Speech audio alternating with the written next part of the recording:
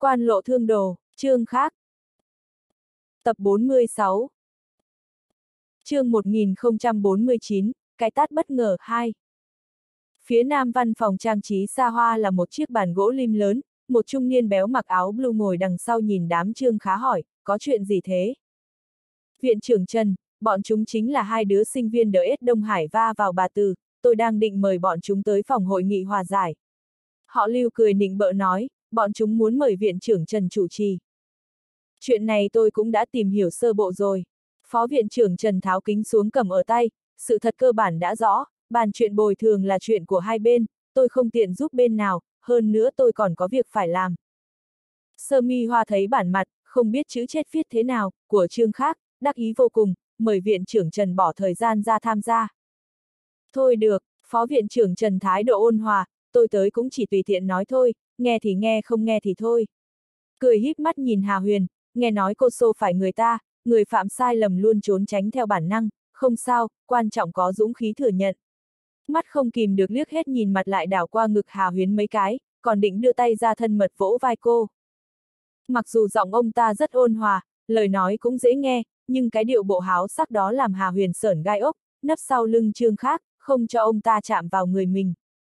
Trừ hai bên tranh chấp, Phó Viện trưởng Trần, còn có hai chuyên gia khoa xương chẩn đoán cho bà Trần, nhân viên phòng giám sát và y tá quầy đều có mặt. Phó Viện trưởng Trần Đùng Đỉnh ngồi xuống bàn đọc tài liệu, một lúc sau mới ngẩng đầu lên nói, cơ bản đã rõ rồi, cậu còn muốn nói gì, hay là có ý kiến về hiệp nghị bồi thương? Phương án chữa trị và phục hồi do hai chuyên gia khoa xương có tiếng nhất bệnh viện chúng tôi đưa ra, chi phí bồi thường và bồi dưỡng là tiêu chuẩn của bệnh viện, còn tiền bồi thường tinh thần tôi không tiện bình luận, các cậu bàn với nhau đi. Họ lưu đưa bút cho Trương Khác, bảo y ký lên giấy hòa giải, Trương Khác không nhận, nhạt nhẽo nói, tôi có bút của mình. Phó Tuấn đưa bút cho Trương Khác, nhưng y cầm trong tay xoay xoay, lề mề không chịu ký. Cộc cộc cộc, có người gõ cửa bên ngoài, tiếp đó có y tá thò đầu vào nói, giáo viên Đại học Đông Hải tới. Có giáo viên tới càng tốt, một số thứ phải để giáo viên xem mới được. Phó viện trưởng Trần gật đầu, thấy một ông già quen quen tóc hoa dâm mặc áo sơ mi, tinh thần quắc thước và một cô gái xinh đẹp đi vào. Trương khác không ngờ kinh động tới ông ta, vội đứng dậy, sao lại để thầy đích thân tới vậy? Tiểu thôi không ở kiến nghiệp, thế nên phòng công đoàn gọi thẳng cho tôi, vừa vặn buổi chiều tôi cũng rảnh. Ông già giọng vang vang, nói chuyện với Trương khác, nhưng tất cả đều nghe thấy, quét mắt qua phòng hội nghị, nhìn tên phó viện trưởng Trần, không nói tiếng nào nữa. Phó viện trưởng Trần thấy ông già này khí độ bất phàm, đứng dậy khách khí hỏi, các vị là giáo viên Đại học Đông Hải. Tôi là Lý Hồng Minh. Ông già như chỉ đợi câu hỏi này, giới thiệu cô gái xinh đẹp đằng sau, đó là cô giáo thôi chủ nhiệm khóa của cậu sinh viên gây sự. Bệnh viện các vị thông báo chúng tôi tới giải quyết vấn đề sinh viên gây sự, còn cậu là ai? Phó viện trưởng Trần người cứng đờ tại chỗ, miệng mấy mấy, đột nhiên cảm thấy nói chuyện thật khó khăn, nuốt hai ngụm nước bọt mới gian nan gọi, hiệu trưởng Lý. Giọng lạc cả đi. Lý Hồng Minh lừ mắt, cậu là sinh viên Đại học Đông Hải sao? Đông Hải không có y khoa. Rồi kéo ghế bảo Thôi Úc Mạn, cô giáo tiểu Thôi cũng ngồi đi. Tôi là Trần Thái Trung, là học sinh của giáo sư Hà Thúy Phương vợ ngài ạ, là phó viện trưởng ở đây. Trần Thái Trung lau mồ hôi chán, ông ta có ngu cũng biết Lý Hồng Minh không đích thân ra mặt vì một sinh viên bình thường. Thế à, bà Hà nói với tôi chỉ có Mã Quân là học sinh của bà ấy, tôi định tìm Mã Quân tìm hiểu tình hình, nếu như cậu cũng là học sinh của bà ấy, vậy có chuyện gì, nói cho tôi và cô giáo tiểu thôi nghe một chút. Tôi nhận được báo cáo, sinh viên trường tôi đi đường không may xô phải một bà già, làm bà ấy gãy xương, sau đó sợ trách nhiệm bỏ chạy, chắc bị bệnh viên các vị bắt rồi à? Lý Hồng Minh giọng vang vang hỏi. Chắc là có hiểu lầm ạ, à, phía dưới vừa đưa ra kết luận sơ bộ, tôi đang xác minh, hiệu trưởng Lý tới thì tốt quá, có thể làm rõ sự việc, trừ bỏ hiểu lầm. Trần Thái Trung vẫn lau mồ hôi, Lý Hồng Minh không phải là hiệu trưởng một trường đại học bình thường, cả hai vợ chồng ông ta là học giả, chuyên gia có tiếng trong nghề, học sinh làm cấp bộ không phải là ít, như ngay trong bệnh viện này, viện trưởng Mã Quân là học sinh của vợ ông ta. Hà Huyền không nghe thấy lúc nãy ở hành lang đám phó tuấn thương lượng cái gì, khẽ giật tay áo trương khác, hé cánh môi hồng nhuận, làm một vẻ mặt khoa trương, cô ngàn vạn không ngờ trương khác mời được hiệu trưởng đỡ ết Đông Hải ra mặt. Trương Khắc háy mắt với cô, mặc dù ở trong trường chỉ có vài người biết thân phận của y, nhưng các giáo viên đâu ngốc, hai năm qua y gây ra bao nhiêu chuyện tài đình như thế mà vẫn bình an vô sự, sớm được đưa vào danh sách đặc thù rồi, e còn đứng đầu danh sách đó. Sinh viên trong danh sách đặc thù có chuyện gì, tất nhiên phải thông báo cho học viện trước tiên, vừa vặn Thôi Quốc Hằng không ở kiến nghiệp, nên báo cho Lý Hồng Minh là chuyện thường. Thôi Úc Mạn kéo ghế ngồi ngang với Trương Khác, nói nhỏ, sao lần nào cũng là cậu gây chuyện thế. Tôi chỉ mong cậu tốt nghiệp ngay bây giờ cho xong. Trương Khác cười ngượng ngập, nhìn thấy Trần Thái Trung định chuyển tài liệu trên bàn đi, nhướng mày lên, Phó Viện trưởng Trần, lúc nãy ông đâu nói như thế. Phó Tuấn liền đi tới, đặt tay đè lên chống tài liệu, đứng ngay đó không cho ông ta chuyển đi. Áo sơ mi thấy Trần Thái Trung trở giọng rồi, hắn cũng biết thời thế, nặn ra nụ cười nói, chắc là hiểu lầm thôi, còn chưa điều tra rõ ràng. Hiệu trưởng đỡ Đông Hải mà to à, quần sót ngắn hung giữ kéo sơ mi hoa sang một bên, thằng nhãi kia lúc nãy đã thừa nhận xô vào người ta rồi, chẳng lẽ hiệu trưởng tới thì có thể nói đen thành trắng. Nó phải bồi thường, không thiếu một xu. Nhưng đám nhân chứng, chuyên gia ngồi bên bàn hội nghị bắt đầu dao động rồi, đưa mặt nhìn nhau không biết phải làm sao, có điều lúc này chẳng ai thèm để ý tới họ. Lý Hồng Minh quay sang nhìn Trương Khác, Trương Khác cười nói, không ngờ thầy hiệu trưởng đích thân tới, em cũng mời người khác điều tra chuyện này, ông nói ông có lý, bà nói bà có lý, em không định dựa vào thân phận ức hiếp bọn họ. Quần sót ngắn khinh khỉnh xen vào, khẩu khí gớm nhỉ. Trương Khác không thèm nhìn cô ta, tiếp tục nói với Lý Hồng Minh, thế nào cũng cần có người điều tra độc lập mới làm người ta phục được, phiền thầy đợi một lúc ạ. À. Lý Hồng Minh gật đầu, lúc này ngoài cửa có tiếng bước chân, lại là y tá lúc nãy dẫn Lý Hồng Minh, gõ cửa thò đầu vào nói, viện trưởng mã tới. Lý Hồng Minh ngồi im hỏi, mã quân đấy hả? Viện trưởng bệnh viện nhân dân số 3 mã quân là trung niên hói, ông ta đang đứng ở cửa mời hai trung niên nam nhân mặc sơ mi ngắn tay đi vào, nghe thấy có người gọi tên mình, nhìn vào trong, ngạc nhiên thốt lên, thầy, sao thầy tới đây? Mấy ngày nữa là đoan ngọ, em định tới thăm thầy cô. Vội giới thiệu cho hai người bên cạnh Lý Hồng Quân, vị này là. Tôi biết, tuy tôi không phải là học sinh của giáo sư Hà, nhưng tôi cũng tốt nghiệp đỡ y khoa. Người trung niên đi đầu miệng có nốt ruồi vội đi tới không để Lý Hồng Minh đứng dậy, bắt tay ông giới thiệu, tôi là Trương Đại Vĩ của Cục Vệ sinh. Audio điện tử võ tấn bền. chương 1050, cái tát bất ngờ 3. Nhìn thấy viện trưởng cùng cục trưởng cục vệ sinh đi vào, người trong phòng đứng cả dậy, Lý Hồng Minh vẫn ung dung ngồi yên, còn Trương khác chỉ bỏ chân đang vắt chữ ngũ xuống, gật đầu với Trương Đại Vĩ, cục trưởng Trương tới đó hả? Không thèm để ý tới trung niên béo đằng sau ông ta. Quần sót ngắn nhìn thấy trung niên béo đó thì vui mừng cùng sơ mi hoa đi tới, sao ba lại tới đây? Lý Hồng Minh liếc nhìn trung niên béo đó, hỏi Mã Quân, ai thế?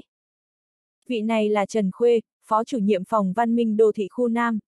Mã Quân căn bản không biết có chuyện gì, Trương Đại Vĩ kéo Trần Khuê tới nói bệnh viện có chuyện tranh chấp bảo ông ta tới tham dự điều tra, nhận điện thoại xong ông ta thẳng tới phòng hội nghị, còn chưa hiểu đầu cua tai nheo ra làm sao. Mời đầu Mã Quân nhìn thấy cô gái kia thân thiết chạy tới gọi Trần Khuê, còn tưởng Trần Khuê tìm Trương Đại Vĩ tới để thiên vị bên đó, nhưng nhìn khắp phòng, thấy không khí khác thường, liền không nhiều lời nữa.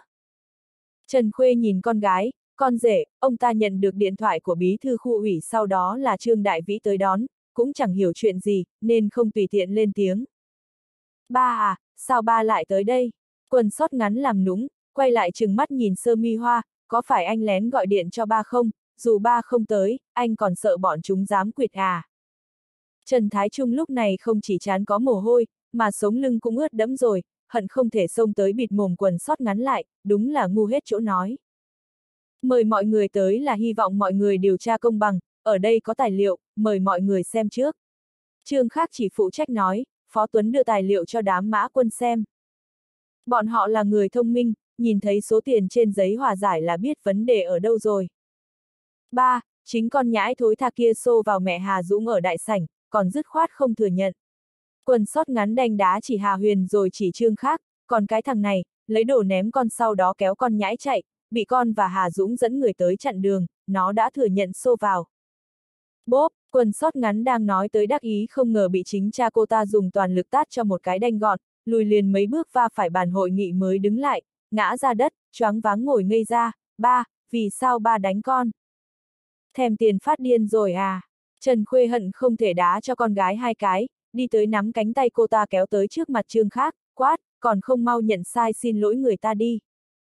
Cái tát đó quá mạnh, quá bất ngờ, làm quá nửa số người trong phòng hội nghị ngây ra, không chỉ làm Trần Trung Thạch, Hà Dũng, tên trưởng phòng bảo vệ run như cầy sấy, mà ngay cả Mã Quân và Trương Đại Vĩ cũng giật nảy mình. Trương khác không nhìn quần sót ngắn nằm bò trên mặt đất, lạnh lùng nhìn Trần Khuê mấy giây, không nể nang gì nói, chủ nhiệm Trần, mời ông tới đây tham dự điều tra chân tướng, không phải để ông ra uy giáo huấn con gái.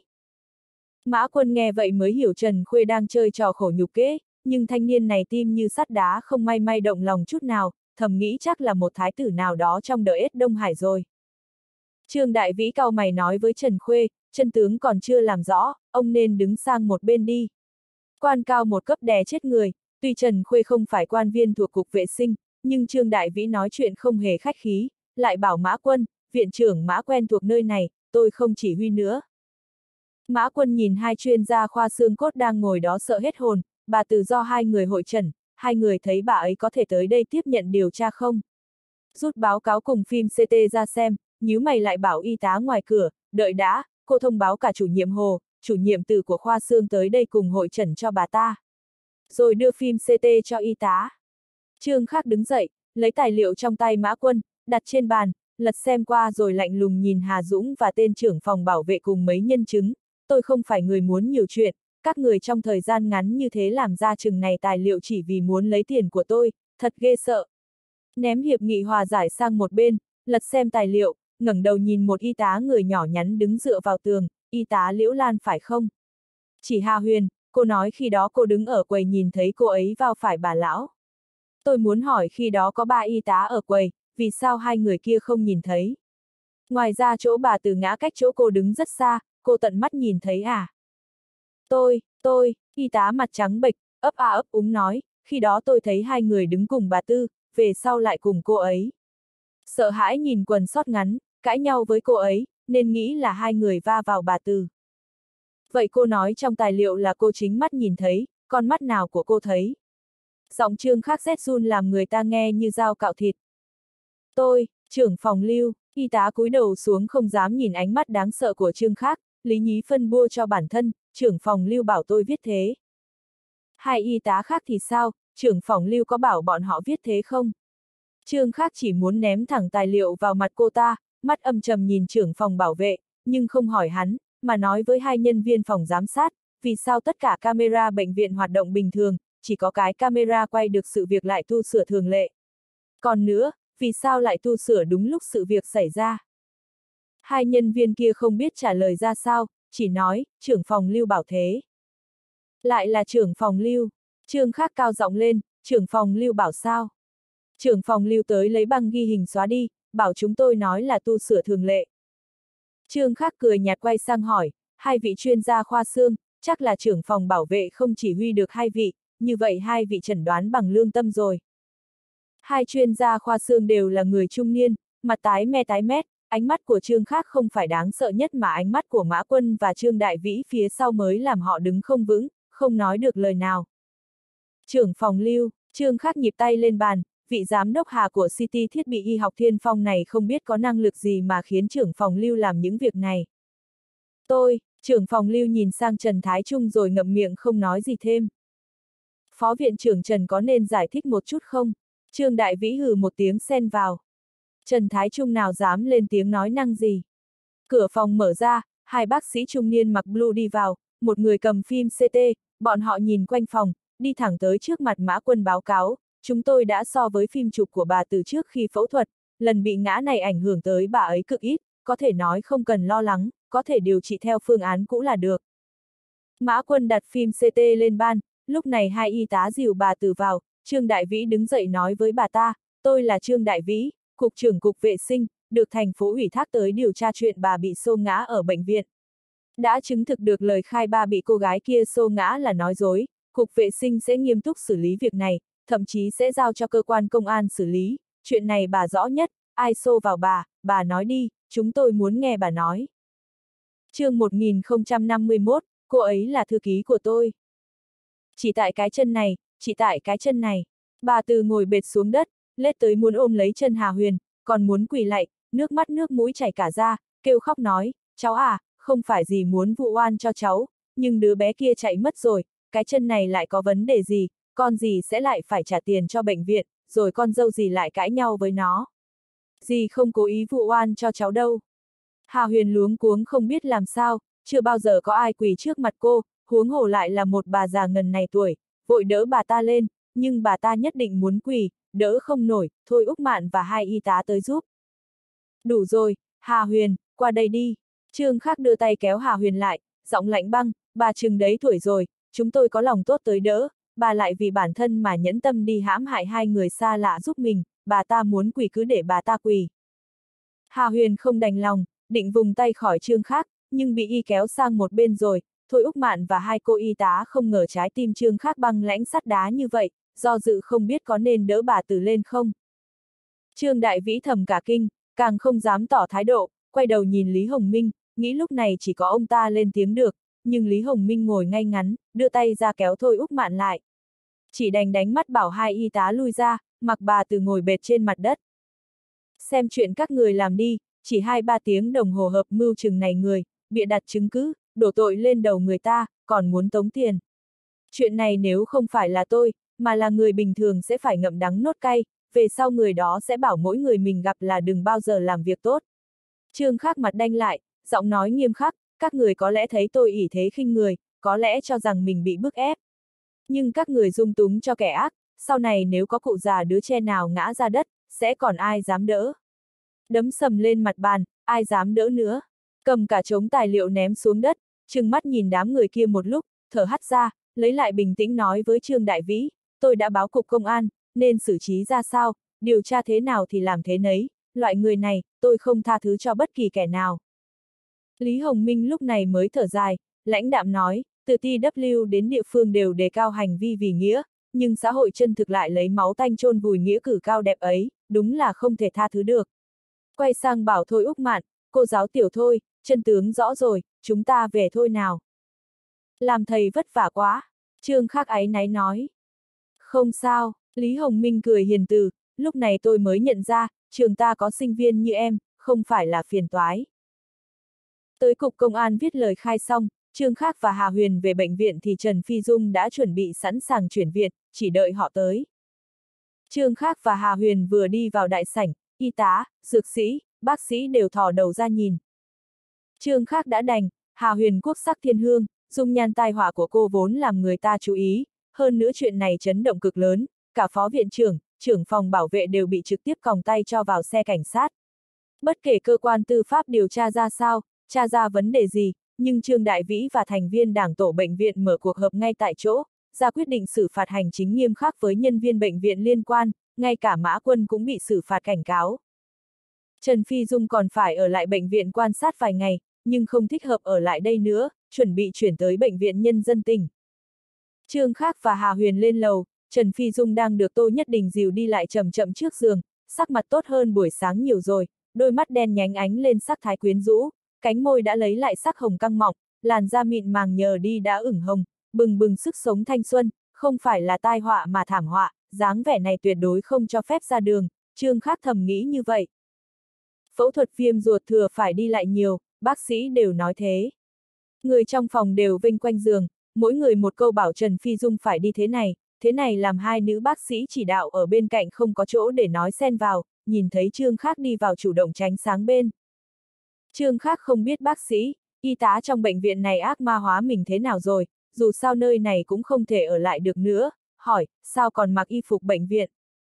Thay y phục có thể đụng tới vết thương, chuyển sang bệnh viện tỉnh vẫn phải thay đồ, nên chẳng cần thay đi thay lại cho rắc rối. Nữ bác sĩ lúc này mới rẻ rặt nói. Trương Khác gật đầu, không nói gì nhiều, nếu là người khác sao có thể mặc y phục bệnh viện này sang bệnh viện khác được. Hà Huyền cúi đầu theo Trương Khác đi tới trước giường bệnh, lách mình nấp sau lưng Tô Nhất Đình, cố kiềm chế muốn làm mặt quỷ, dọn dẹp đồ trên giường sách lên. Hai nhân viên công tác luôn gác ngoài phòng bệnh đi vào nhận lấy túi đồ. Trương Khác nhìn người phụ nữ lúc xảy ra xung đột nói giúp mình còn bị tên Hà Dũng chửi bởi lúc này chỉ ngồi ở giường con gái nhìn sang, liền đi tới cười nói, cảm ơn dì hôm qua giúp cháu chiếu cố bệnh nhân, nếu để cháu làm chắc rối lên rồi, sau này dì có việc cứ tìm cháu, cháu tên là Trương Khác. Lấy từ tay Phó Tuấn một tấm danh thiếp ký tên lên đưa cho người phụ nữ đó, có chuyện gì cứ liên lạc số điện thoại hoặc địa chỉ trên này, đều có thể tìm được cháu. Người phụ nữ trung niên máy móc nhận lấy tấm danh thiếp gật đầu, bà ta đoán được thân phận của Trương Khác nhất định rất ghê gớm. diêu Trần Phi Dung vào chiếc xe thương vụ đen xì xì, Hà Huyền mới ôm ngực thở mạnh, nói, thật khủng bố, nếu ở trong cái phòng đó một ngày thôi, mình sẽ sụp đổ mất, thế mà bạn còn nghe bọn họ đi đi lại lại ở đó được. Không nhìn thấy người mình toát mồ hôi, đi lại như tượng gỗ à, người ta nhìn chăm chăm như vậy, làm sao mình thoải mái được. Trần Phi Dung thở phào, cẩn thận không để đụng tới vết thương, nhưng xe đi rất êm, cô mới yên tâm, kể khổ với Hà Huyền, nhưng người ta cứ vây quanh nói mình phải hoạt động nhiều hơn, nếu nhất định cứ nằm trên giường, không phải càng thảm à. Chỉ mong hai bạn tới sớm sớm cứu mình ra khỏi biển lửa. Trương Khắc quay đầu lại nhìn một cái, không nói gì, lại quay đầu đi. Sao trầm mặc thế hà? Tôi nhất định hỏi. Tôi nhịn gần 20 tiếng không được nói chuyện cười trước mặt Phi Dung rồi, cô bảo tôi không trầm mặc mà được à? Trương Khắc nghiêm mặt quay đầu lại nói. Á, Trần Phi Dung vừa nở nụ cười liền đụng vào vết thương, nhịn đau, mở đôi mắt mỹ lệ nhìn Trương Khắc, bạn cứ tiếp tục trầm mặc đi, mình không muốn tới bệnh viện tỉnh khâu hai mũi nữa đâu đấy. Tô Nhất Đình, Hà Huyền lại ôm bụng cười, Tô Nhất Đình hỏi Trương Khắc, có biết trong bệnh viện người ta suy đoán về anh thế nào không? Còn đoán gì được nữa? Trương Khắc cười khổ, một vị thiếu gia oai phong lẫm liệt ỷ thế khinh người như thế, trong nhà ít nhất cũng phải là lãnh đạo TW. Rồi háy mắt nhìn Trần Phi Dung, vậy bọn họ đoán vì sao bạn lại ở phòng bệnh bình thường không? Điều đó người ta căn bản không nghĩ nhiều. Đủ rồi, Trần Phi Dung mặt thoáng hiện vẻ thẹn thùng, giơ tay lên dọa, bắt y quay đầu đi không cho nhìn mình, rồi thở dài, chuyện này nếu xảy ra với người bình thường, không biết phải làm sao. Tô Nhất Đình căm phẫn nói, không ngờ cần một tên hoàn khố chủ trì công đạo, cái xã hội này thật đáng buồn. Đúng, đúng thế, Hà Huyền phụ họa. Xin cô đấy, nói cái từ, hoàn khố, đừng có nghiến răng được không? Trương Khắc quay sang Hà Huyền, còn cô, có nhớ cái áo sơ mi trên người là của tên hoàn khố nào đó không? Đừng có phụ họa nhiệt tình thế, cẩn thận tên hoàn khố đòi lại áo ngay bây giờ. Hà Huyền ôm tay trước ngực, người rụt lại đằng sau, cười nói, anh được tính là người nhân phẩm xuất chúng trong đám hoàn khố rồi, đừng tự ti vì thân phận của mình. À phải, nghe Đỗ Phi nói ba anh vừa mới lên chức thị trường Tân Vu, lạ nhé, thị trường có lợi hại thế không? Mà có lợi hại cũng sao quản nổi chuyện kiến nghiệp. Ba tôi chưa phải thị trường, chỉ là thị trường tạm thời, còn phải qua tuyển cử của Hội đồng Nhân dân, còn vì sao ba tôi có thể quản chuyện rộng như thế? Trương Khắc nghe răng cười, đây là cơ mật, Phi Dung biết đấy, vì Phi Dung đã nhận lời làm thư ký cho tôi. Em Dung này cũng lằng nhằng không kém. Mai tiếp, chương 1052, sắp tới rồi. Bạn đừng có rơi vào bẫy của cậu ta. Tôi nhất định khoa trương ré lên, bạn làm thư ký cho cậu ta, khác gì thỏ trắng chui vào hang sói xám làm giúp việc. Rồi quay sang chương khác, tôi và mầm họa mỗi ngày giúp cậu quản lý 1978, có phải cũng cách thành thư ký của cậu vài bước thôi không? Đôi mắt đen lánh long lanh của Hà Huyền ẩn chứa nụ cười, tuy bạn bè với nhau không để ý xuất thân gia đình, nhưng đôi lúc không khỏi tò mò. 1978 là các cô chiếu cố thay tĩnh mông, tôi tiết lộ cho các cô biết thân phận của cô ấy nhé. Trương Khắc tì cầm lên lưng ghế, cái ông bác trung niên mỗi lần tới thăm tĩnh mông, nắm tay cô ấy kéo ra sau quầy ba nói nửa ngày trời, mà trông có vẻ thô bỉ, thực ra là ba cô ấy, tên Tôn Thượng Nghĩa, các cô có thể lên mạng tìm.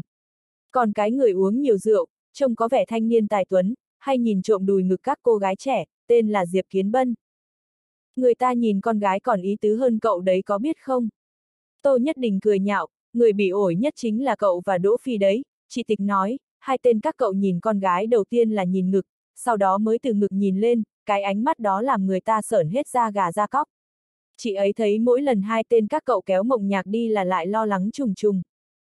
Thôi đi, Trần Phi Dung lên tiếng cầu xin, các bạn muốn đấu khẩu thì tới bệnh viện đã, cho dù vết thương có rách ra, còn có bác sĩ, y tá. Trương Khắc ghé đầu vào bên tai Hà Huyền nói, tôi cứ thắc mắc có gì đó không ổn, thì ra là có phi dung, ảnh hưởng tới phong độ của tôi, đợi tới bệnh viện sẽ đấu khẩu với các cô. Trần Phi Dung quay đầu sang nhìn cửa sổ xe, tránh bị ảnh hưởng, Hà Huyền cười chảy nước mắt, tôi nhất định thì nghi hoặc không biết Trương Khắc nói cái gì. Sau khi tới bệnh viện nhân dân tỉnh, tôi nhất định về trường trước, phải trong coi 1978, Trương Khác và Hà Huyền chăm sóc Trần Phi Dung ở phòng bệnh cao cấp, tới hoàng hôn mấy cô bạn trong phòng Trần Phi Dung tới thăm. Trương Khắc mời các cô gái sang phòng ăn nhỏ bên cạnh ăn cơm, do Trần Phi Dung chưa thể ăn uống, nên bọn họ đóng cửa thật chặt. Ở bệnh viện nhân dân số 3 thiếu chút nữa trời long đất lở, nhưng ở trường không có chút động tĩnh nào, trên tin thời sự đài địa phương và trên mạng có đưa tin về sự kiện này. Được Trương Khác và Hà Huyền chăm sóc chu đáo, tới tối Trần Phi Dung đã đánh giám được. Mình chuẩn bị cho bạn chút đồ ăn, mình hâm nóng cho bạn. Trương Khác nói. Trần Phi Dung đã gần 48 tiếng không ăn rồi, nghe Trương Khác nói câu này, mắt lộ vẻ thèm khát, không đợi nổi nữa, đi dép vào theo Trương Khác và Hà Huyền sang phòng ăn nhỏ, nhìn bọn họ lấy một hộp nhựa mở ra, nhìn thứ bên trong thiếu chút nữa muốn khóc, đồ ngon mọi người ăn hết cả, để lại mỗi cháo thôi à. Trước khi phẫu thuật mình cũng gần 12 tiếng không ăn rồi. Đừng có trẻ con thế, còn kêu ngay cả cháo cũng không có mà ăn đâu. Trương Khắc uy hiếp thu hộp cháo lại. Được, được, được, cháo thì cháo, bạn nhanh lên đi, nếu không mình không đói chết cũng thèm chết mất. Trần Phi Dung nhìn hộp cháo không chớp mắt. Nếu để nam nhân nào khác nhìn thấy băng sơn mỹ nhân của đỡ ết Đông Hải như con chó nhỏ vẫy đuôi cầu khẩn người khác thế này, chẳng biết trong lòng họ sẽ nghĩ thế nào. Tô Nhất Đinh vừa mới tới nơi, nhìn dáng vẻ thèm thuồng của Trần Phi Dung, không nhịn được lên tiếng trêu, cô biết Trần Phi Dung vì bảo vệ bản thân đã phủ một lớp vỏ băng giá lên khuôn mặt xinh đẹp của mình, cho dù ở cùng bạn bè cũng rất lãnh đạm, nhưng lớp vỏ này trước mặt trương khác chẳng có sức kháng cự nào, tan ra lộ ra khuôn mặt mềm yếu ngây thơ. Huyền. Hai ngày sau vẫn chỉ có thể ăn chút cháo, uống sữa, Trần Phi Dung đã bỏ lỡ một môn thi, cô không muốn để mấy môn học kỳ này sang kỳ sau mới thi như ai đó. Thời tiết kiến nghiệp hạ tuần tháng 6 nóng khác thường, ở trong ký túc xá nóng như cái lồng hấp, Trương Khác chỉ lo cơ thể yếu ớt của Trần Phi Dung chịu không nổi, bắt cô ở trong chung cư thanh niên, hai ngày nữa đường thanh sẽ về kiến nghiệp, cô ấy nói, bạn không yên tâm thì bảo nhất định, Hà Huyền tới ở cùng. Ai, thế là tới lượt mình không yên tâm. Đám mã hướng đông, Lương Văn Giang kết thúc chuyến hành trình ở kiến nghiệp, buổi tối bọn họ đi tàu hỏa tới Quảng Châu tiếp tục kiếp sống diễn giảng kéo dài hơn nửa tháng. Hai ngày qua đám mã hướng đông trừ diễn giảng, phỏng vấn, cơ bản xác định cùng vườn sồi đầu tư 200 triệu lập quỹ hỗ trợ phát triển kỹ thuật phần mềm trong nước, đồng thời định dần dần chuyển trung tâm nghiên cứu từ Bắc Kinh sang kiến nghiệp. So với Bắc Kinh, tài nguyên nhân lực lĩnh vực kỹ thuật ở kiến nghiệp không bằng, nhưng so với mật độ xí nghiệp Internet ở Bắc Kinh, kiến nghiệp lại thành ra có ưu thế. Mặc dù có thể dự toán trong 1-2 năm tới tài chính đầu tư mạo hiểm hải ngoại đổ vào sản nghiệp Internet trong nước có thể tới mấy triệu USD, nhưng quy mô các quỹ sáng nghiệp trong nước vẫn rất hữu hạn. Hai cấp chính phủ tỉnh thành Chiết Đông Văn Chu, ban ngành khoa học công nghệ cùng các trường đại học Cedar Văn Chu thiết lập quỹ sáng nghiệp công nghệ mới có 48 triệu, quỹ sáng nghiệp ở Trung Quan Thôn, Bắc Kinh được các phương diện nỗ lực mới có hơn 300 triệu. Quỹ đầu tư sáng nghiệp kiến nghiệp tổng quy mô đã hơn 1 tỷ, tạo nên cơ sở hấp dẫn nhân tài ưu tú ở lại cùng thu hút nhân tài tới kiến nghiệp, cung cấp động lực phát triển mạnh mẽ cho thành phố.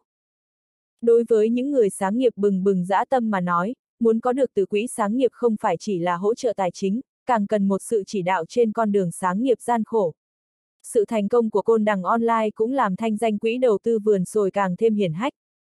Đón Trần Phi Dung ra viện, buổi tối tham gia bữa tiệc tiễn đám mã hướng đông, còn về lời mời Lương Văn Giang, Vương Thái Linh tới Tân Vu đành tạm thời trì hoãn. Mông Nhạc cũng về kiến nghiệp hôm nay chuẩn bị sống thời gian cuối cùng đời sinh viên ở Đại học Đông Hải, Tịch Nhược Lâm cũng đi cùng hắn. Sau bữa tiệc trương khác không đi tới ga tàu tiễn chân, y phải về với Trần Phi Dung đang ôn bài một mình ở chung cư. Vừa vặn Trần Tĩnh cùng Úc Bình, Lưu Minh Huy tới ngõ học phủ ăn cơm, trương khác đi vào ngõ thì gặp bọn họ từ nhà hàng đi ra, tạ ý cũng ở trong số đó. Trương khác thấy đám Trần Tĩnh mặt hồng hào, chắc là uống rượu, đang hưng phấn trò chuyện rôm rả, tới gần mới thấy Trương khác đang đứng nhìn bọn họ. Á, giật cả mình, Trần Tĩnh đưa tay ôm ngực, chiếc áo lụa dài tay cổ tròn làm bầu ngực càng thêm nổi trội, dụ hoặc ánh mắt nam nhân, khuôn mặt ửng đỏ vì rượu, càng tăng thêm vẻ quyến rũ, mắt sáng lên mừng rỡ vì cuộc gặp gỡ bất ngờ. Mở tiệc mừng trước đấy à? Trương Khắc cười hỏi. Úc Bình, Lưu Minh Huy, tạ ý chào Trương Khắc xong đi vào ngõ tìm quán ba uống rượu, để Trần Tĩnh nói chuyện với Trương Khắc, tạ tử ra mím môi do dự một lúc rồi mới đi theo đám Úc Bình. Lễ giới thiệu sản phẩm mới mai mới cử hành, vì nó mà phải vất vả bao nhiêu ngày rồi, bất kể ngày mai có kết quả lý tưởng không, hôm nay cũng phải giải tỏa hết áp lực, đúng không? Trần Tĩnh bước tới một bước, đứng sóng vai với Trương Khác, đôi mắt đẹp mang men say sóng sánh chết người. Tô Tân Đông sau khi nhìn thấy loạt di động bảo thạch của các cô, quyết định tháng 7 sẽ đưa ra hai chiếc máy mới nữa, do lo bị cao khoa KV đả kích đấy. Nghe Trương Khác nói như thế, Trần Tĩnh cười vui vẻ, hơi ngả người sang, định mời anh tham dự lễ giới thiệu sản phẩm mới ngày mai, chỉ sợ quá đường đột. chương 1053, bối rối. Sáng mai tôi có thời gian, tôi sẽ tới thẳng đó. Trần Tĩnh đứng rất gần, Trương Khác ngửi được cả hơi thở lẫn mùi rượu và hương thơm trên cơ thể cô, tới chỗ tôi uống cốc cà phê nhé, đại mỹ nữ say ngã ra đường trông không đẹp đâu. Làm gì tới mức như anh nói. Trần Tĩnh đắm đuối nhìn ánh mắt Trương Khác, tim đập rộn lên, tôi say tới mức đó rồi sao? Gần gần, Trương Khác mỉm cười, cùng Trần Tĩnh đi về phía chung cư. Đi vào thang máy, Trần Tĩnh bắt đầu thấp thỏm, ánh đèn tiết kiệm điện chỉ phát ra ánh sáng mờ mờ, nhìn nửa bên mặt của Trương Khác, càng say thêm vài phần, thầm nghĩ đằng nào cũng liều rồi, sao tới lúc này lại run chứ?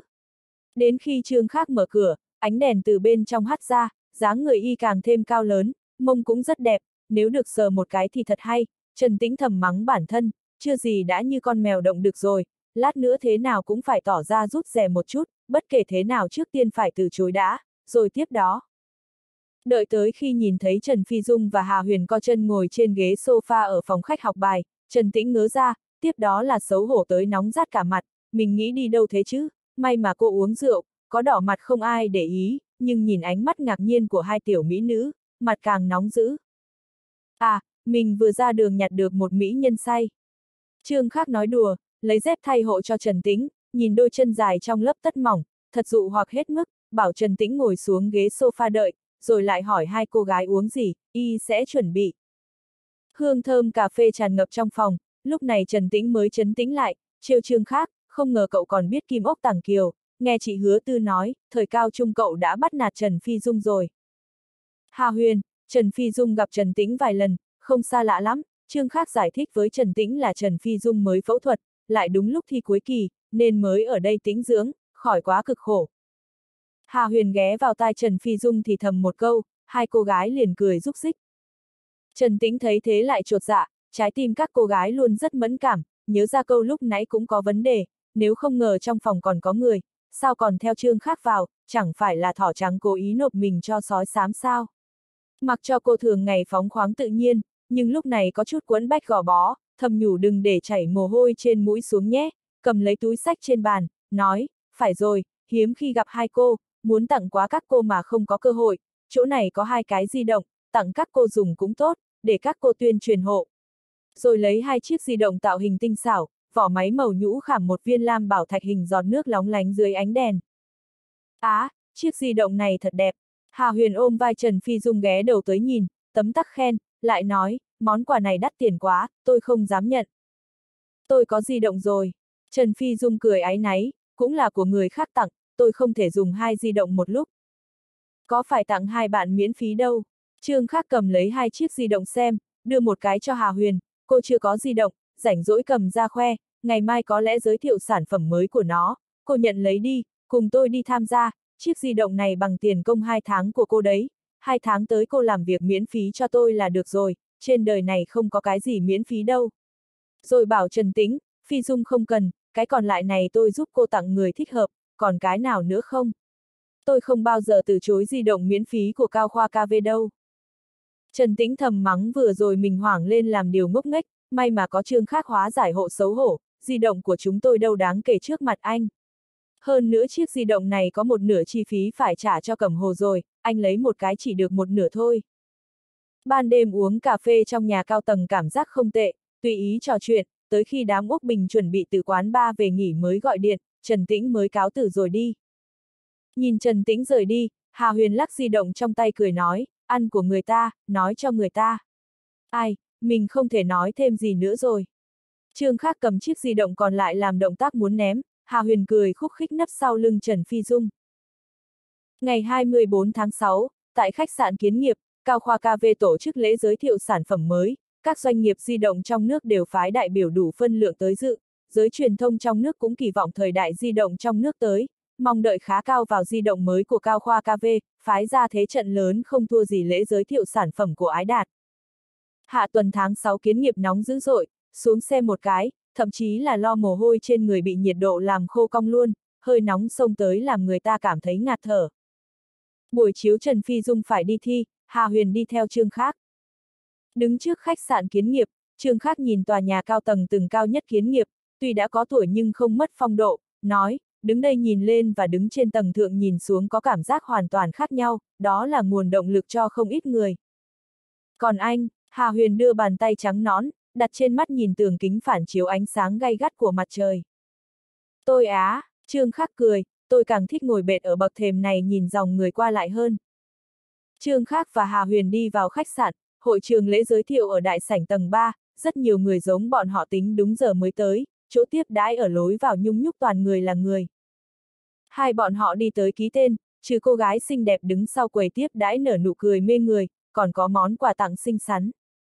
Mỗi bên sân khấu giới thiệu sản phẩm là một đội người mẫu xinh đẹp đi tất đen váy da ngắn, lộ ra bờ vai tròn gợi cảm và cặp chân dài miên man, Trương Khắc cười với Hà Huyền, đây là phong cách tôi thích. Thời buổi này cái gì cũng không sợ, chỉ sợ lưu manh mặt dày. Hà Huyền bĩu môi, đi theo Trương Khắc tìm chỗ ngồi, rất nhiều đôi mắt trước đó dán sát lên người mấy cô người mẫu ăn mặc hở hang lúc này bị dung mạo trang nhã xinh đẹp của Hà Huyền thu hút, chỉ là biết giữ thân phận, ánh mắt không dám quá sỗ sàng. Lần đầu tới những trường hợp thế này Hà Huyền vẫn có chút căng thẳng, cùng Trương Khác ngồi xuống, vỗ vỗ ngực thở ra một hơi, hơi thở trẻ tung thanh xuân trong tích tắc đó thể hiện trọn vẹn, chỉ không biết động tác nho nhỏ đó là đòn chí mạng với nam nhân. Đám Trần Tĩnh, Úc Bình đang hàn huyên chào đón khách khứa, tạ ý ngồi ở hàng đầu, Lỗ Khánh Sinh là đại biểu chính thức của tập đoàn Ái Đạt, được an bài bên cạnh tạ ý, Thiệu Tâm Văn cũng ngồi hàng đầu, trò chuyện với tạ ý. Sau khi quyết liệt với cha con tạ kiếm nam, quan hệ giữa chính Thái, Hải Thái và Cẩm Hồ đã hòa hoãn lại, bọn họ thấy Trương Khác và Hà Huyền đi vào, hơi khom người chào, không đi tới tránh làm người khác chú ý. Ba cô gái của Cao Khoa KV đều là mỹ nhân, cô bé kia còn thiếu chút vị nữ nhân, nhưng Trần Tĩnh và Úc Bình là trái đào chín tới mức không thể chín hơn nữa, vậy mà sao không nghe thấy ai hái hai quả đào đó nhỉ? Trương khắc ngồi vắt chân chữ ngũ, nhìn thanh niên hơn 30 ngồi mé trái bọn họ bình phẩm về Trần Tĩnh, Úc Bình và Tạ Tử Gia, không biết là đại biểu của công ty nào, song cũng bình thường thôi, nữ nhân như Trần Tĩnh, Úc Bình không khiến nam nhân thèm thuồng mới là lạ. chương 1054, thêm một thư ký. Sao lại không có, chỉ có anh là chưa biết thôi.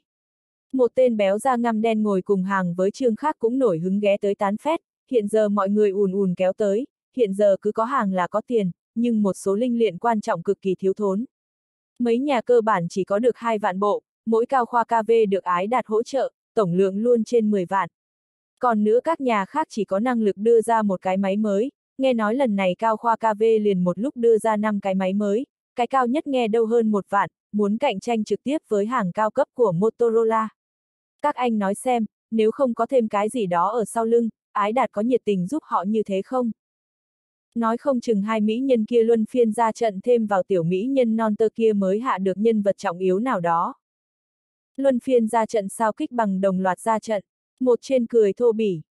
Trương khác coi như bọn nói chuyện hoàn toàn không liên quan tới mình, thấy Hà Huyền cúi đầu, mặt có chút thẹn thùng, khóe miệng mang nụ cười, liền áp giọng xuống nói, nhà đầu, đang nghĩ cái gì thế hả? Hiện người ta đổ xô làm di động, chất lượng sản phẩm đồng hóa tràn lan, cao khoa KV cần ưu thế rõ ràng mới đó thể có được thành công. Hà Huyền chăm chú lắng nghe, vài ngày nữa thôi kết thúc học kỳ cuối của năm ba rồi, vào năm cuối cùng đại học, nếu không muốn học nghiên cứu sinh, phải nghĩ tới vấn đề việc làm.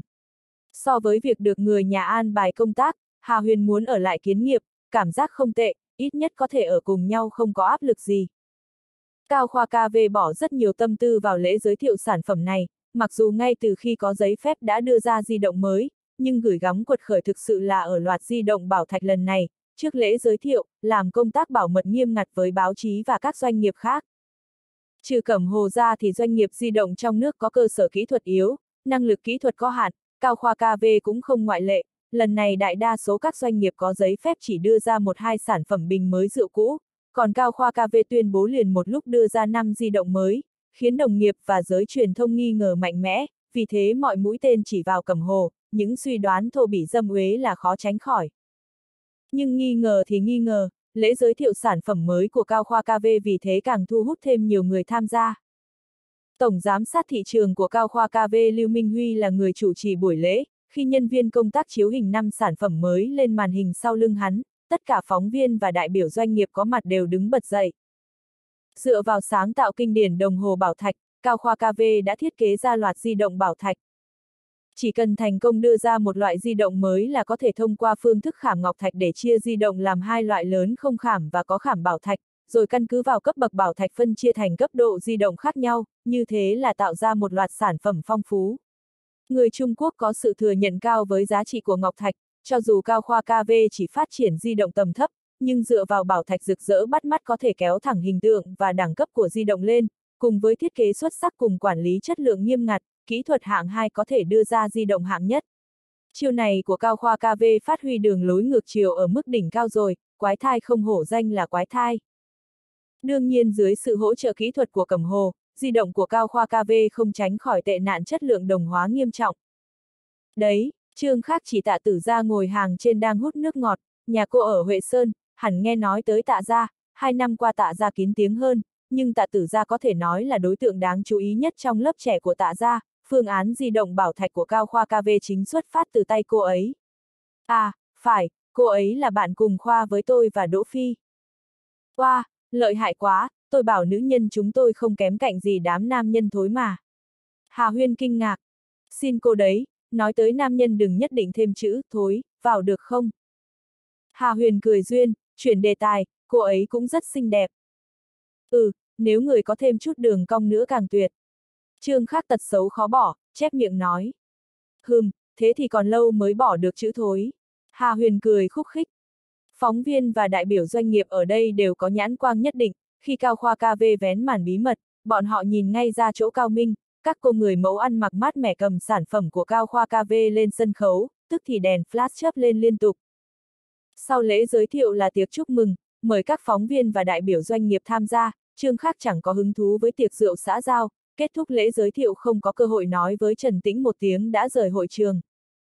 Trương khắc thích tự lái xe, chỉ khi nào rời kiến nghiệp đường hơi xa mới bảo lái xe lai, nheo mắt nhìn ánh chiều ta chiếu qua khe hở giữa các tòa nhà cao tầng, hỏi Hà Huyền, còn một năm nữa là tốt nghiệp rồi, đã suy tính tiếp tục học hay là thế nào chưa?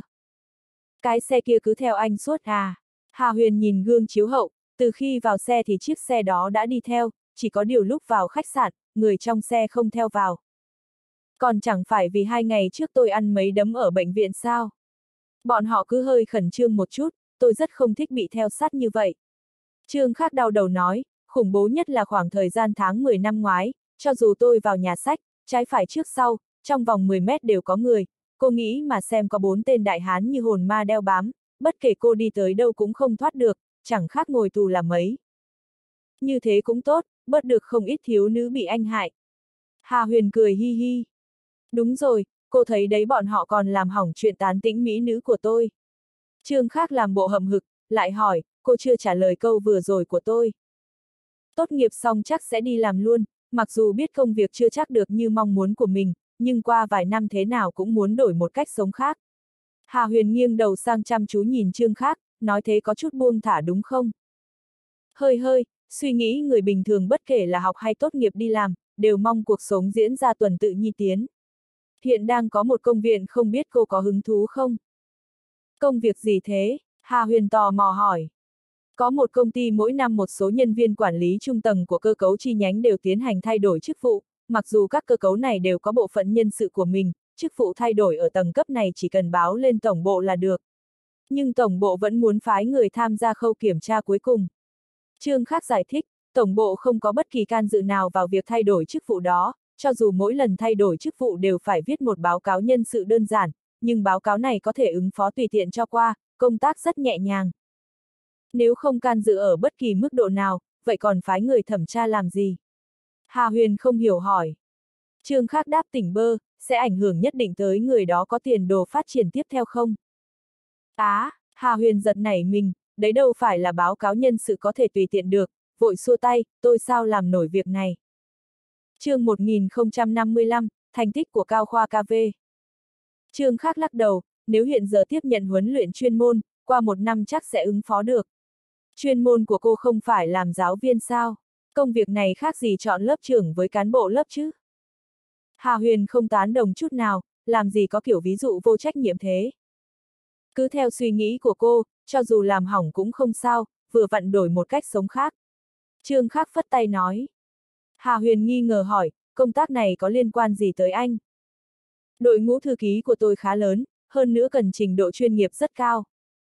Sao không tìm nhất định, bạn ấy phù hợp với công việc này lắm đấy.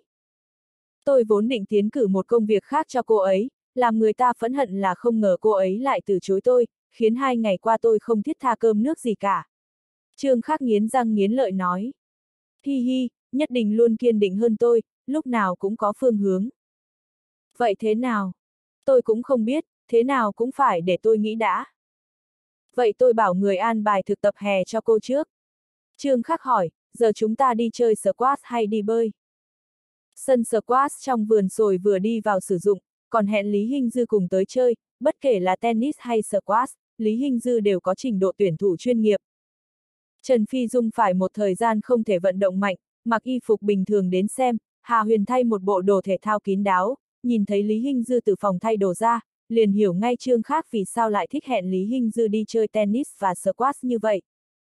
Với chiếc váy ngắn màu trắng trên người, những đường cong ma quỷ của Lý Hinh Dư lộ ra một cách hết sức cám dỗ, vòng eo yểu điệu, cặp đùi trắng tròn, khe vú lấp ló, đúng là làm người ta mất hồn, cơ thể thành thục đầy đặn và khuôn mặt thanh thuần quyến rũ hình thành đối lập rõ rệt, tạo nên sức hấp dẫn không thể cưỡng nổi. So vóc dáng với cô ấy đúng là mất hết tự tin.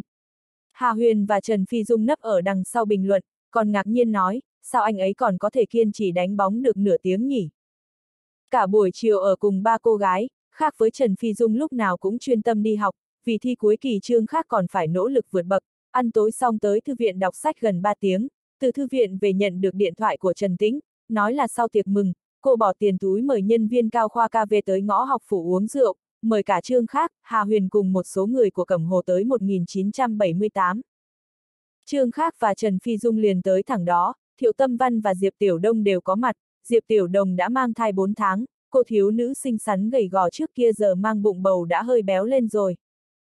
Trương Khắc ngồi xuống, chỉ Hà Huyền sau quầy ba nói với Diệp Tiểu Đồng, vài ngày nữa cô an bài cho cô ấy vài công tác thực tập ở phương diện nhân sự nhé. Bà cô đây năm xưa là đóa hoa của thính hâm, giờ vì có con mà hoàn toàn hủy mất dung mạo, anh có cần chọn toàn mỹ nữ tới để đả kích tôi không hả? Diệp Tiểu Đồng bất bình oán trách. Hà Huyền và Trần Phi Dung cười khúc khích. Không sao, chỉ cần lão thiệu thừa nhận cô vẫn còn phong vận là được rồi. Trương Khắc cười lớn. Diệp Tiểu Đồng dựa người vào vai thiệu tâm văn, hôm qua anh nói gì với em, thể hiện trước mặt bọn họ một chuyến đi, cho bọn họ ghen chết luôn. Trương Khắc làm động tác nôn ọe, lúc này Trần Tĩnh đi tới, Diệp Tiểu Đồng mới ngồi thẳng dậy. Mấy tháng rồi, Trần Tĩnh đưa tay sờ bụng nhô lên của Diệp Tiểu Đồng, rồi thích thú reo lên, á, nó đá tôi, chắc là con trai mới hiếu động như thế. Trương Khác liền ngồi sang phía thiệu tâm văn, để các cô gái thảo luận vấn đề thai nhi. Một lúc sau Trần Tĩnh mới quay sang nói với Trương Khác, cứ tưởng sau lễ giới thiệu là được nhẹ nhõm một chút, nhưng không nhẹ nhõm nổi, phải khoảng một tuần mới biết được chính xác phản ứng của thị trường. Vậy thì trong một tuần này đừng để ý tới sự vụ công ty nữa, giao cho người khác xử lý là được. Trương Khác sờ tay lên khóe mắt, vất vả quá sẽ có nếp nhăn đấy. Còn tưởng được anh an ủi chứ. Trần Tĩnh thở dài, làm người ta càng thêm mất tự tin. Không biết tình hình cửa hàng Hải Thái ra sao, trước khi tôi tới còn qua tình hình bên tôi, tình hình tiêu thụ ngày đầu tiên của di động bảo thạch không tệ. Thiệu Tâm Văn nói, chắc chắn các thương hiệu hàng đầu sẽ bị tác động. Trần Tĩnh quay đầu nhìn quanh 1978, nhân viên thị trường của Cao Khoa KV đại khái chỉ đêm nay mới có thể thả lỏng một chút, mai phải đi các nơi tiền hành khai thác thị trường, tạ tử gia đã làm thủ tục nghỉ học, muốn đích thân sông pha thương trường, di động bảo thạch gửi gắm quá nhiều kỳ vọng của Cao Khoa KV. Ở tỉnh Đông Hải, Cao Khoa KV chọn Thịnh Hâm và Hải Thái làm nơi bán ra di động bảo thạch đầu tiên, nhưng ngoài tỉnh Đông Hải, Cao Khoa KV chỉ có thể lựa chọn hợp tác với Thịnh Hâm. Vì thành lập cửa hàng chuyên kinh doanh di động, Thịnh Hâm khởi động kế hoạch trăm thành trăm hiệu, với 800 triệu trong một năm đã mở hơn 400 cửa hàng chuyên doanh di động. Ở Hoa Đông, Hoa Nam mạng lưới tiêu thụ lúc này đã vươn tới các thị trấn, đảm bảo chia được miếng bánh quan trọng nhất trong thời kỳ hoàng kim của di động. Là đại lý duy nhất của di động bảo thạch trên toàn quốc, ngoại trừ Đông Hải, tạm thời Thịnh Hâm chỉ bán mỗi di động bảo thạch. Cùng với thế công quảng cáo của DTHTW và địa phương, ba ngày sau khi di động bảo thạch chính thức đưa ra thị trường, lượng xuất hàng của Thịnh Hâm đã vượt tổng lượng tiêu thụ trong ngày của các cửa hàng Liên Tấn, Liên Tín, Đông Hưng. Đem so với con số của Liên Tín, chỉ còn kém chút ít, có nghĩa là Cao Khoa KV đã thành doanh nghiệp di động trong nước đứng ba, thậm chí chuyện tiến thêm một bước vượt qua Liên Tín cũng là trong tầm tay. Cảm thấy áp lực đầu tiên chính là các quan viên Bộ Thông tin trước kia quyết định phát ra 11 giấy phép di động năm nay, vì trong 15 doanh nghiệp di động toàn quốc, chỉ có Ái Đạt và Cao Khoa KV là xí nghiệp dân doanh. So với các doanh nghiệp di động trong nước khác, mặc dù Cao Khoa KV không thể tính là lực lượng hùng hậu, nhưng có gần 2 năm kinh nghiệm dán mát cho liên tín, nên có ưu thế rõ ràng ở lĩnh vực tiêu thụ, thành tích thị trường của Khoa Vương tốt là điều có thể dự đoán, nhưng thành công trói lọi như thế là điều rất nhiều người không dự liệu được. Đường lối thiết kế khác biệt của di động bảo thạch đã nắm trúng tâm lý của người tiêu dùng trong nước, chính là bí quyết quan trọng nhất của thành công này. Tới trung tuần tháng 7, 10 doanh nghiệp có được giấy phép di động năm nay có tổng lượng xuất hàng thua một mình cao khoa KV, thậm chí giới truyền thông còn lấy kỳ thích thị trường của đầu đĩa ái đạt 4 năm trước hình dung cao khoa KV lúc này chương 1056, bực bội trong lòng một. Lý Tại Thù ngồi trên máy bay từ Bắc Kinh tới kiến nghiệp, dưới tầng mây dày là đất đai xám xịt, xám xịt như tâm trạng của hắn lúc này, trong tay hắn là tài liệu tiêu thụ mới nhất của thị trường di động Trung Quốc, con số không lạc quan, ba chiếc di động của Samsung không chiếm được thị phần di động Trung Quốc như mong đợi. Kim Nam Dũng cũng hiểu rất rõ tình hình tiêu thụ của thị trường di động Trung Quốc lúc này. Chiếc di động đầu tiên Samsung đưa ra là 800C, thiết kế nắp gập, khi đó giới truyền thông không tiếc lời khen ngợi như, tạo hình mê hoặc, khí chất cao quý, mặc dù công năng không có nhiều chỗ xuất sắc, nhưng công nghệ thiết kế khiến di động Samsung làm người tiêu dùng phải móc hầu bao, nhanh chóng đứng vững chân ở thị trường Trung Quốc, thị phần liên tục tăng lên. Kim Nam Dũng thu ánh mắt từ đám mây hình vây cá bên ngoài lại, nhìn chiếc di động trong tay, ánh sáng chiếu qua cửa sổ, chiếc di động phát tàn ánh sáng như chân châu. Bất kỳ một thiết kinh điển nào vài năm sau cũng làm người ta thấy bình thường, câu này thật chẳng sai chút nào. Kim Nam Dũng lấy ngón cái che đi viên thủy tinh màu lam chẳng đáng giá bao tiền tên nắp điện thoại, có thể nói chiếc di động này của Cao Khoa KV hoàn toàn mô phỏng thiết kế của 800C, tiếc là lúc này những lời tán dương vốn dành cho 800C hiện lại thuộc về di động bảo thạch của Cao Khoa KV. Loạt di động bảo thạch của Cao Khoa KV ra đời, lượng tiêu thụ của 800C ở Trung Quốc sụt giảm nghiêm trọng, đó là điều cả Kim Nam Dũng lần Lý Tại Thù đều không dự liệu được. Trước đó trong các doanh nghiệp di động Trung Quốc, bọn họ chỉ tính tới uy hiếp từ Cẩm Hồ, vượt qua Cẩm Hồ vẫn còn một khoảng cách xa, nhưng lại không thể không đối diện với một sự quật khởi thần tốc của một doanh nghiệp khác, Kim Nam Dũng phải thừa nhận, trong lòng lúc này đã hoảng rồi. Kim Nam Dũng tin lúc này cao tầng Motorola gửi gắm hy vọng vào V998 để củng cố ngôi vương ở thị trường di động Trung Quốc cũng phải bất an, trong những chiếc di động có thiết kế năm gập, phải thừa nhận cách khảm bảo thạch cũ kỹ lên sản phẩm thời đại là vô cùng xuất sắc. Lý Tại Thù hỏi, Cẩm Hồ luôn tiết lộ với giới truyền thông sẽ đưa ra di động thiết kế nắp gập, anh thấy lần giới thiệu sản phẩm mới lần này của chúng sẽ có chứ? Kim Nam Dũng giơ chiếc di động trong tay lên, trên cơ sở này, với năng lực thiết kế của Cẩm Hồ, chắc sẽ có đột phá lớn hơn. Lý Tại Thù rơi vào trầm mặc. Người trong nghề đều biết di động bảo thạch của Cao Khoa KV được thực hiện dưới sự hỗ trợ toàn lực của Cẩm Hồ, nếu không với năng lực chế tạo của xí nghiệp di động Trung Quốc, không thể đặt màn hình lên thiết kế nắp gập được. Cẩm Hồ nếu đã toàn lực hỗ trợ Cao Khoa KV như thế, như thế nếu ở thiết kế hoặc công năng mà không có đột phá trọng đại, lúc này đưa ra di động nắp gập sẽ không có hiệu quả, có lẽ mô phỏng sáng tạo của Cao Khoa KV đặt bảo thạch lên nắp di động là một lựa chọn sáng suốt. Lý Tại Thù hơi động lòng, cho dù không thể triệt để xoay chuyển cục diện bị động, nhưng có thể ngăn thế cục xấu đi. Kim Nam Dũng quay đầu lại nhìn, nói với Lý Tại Thù, trong tay Tổng Giám đốc Ericsson Trung Quốc cũng cầm một chiếc di động của Cao Khoa KV, chắc cũng đang hoang mang lắm. Lý Tại Thù quay đầu lại, ít nhiều có chút thất lễ, bọn họ vừa vặn cùng chuyến bay với ông ta tới tham dự lễ giới thiệu sản phẩm của Cẩm Hồ vào ngày mai. Năm 94, 95, Ericsson đưa chiếc di động tiếng Trung đầu tiên của thị trường Trung Quốc, thu được thành công lớn, năm 97 đuổi Motorola khỏi ngôi báu, nhưng hai năm qua Ericsson lại có chút ngạo mạn buông lỏng rồi, tốc độ ra sản phẩm mới chậm chạp, chất lượng liên tục có vấn đề, hệ thống phục vụ hỗn loạn, Năm 98 chiếc SH888 của Ericsson được quảng cáo dùng Ben thậm chí đã tiêu thụ rộng khắp ở Trung Quốc khi chưa có giấy phép hòa mạng, phản ánh tệ nạn quan liêu nghiêm trọng trong xí nghiệp siêu lớn. Trong thời gian ngắn xảy ra nhiều sai sót lớn như vậy, các đối thủ cạnh tranh sao chịu bỏ qua. Tức thì giới truyền thông đua nhau công kích. Không ngờ Ericsson không chịu nhận sai, còn muốn lấy tiền bịt miệng giới truyền thông, các đối thủ cạnh tranh như Nokia, Motorola, Cẩm Hồ tất nhiên dễ dàng giật dây bộ thông tin công khai chỉ trích Ericsson.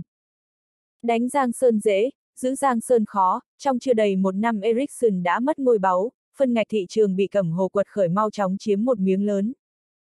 Thường mà nói lễ giới thiệu sản phẩm của Cẩm Hồ còn chưa đủ để các nhân vật tầng tối cao của xí nghiệp di động hải ngoại tại Trung Quốc đích thân tham dự, nhưng tháng trước Cao Khoa KV mang lại cho mọi người một, niềm vui bất ngờ tác động tới cách cục của thị trường di động trong nước, hành động của Cẩm Hồ làm bọn họ hết sức mẫn cảm.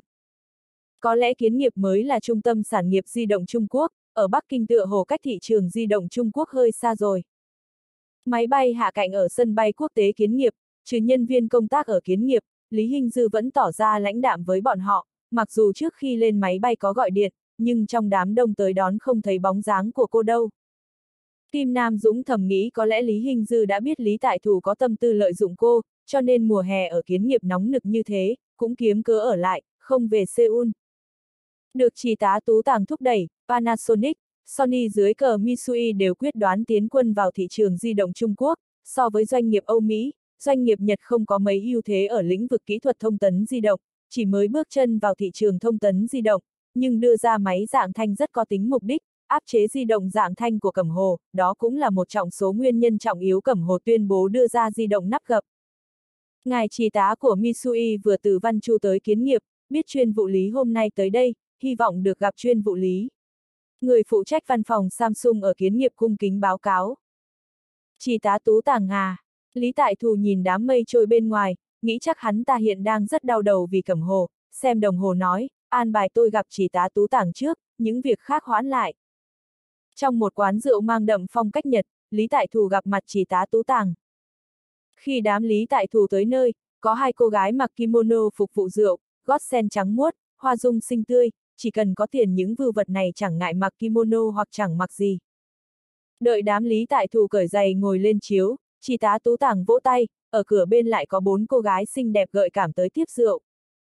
Gần đây đây cầm hồ một nhóm kim cương chất lượng cao với doanh nghiệp châu báu Đông Nam Á, Trần Gia của Indo là doanh nghiệp châu báu lớn nhất Indo.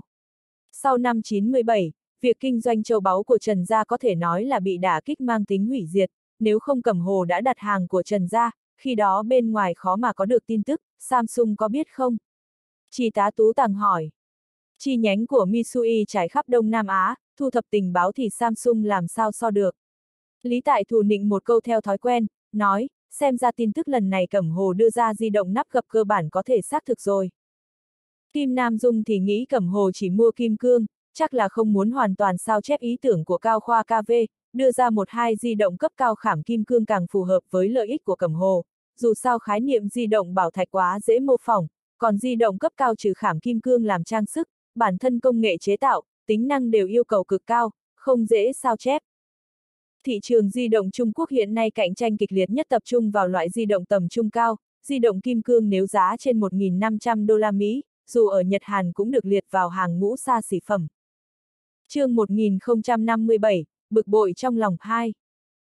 Lúc này Cẩm Hồ có hành động lớn đưa ra di động xa xỉ không hợp thời cơ lắm, có thể khẳng định di động nắp gập khảm kim cương của Cẩm Hồ sẽ chẳng gây tác động gì tới di động bảo thạch của Cao Khoa KV, V998 của Motorola và 800C của Samsung. Thế nên Kim Nam Dũng hoài nghi tin tức Cẩm Hồ đặt mua kim cương không thể tiết lộ ý đồ thực sự của Cẩm Hồ. Chỉ tá tú tàng nhìn Lý Tại Thù mất mấy giây mới nói, đường lối của Cẩm Hồ ở nghiệp vụ điện tử tiêu dùng mỗi ngày một rõ ràng, Samsung có cảm tưởng gì? Lý Tại Thù hiểu tâm tư của chỉ tá tú tàng, hắn muốn chỉ tá tú tàng áp chế cẩm hồ chứ không hy vọng bị chỉ tá tú tàng lợi dụng áp chế cẩm hồ, nên hàm hồ ứng phó cho qua. Bất kể cẩm hồ ở lĩnh vực khác có bước tiến lớn thế nào, tập đoàn Ái Đạt luôn là hạch tâm trong hệ thống cẩm hồ, mà nghiệp vụ di động là hạch tâm của tập đoàn Ái Đạt, tính sơ bộ năm 98, ở thị trường di động trong nước cẩm hồ kiếm được siêu lợi nhuận 400 triệu đô la Mỹ. Chỉ bằng vào điểm này Cẩm Hồ mới có thể thoải mái huy động vốn từ thương nhân người Hoa Đông Nam Á, chỉ một năm Cẩm Hồ khách trương mạnh mẽ chuỗi tài chính của mình. Nếu nghiệp vụ di động của Cẩm Hồ gặp khó khăn, lợi nhuận sụt giảm, ắt sẽ ảnh hưởng tới việc khuếch trương của Cẩm Hồ ở lĩnh vực khác, thậm chí là ảnh hưởng tới lòng tin của thương nhân người Hoa Đông Nam Á với Cẩm Hồ. Lúc này có người gõ cửa, đưa cho chỉ tá tú tàng một tờ giấy đánh máy rồi lui ra. Lý Tại Thù rất tò mò không biết có chuyện gì phải thông báo kịp thời cho chỉ tá tú tàng như thế. Chỉ tá tú tàng chống tay lên chiếc bàn thấp xem một lúc rồi đưa Lý Tại Thù, chắc anh biết hôm nay Trung Hải Du lên TTCK Hong Kong, đây là tình hình sau khi đóng cửa. Bị rất nhiều tin tức ảnh hưởng bất lợi đưa ra cùng lúc, giá dầu thô quốc tế hôm qua rớt giá từ 23 đô la Mỹ xuống còn 21 đô la Mỹ. Dưới hoàn cảnh hung hiểm như thế, Trung Hải Du vẫn thành công lên TTCK, so với giá phát hành, cổ phiếu còn tăng lên 2%. Lý Tại Thù xem giấy, chỉ hơi lắc đầu, Cẩm Hồ là nhà đầu tư chủ yếu của Trung Hải Du, đầu tư 300 triệu đô la Mỹ, nắm 6% cổ phần của Trung Hải Du. Bước tiến của Cẩm Hồ thật kinh người. Lý Tại Thù nhếch mép, bất kể là dầu mỏ hay khoáng thạch lúc này đều đang ở thời kỳ xuống đáy, trong vài năm nhu cầu khó tăng nổi, tin rằng cơ cấu nghiên cứu của Misui cũng có phán đoán thế này, chỉ cần thời kỳ dưới đáy này kéo dài lâu một chút thôi, đủ để Cẩm Hồ cảm thấy thống khổ của đầu tư mù quáng. Nói thế cũng đúng, nhưng kinh tế xuống đáy càng có lợi cho mở rộng cũng là sự thực, với tốc độ này của Cẩm Hồ chỉ cần qua thời kỳ khó khăn, chỉ e 10 năm thôi, châu Á sẽ quật khởi một thế lực tài phiệt không thể xem nhẹ rồi, Samsung chấp nhận để chuyện này xảy ra sao? Chỉ tá tù tàng hỏi. Nếu có thể dễ dàng đối phó, Lý Tại Thù đương nhiên không ngại gây phiền toái cho Cẩm Hồ, đừng nói so với Misui, so với Samsung thì Cẩm Hồ còn nhỏ lắm, nhưng phải thừa nhận Cẩm Hồ đang từng bước lớn mạnh, càng ngày càng khó áp chế. Ít nhất với Samsung ở giai đoạn này không nên cố ý theo đuổi việc áp chế Cẩm Hồ, như thế sẽ tổn hại tới sự phát triển của chính Samsung. Một lúc sau người đưa tờ giấy lúc nãy lại gõ cửa vào thì thầm bên tai chỉ tá Tú Tàng. Chỉ tá Tú Tàng nói, Trung Hải Du vừa tổ chức họp báo chúng mừng thành công, trên cuộc họp báo Diệp Kiến Bân của Thương vụ Cẩm Hồ nói lần này Trung Hải Du kiếm được 1 tỷ đô la Mỹ từ TTCK Hong Kong vẫn kém xa với mong muốn của bọn chúng.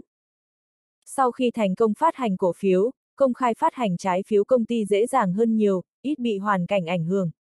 Không chỉ Cẩm Hồ sắp bay cao, mà con rồng lớn Trung Quốc cũng đang chờ mình thức giấc, áp chế sự phát triển trong nước căn bản không nằm trong phạm vi suy tính của Samsung, mà cũng vượt xa phạm vi năng lực của Samsung, đó là sự so kè giữa cường quốc và cường quốc.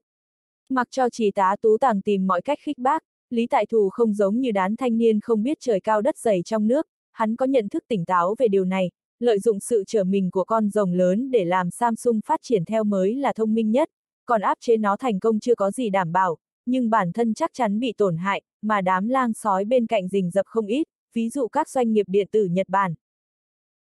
So với lễ giới thiệu sản phẩm của Cao Khoa KV, lễ giới thiệu sản phẩm của Cẩm Hồ không náo nhiệt hơn, nhưng những nhân vật tham dự hiển hách hơn, phóng viên truyền thông có mặt như đối diện với đại địch, tùy tiện bắt được một người phỏng vấn là có tin tức lớn rồi, bọn họ tập trung ở cửa hội trường tìm kiếm những khuôn mặt quen thuộc.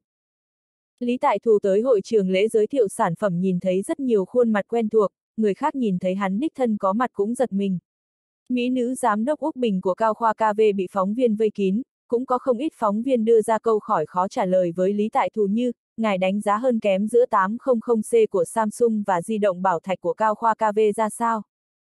Thoát được vòng vây của phóng viên vào hội trường, Lý Tại Thù không nhìn thấy khuôn mặt trẻ quá mức kia, chỉ nhìn thấy Trần Tín Sinh, Tô Tân Đông, Dương Vân, chẳng lẽ lễ giới thiệu này không phải quá quan trọng với Cẩm Hồ?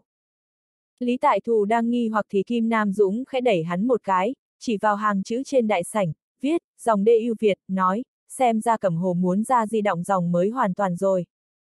Năm ngoái Cẩm Hồ tổng cộng đưa ra 8 chiếc di động đều dòng, Y, lần này đưa ra dòng, D, chắn chắn là hoàn toàn mới.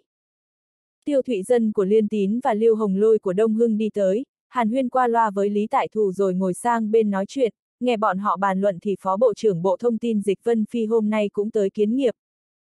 Lý Tại Thù mới nhớ ra nhà máy tinh viên do nét, Hoa Hạ và chính phủ kiến nghiệp liên doanh xây dựng đã hoàn thành công trình chủ thể, chắc Dịch Vân Phi đại biểu tới tham dự lễ hoàn công rồi, lễ điển ở Trung Quốc giống Hàn Quốc, thật nhiều và phiền phức. Cùng lúc đó Trương Khác và Liễu Trí Thành, Trương Á Bình đưa Dịch Vân Phi đi tham quan nhà máy tân phổ của Trung Tinh Vi Tâm, chuyến viếng thăm hôm nay mang tính chất tư nhân trừ Diêu Văn Thịnh ra không có quan viên tháp tùng, đúng lúc Dịch Hinh nghỉ ngơi ở kiến nghiệp, tất nhiên cũng tới. Trần Tĩnh cũng tham gia, đây là lần đầu tiên cô tới Trung Tinh Vi Tâm. Bọn họ vừa đi vừa trò chuyện, chẳng hề có ý tới tham gia lễ giới thiệu sản phẩm mới. Trước khi tôi tới, Bộ trưởng cảnh đã triệu tập giám đốc của Hoa Hạ và các xí nghiệp khác trong bộ tới họp, Bộ trưởng cảnh nổi trận lôi đình, đại khái là nói năm quái ba nhà đấu không nổi một mình cầm hồ, năm nay 13 nhà đấu không nổi cầm hồ và cao khoa KV, đám giám đốc đó đều là đồ ăn hại, làm mất hết mặt mũi của bộ. Dịch phân phi mặt thản nhiên kể tình hình trong nội bộ.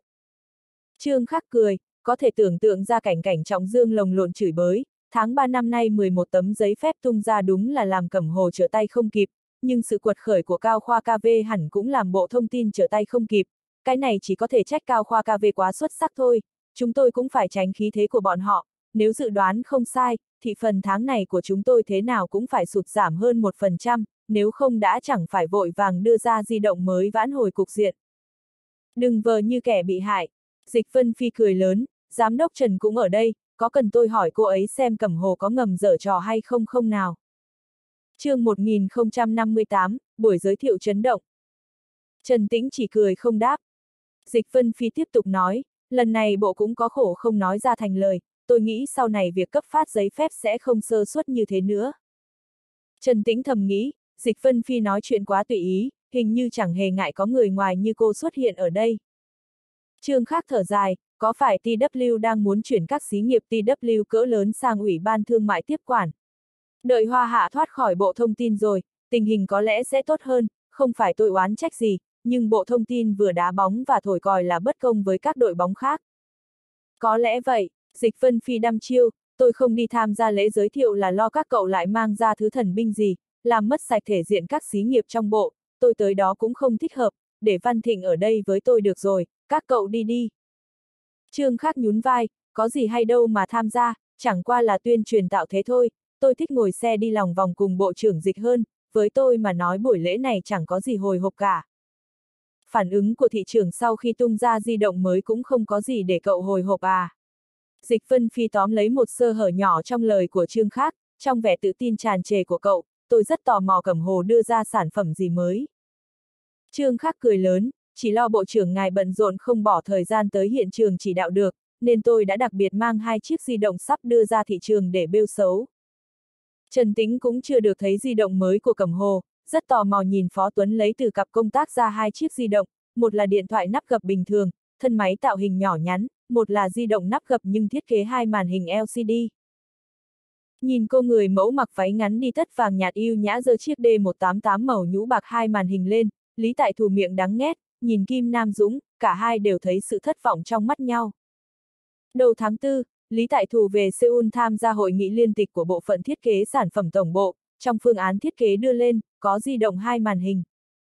Vấn đề chủ yếu của di động nắp gập hai màn hình là cả hai màn hình đều trên nắp gập, cần màn hình STN loại mỏng, ngoài ra màn hình là linh kiện hao pin nhất, thêm một màn hình, phải khống chế thời gian chờ trong phạm vi hợp lý, cần chip quản lý năng lượng hiệu quả hơn, đồng thời phải tiến hành thiết kế chip hạch tâm của di động hợp lý hơn.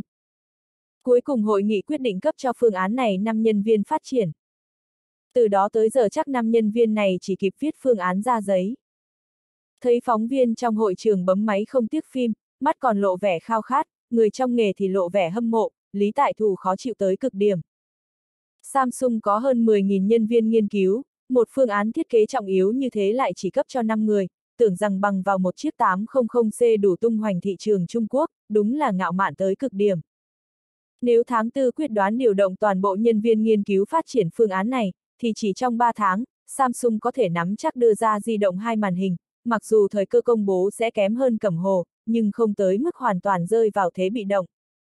Lý Tại Thù siết chặt di động trong tay, giờ có gọi điện cũng phải mất 3 tháng nữa mới đưa ra được di động hai màn hình, chịu đựng thêm mấy chục phút ở đây có là gì. Tổng giám sát thị trường châu Á của Nokia và Phó Tổng Giám đốc Motorola Trung Quốc ngồi cạnh nhau, nhưng không nói chuyện, lúc này không kìm được quay sang thì thầm với nhau rồi. Nhìn nét mặt bọn họ là có thể đoán ra chiếc di động hai màn hình này của Cẩm Hồ gây tác động lớn với họ, bên cạnh có người còn nhận định thiết kế hai màn hình sẽ thành thiết kế tiêu chuẩn cho di động dạng gập trung cao cấp. Đại biểu của Sony, Panasonic cũng bàn tán trong phạm vi nhỏ, ngược lại các đại biểu của doanh nghiệp di động Trung Quốc thì nhẹ nhàng hơn, có vẻ bọn họ nhận định địa vị cao không với tới của Cẩm Hồ ở lĩnh vực di động rồi, thực sự cảm thấy uy hiếp chỉ là doanh nghiệp di động ngoại. Chỉ e Cẩm Hồ không hài lòng với địa vị doanh nghiệp di động thứ ba Trung Quốc, thứ 15 châu Á lúc này. Kim Nam Dũng cảm khái nói. Trung Quốc mặc dù là thị trường di động phát triển nhanh nhất châu Á, nhưng còn xa mới là thị trường trọng yếu nhất, nếu tính dung lượng thị trường, năm 98 tổng lượng di động tiêu thụ ở Hàn Quốc vượt qua Trung Quốc.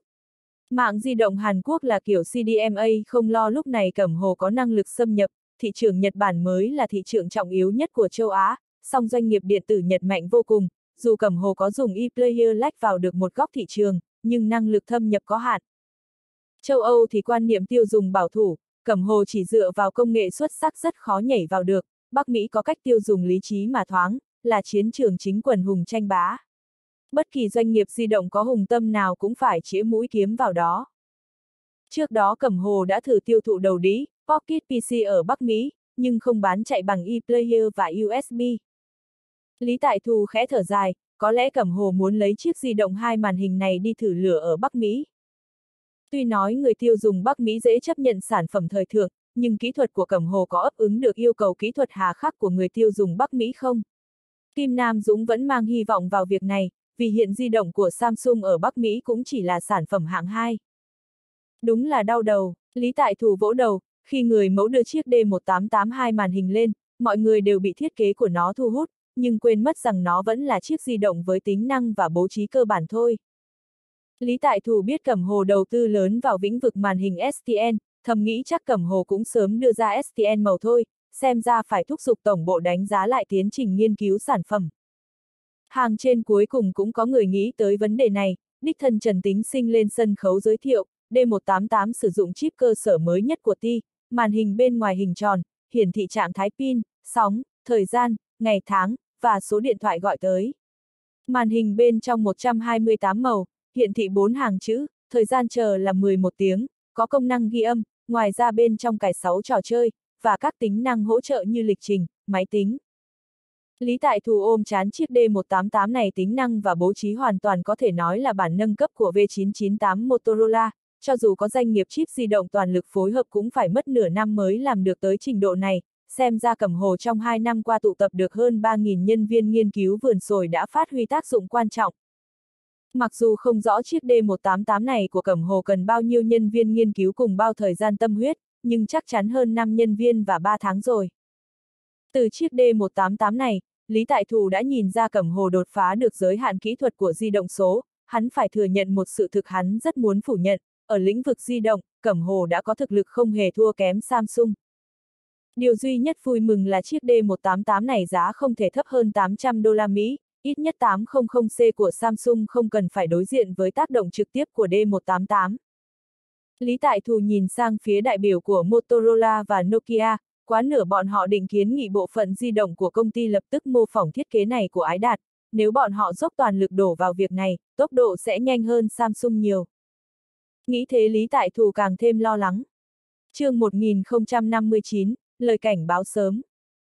Lập tức có người nhắc tới giá cả và ngày chính thức bán ra, Trần Tín Sinh trên sân khấu trả lời, 12 đêm ái đạt chính thức công bố giá của D188 trên mạng, đồng thời cho đặt mua, hôm nay chúng tôi cung cấp hai loại màu chân châu và sám bạc, điện khí thịnh hâm sớm nhất sẽ bán D188 vào sáng mai, các nhà phân phối khác chậm hơn 2-3 ngày. Nghe Trần Tin Sinh tuyên bố tới 12 giờ đêm mới công bố giá, đám phóng viên đều hò hét phản đối, ai chơi trò hành hạ người ta như thế, đại biểu doanh nghiệp di động thì sắc mặt âm u, không rõ vui buồn. Đem so với hào quang rực rỡ D188 phát ra, chiếc di động khác cầm hồ giới thiệu lần này là D80 bị bỏ quên ở xó xỉnh nào đó mất rồi.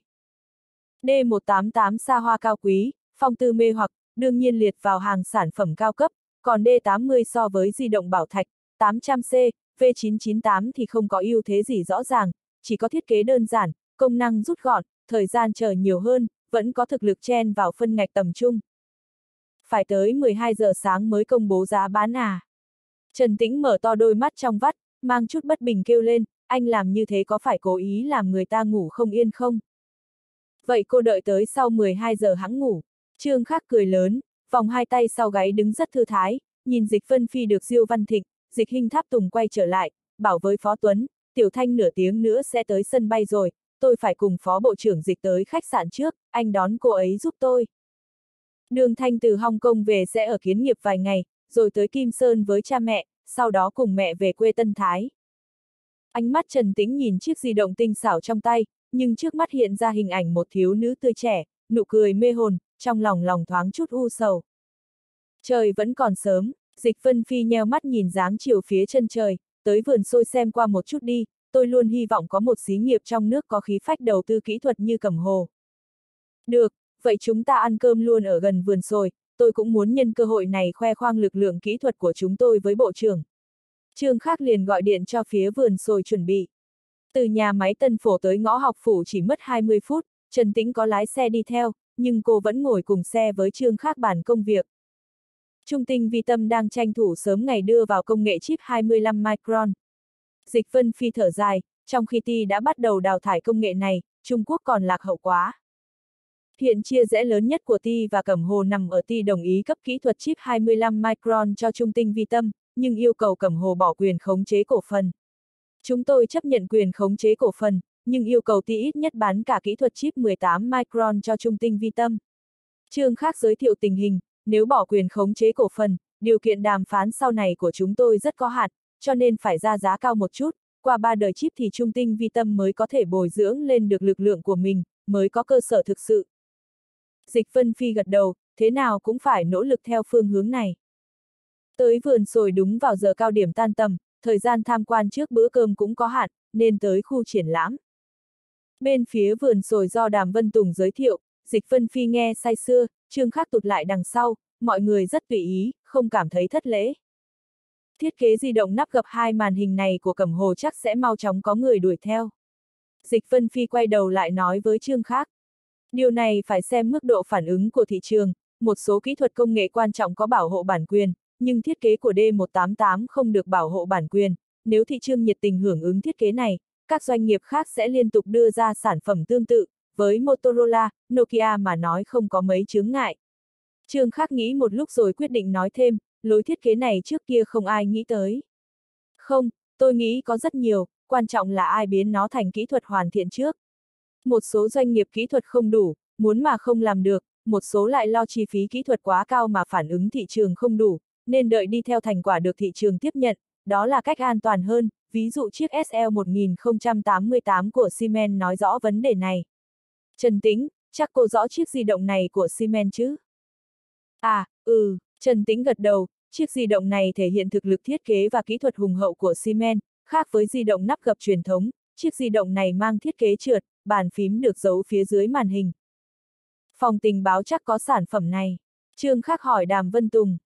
Một lúc sau nhân viên công tác đưa chiếc SL1088 tới, Trương Khắc đưa cho Dịch Vân Phi xem, khi nó mới xuất hiện, giới truyền thông không tiếc lời khen ngợi, nếu dùng ánh mắt chuyên nghiệp đánh giá, thiết kế của nó còn xuất sắc hơn cả D188 của chúng tôi, đáng tiếc thực tế tiêu thụ không lạc quan, cuối cùng Siemens phải quyết định ngừng bán. Thị trường đúng là làm người ta không lường được. Dịch phân Phi nhìn mà không rõ chiếc di động này có chỗ nào khiến nó không được chấp nhận, hay tại nó đi trước thời đại quá xa nên không được tiếp nhận.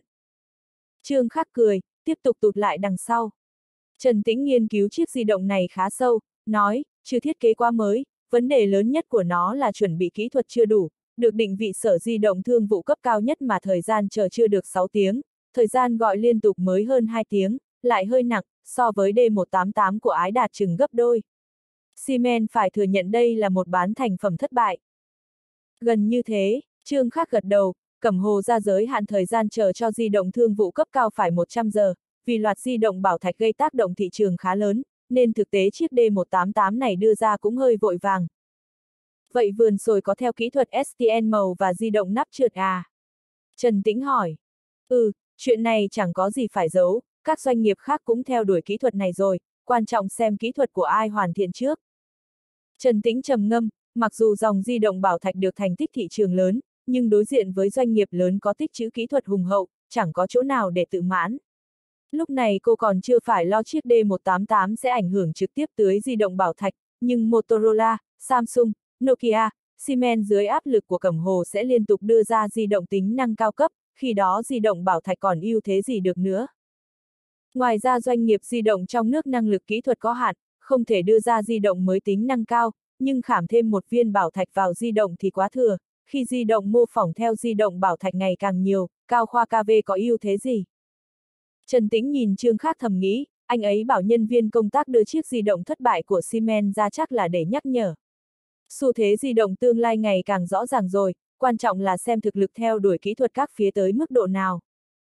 Nếu như không chuẩn bị kỹ thuật trước, mà đợi người ta đưa ra sản phẩm rồi mới mô phỏng thì lúc nào cũng muộn hơn người ta phải một năm trở lên. Một năm đủ cho những doanh nghiệp di động lớn như Cẩm Hồ đưa ra hai loại di động mới rồi, dù là di động tầm trung một năm cũng phải có một cái mới, chỉ có thị trường tầm thấp có thời gian lâu hơn, nhưng lợi nhuận cũng mỏng nhất. chương 1060, phong cách nhà nội. Ăn cơm tối ở gần vườn sồi xong, Trần Tĩnh liền cáo từ, nhìn đường thanh như con chim nhỏ nép mình bên trương khác, ở lại chỉ càng thêm thương tâm. Gọi điện thoại cho Úc Bình, mới biết cô ta và tạ tử ra ở văn phòng, liền tới thẳng đó. Trần Tĩnh đẩy cửa vào phòng làm việc, thấy tạ tử ra, Úc Bình, Lưu Minh Huy đều ngồi im lặng bên trọng, cười hỏi, sao thế, không phải lượng tiêu thụ hôm nay sụt giảm chứ? Lượng tiêu thụ hôm nay chưa có, hôm qua là chủ nhật, con số rất quan trọng, con số phòng thị trường báo cáo khẩn cấp chưa toàn diện, lượng tiêu thụ tuần gần 3 vạn. Úc Bình uể oải duỗi mình, ngồi quá lâu, người hơi nhức mỏi. Vậy sao mọi người mặt mày ủ rũ ngồi ở đây? Trần Tĩnh nghi hoặc hỏi. Lượng tiêu thụ này đã đủ để Cao Khoa KV đứng vào hàng ngũ doanh nghiệp di động hàng đầu trong nước, vượt qua Khao Vương một khoảng lớn, lợi nhuận còn lớn hơn hẳn sản phẩm của Khoa Vương như đầu đĩa, TV ở thị trường đã bão hòa. Đương nhiên Trần Tĩnh cũng chẳng đem nó ra khoe khoang với tạ kiếm nam, chuyện quá khứ sớm đã qua rồi, tuy nói cũng dựa vào dư âm của tiêu vương, nhưng đã đăng ký thương hiệu Cao Khoa KV, để cho thấy sự khác biệt. Cô ngốc thật hay vờ ngốc đấy, cả ngày cô ở bên cậu ta, không thấy di động mới của Cẩm Hồ à. Úc Bình nhìn vào mắt Trần Tĩnh xem cô có nói dối hay không, buổi chiều cô và cậu ta đi đâu, tôi tưởng cô sẽ tới lễ giới thiệu sản phẩm chứ. Bộ thông tin tự thấy lần này quá mất mặt, bộ trưởng dịch không tiện xuất hiện, chúng tôi tới trung tinh vi tâm trước, rồi tới vườn sồi. Trần Tĩnh giải thích, tôi thấy di động mới của Cẩm Hồ rồi, sao thế, đâu cần làm ra vẻ bị đòn đau như vậy. Cô không lo D188 sẽ ảnh hưởng tới di động của chúng ta à? Giá tới 12 giờ mới công bố mà. Trần Tĩnh giả vờ hồ đồ, làm sao tôi biết nó sẽ ảnh hưởng thế nào? Đúng là thằng nhóc đáng hận. Úc Bình nghiến răng nghiến lợi, cố ý làm ra vẻ thần bí, đúng là phong cách của thằng nhóc đó, nếu D188 định giá trên 8.000 đồng thì tác động trực tiếp tới chúng ta sẽ ít một chút. Nếu bọn họ muốn tranh đoạt thị phần, định giá dưới 6.000 thì tình hình không lạc quan. Cẩm Hồ sẽ không lấy một sản phẩm đi đánh cướp thị phần, trừ sách lược thương hiệu vững chắc, còn liên quan tới đấu tranh giữa Cẩm Hồ và Bộ Thông tin. Trần Tĩnh chỉ cười, không nói gì thêm, ngồi xuống bên cạnh tạ tử gia, xoa đầu cô, sao im thiên thiết thế. Nghe nói cả cạnh trọng dương tham quan vườn rồi cũng chỉ đi qua hành lang vòng một vòng, nhưng lại để cho chị vào tham quan à. Tạ tử ra nghiêng đầu hỏi, chị có nhìn thấy cái gì không? Chỉ đi tới phòng triển lãm, còn vì tháp tùng phó bộ trưởng dịch, nếu như muốn biết bên trong có cái gì, tốt nhất là tìm một gián điệp thương mại. Trần Tĩnh đứng dậy đi tới sau bàn làm việc nói, hôm nay trương khác có nói, xí nghiệp trong nước đang ở thời đại tốt nhất để phát triển kỹ thuật, các trường đại học trong nước coi trọng khoa kỹ thuật mà xem nhẹ khoa văn, khiến nhân lực kỹ thuật trong nước không thiếu thốn, một nhân viên nghiên cứu ưu tú trong nước lương cả năm chỉ cần một, hai vạn USD, còn nhân viên ưu tú Nhật Hàn, ít nhất cũng phải 6, 7 vạn USD, ở Âu Mỹ còn cao hơn. Năm nay kế hoạch của Cẩm Hồ đầu tư cho vườn sồi là 300 triệu đô la Mỹ, nhưng nghiên cứu làm được còn hơn cả Samsung, Sony, Toshiba bỏ ra cả tỷ. Ngoài ra chúng ta có ưu thế tự nhiên về thị trường, ở thị trường cao cấp tình thế nghiêm ngặt hơn, nhưng ở thị trường trung và thấp, nếu sĩ nghiệp trong nước không chiếm được nửa thị phần thì tự tử tạ tội với thiên hạ cho xong. Tạ tử ra khoanh tay ôm gối không nói gì, Úc Bình và Lưu Minh Huy nhìn nhau, thầm nghĩ cái giọng điệu này chỉ có tên đó mới nói ra khỏi miệng, nhưng sự thực hiện giờ là hành động của Cẩm Hồ ở thị trường trung thấp, bọn họ càng chú trong thị trường cao cấp dành cho trí thức và doanh nhân. Giống như chiếc D188 lần này thuộc về thị phần cao cấp đem lại lợi nhuận lớn nhất, nhờ thế kích thích cầm Hồ phát triển kỹ thuật, nếu cầm Hồ dồn sức vào thị trường tầm trung và thấp, các doanh nghiệp di động trong nước khác kể cả cao khoa KV đều không dễ sống. Có một cơ sở kỹ thuật tốt, có một thị trường tiềm lực mà rộng lớn, cuối cùng không thể hiện được bản thân, có lẽ đúng là vô dụng. Trần Tĩnh mạnh mẽ nói, có kế hoạch thị trường và sáng kiến mới ưu tú đến đâu, đều cần cơ sở kỹ thuật, chúng ta hiện nay có cơ hội, phải nắm bắt, nếu không nó có thể trôi qua mất. Trung tâm nghiên cứu kiến thiết bên này, tôi muốn đích thân quan tâm, các công tác cần chị Úc và Tiểu Lưu gánh vác nhiều hơn. Úc Bình và Lưu Minh Huy chẳng hề cảm thấy ngạc nhiên vì quyết tâm của Trần Tĩnh.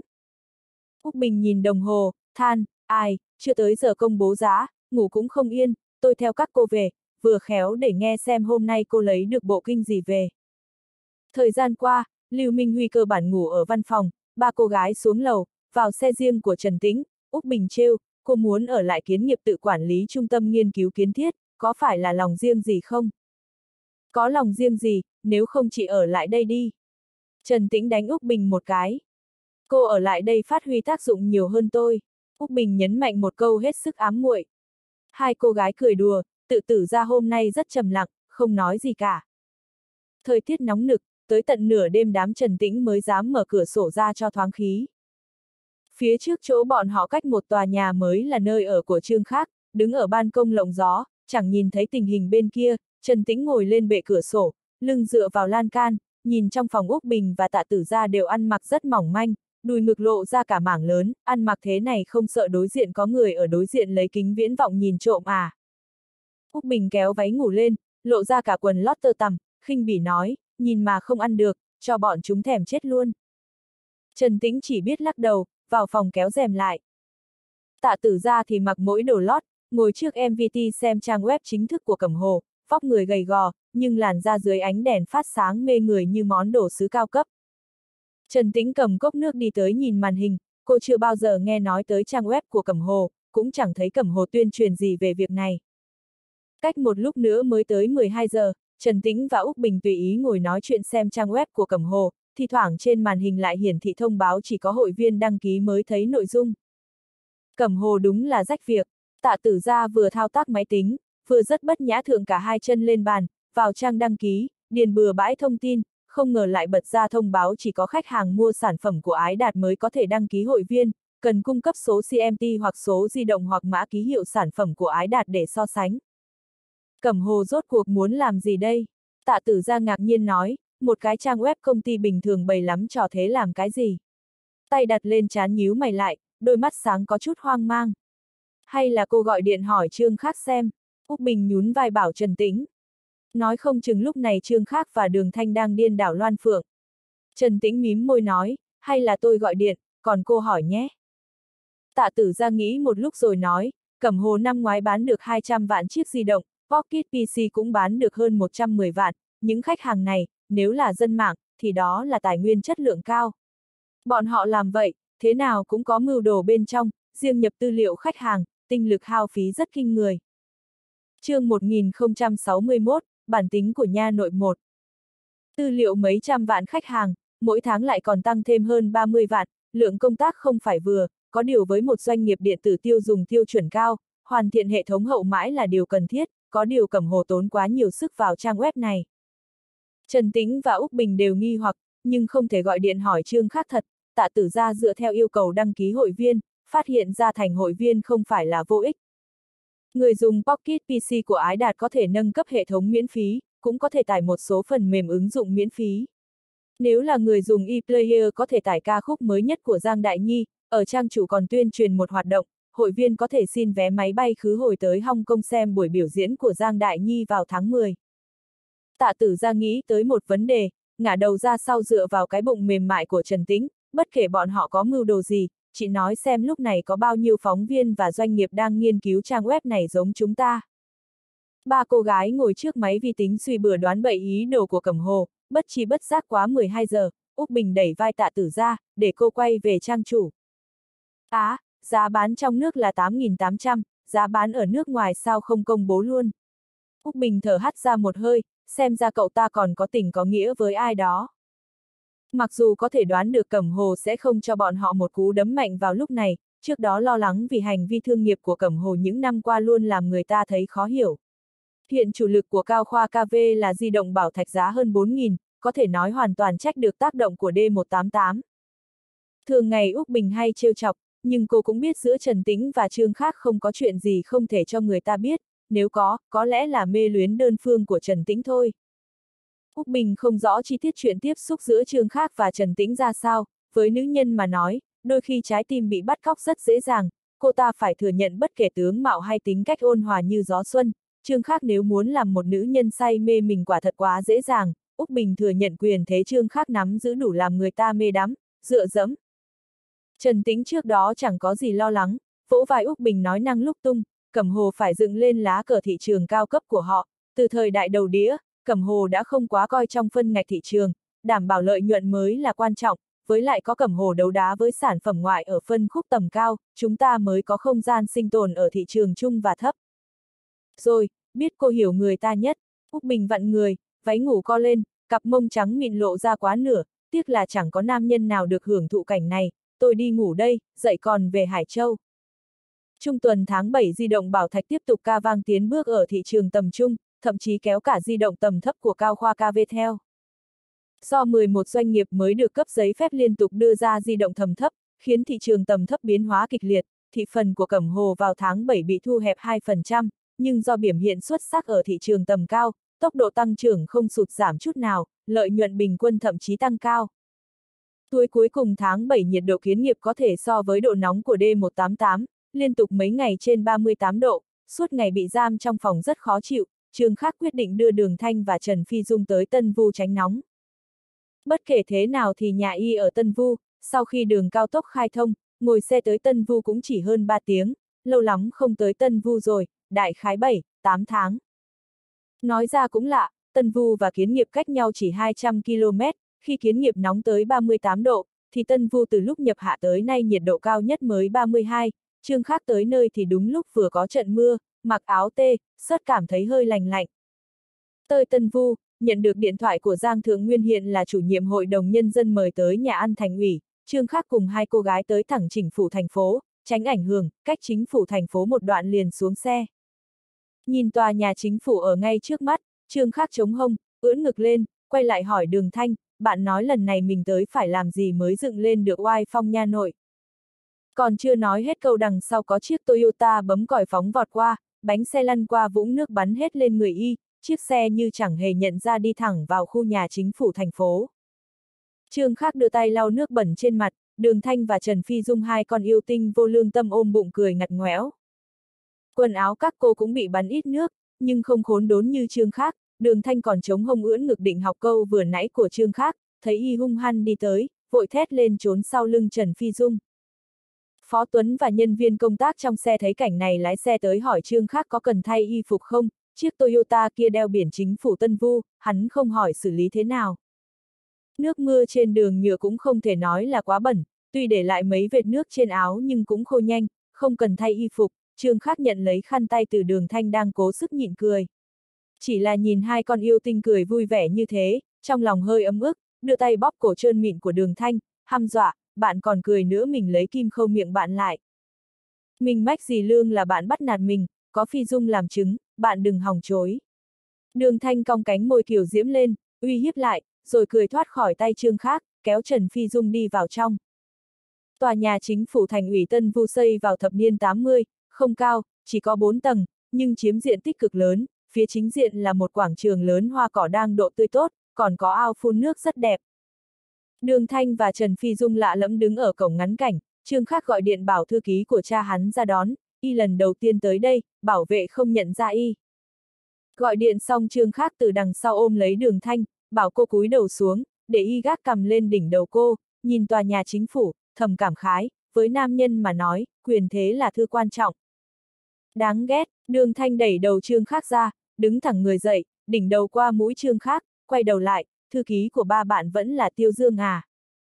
Đổi rồi, Tiêu Dương xuống huyện Lâm Giang rèn luyện, làm thư ký mãi mất tinh thần, thư ký mới tên Thành Dư Đông, mình mới gặp một lần. Đang nói chuyện thì thấy Thành Dư Đông và một đôi nam nữ đi ra, bước nhanh về phía cổng. Đôi nam nữ kia, nam vừa mới trên 30, nữ gần 40, cho dù mặt tươi cười, nhưng cũng nhìn ra được cô ta thường ngày là người rất nghiêm túc, mặt hơi dài, tóc ngắn, mắt sáng, trông còn rất phong vận, nhanh nhạy. Nhìn thấy bà ta, Trương Khắc ngớ người, thầm nghĩ không phải bà ta làm công tác đoàn sao, chuyển tới chính phủ từ bao giờ. Còn tưởng quỹ tích lịch sử mãi mãi không đổi, ai ngờ một số chuyện đã khác hoàn toàn rồi, chỉ nhếch môi, đem một số ký ức không tồn tại tạm ném ra sau đầu. Phải một lúc nữa thị trưởng mới họp xong. Thành Dư Đông nhìn Trương Khác và hai cô gái, hỏi, mọi người đi từ nhà tới đây à? Ừm, đi bộ vài trăm mét. Trương Khác gật đầu, nếu chẳng phải cố kỵ ngồi xe Mercedes xa hoa đi vào có thể bị cha mắng, thì đã chẳng ăn một đống nước bẩn lên người. Đây là phó chủ nhiệm Cố Hiểu Mai của văn phòng chính phủ chúng tôi. Cố Hiểu Mai nhiệt tình đưa tay ra, đây là khoa trưởng trương khoa bảo vệ hành chính, gặp mặt nhân viên bảo vệ, sau này khác thiếu ra tới chính phủ cứ vào thẳng là được. chương 1062, bản tính của nha nội 2. Cứ gọi tôi là Tiểu Trương đi. Trương khắc cười, tôi ít khi tới đây, nếu bị chặn ở cổng thì gọi cú điện thoại bảo mọi người ra đón là được.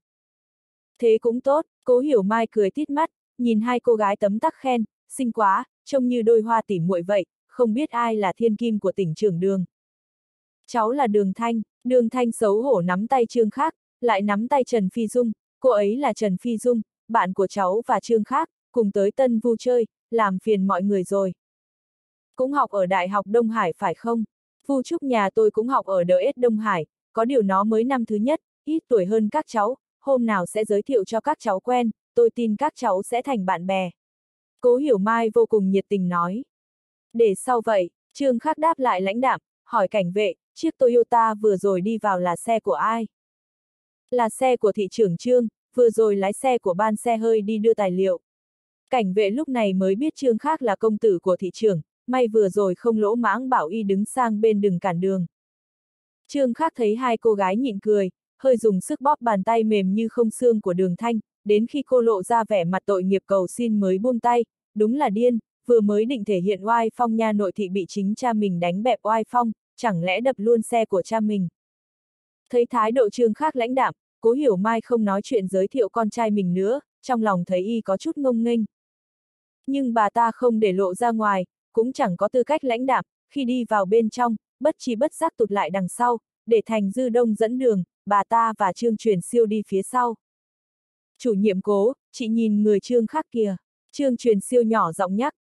Cố hiểu mai lúc này mới chú ý thấy trên người trương khác có vệt nước mờ, nhưng rất nhiều, nhìn qua còn tưởng hoa văn trên áo, nhớ lại chuyện y vừa hỏi, nhíu mày nói, cậu mau đi tra xem xe vừa rồi do ai lái. Lúc này bà ta mới bình thường lại, cha vừa lên thị trường, còn bị xe bắn nước bẩn lên người ngay trước chính phủ, đổi lại là ai cũng chẳng thoải mái được, vừa rồi cậu ta không hỏi thẳng ra là giỏi lắm rồi.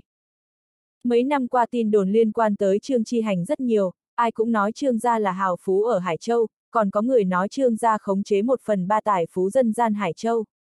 Cố Hiểu Mai thấy những tin đồn này quá khoa trương, Hải Châu mấy năm qua phát triển mạnh, mỗi năm thu nhập tài chính địa phương tới 6, 7 tỷ, xí nghiệp dân doanh phát triển, tài phú dân gian không ít, chỉ có thể nói trương gia không thiếu tiền, làm gì tới mức nắm một phần ba tài phú được. Chưa tính ngoại thành, nhân khẩu Hải Châu gần cả triệu, tổng tài phú phải tới hơn 50, 60 tỷ, một phần ba số đó là khái niệm cỡ nào. Nhưng mà trương gia không thiếu tiền với Tân Vu mà nói là tốt, ít nhất trương chi hành không tới Tân Vu để đục khoét kiếm tiền, mà trương chi hành năng lực cực cao, nếu không cho dù quan hệ có mạnh tới đâu cũng chẳng thể trong 3 năm từ phó thị trưởng bình thường lên phó thị trưởng thường vụ rồi lên thị trưởng tạm quyền. Mỗi năm một bước tiến lớn, trên sĩ đồ có mấy ai làm nổi điều này. Cố Hiểu Mai trước kia làm việc ở thành đoàn, có điều chồng bà ta làm việc ở công ty rượu Lâm Giang Tiên, nên cảm thụ được biến hóa cực lớn của ngành rượu Tân Vu. Chồng bà ta là nhóm người đầu tiên sùng bái Trương Chi Hành, thường nói, có vị phó thị trưởng khí phách như thế tới Tân Vu, ở thời nhân trị hơn pháp trị này, là phúc của Tân Vu. Lợi nhuận của thị trường rượu cao cấp rất lớn, riêng một mình rượu Vân chỉ mỗi năm đã cống hiến cho tài chính địa phương tới 300 triệu, so với trước khi Trương Chi Hành tới Tân Vu, tài chính địa phương có chuyển biến lớn. Nhưng Trương Chi Hành lại không dừng tay ở chính tích này, hành động của ông ở sản nghiệp du lịch lớn tới mức bị nội bộ cơ quan gán cho cái mũ thị trường đốt tiền phá nhà. Cải tạo khu thắng cảnh Thiên Vân Sơn, một năm đầu tư 600 triệu, tài chính địa phương mới nhẹ gánh một chút, tổng lượng còn chưa tới 1.7 tỷ, lấy ra ngay 600 triệu, chẳng phải là vừa nới lỏng dây thừng đã thiết lại luôn. Nhưng Trương Chi Hành cũng giỏi, thuyết phục được Giang Thượng Nguyên và Lưu Tước đồng ý cho lấy thu nhập tài chính thế chấp ngân hàng đem đốt. Không chỉ cán bộ trong cơ quan ý kiến mà dân gian cũng nghị luận xôn xao, có người tố cáo lên tận tỉnh. Nhưng tỉnh không thụ lý, Giang Thượng Nguyên và Lưu Tước Kiến chỉ ủng hộ, trước tuần lễ Hoàng Kim một tháng 10 năm ngoái cải tạo mới hoàn toàn Thiên Vân Sơn, đúng lúc đường cao tốc kiến nghiệp, tân vu thông xe. Khi đó mọi người chửi thì chửi nhưng trong lòng nghĩ Thiên Vân Sơn cải tạo đẹp hơn trước, giao thông cũng thuận lợi hơn.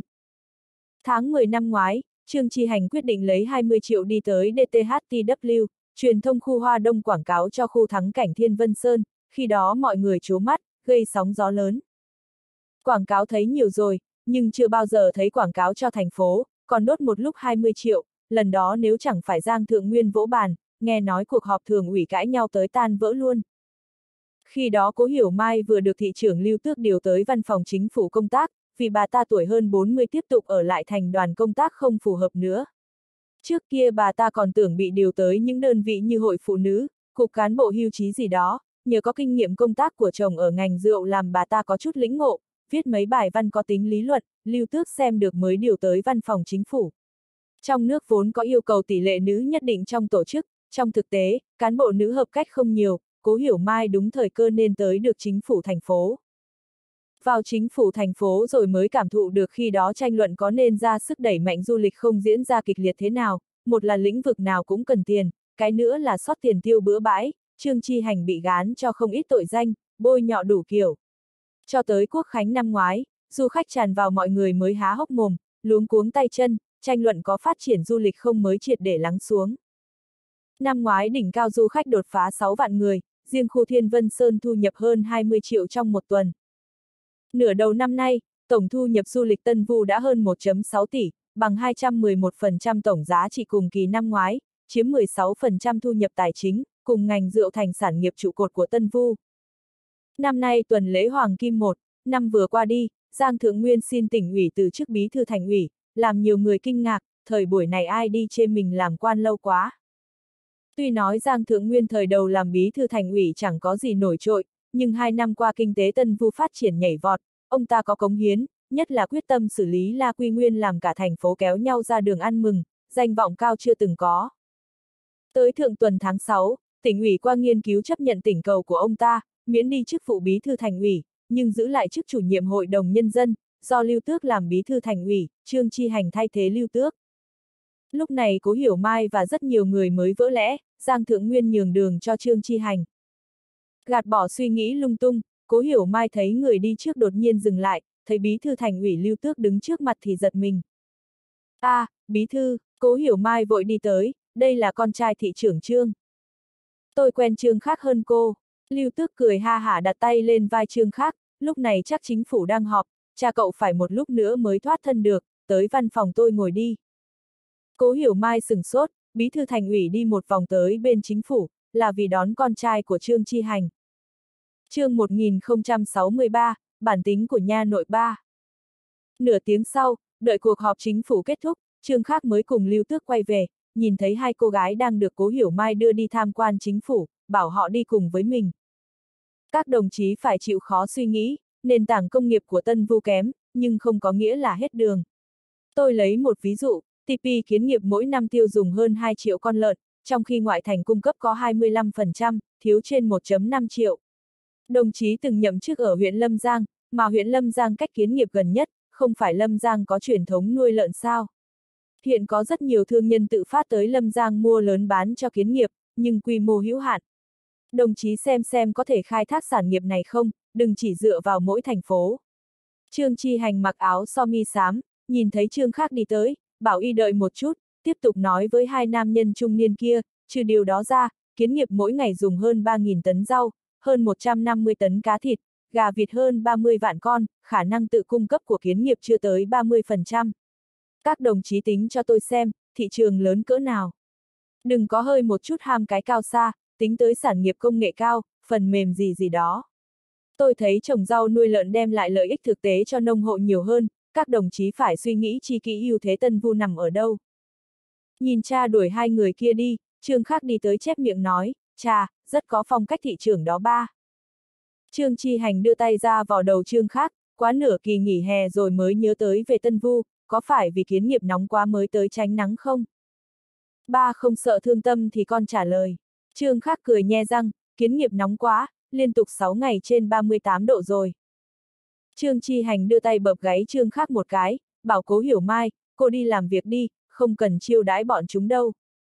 Chú Trương, Trần Phi Dung học theo đường thanh chào Trương Chi Hành, mặc dù theo đường thanh tới Tân Vu nhiều lần, nhưng vẫn có chút xấu hổ.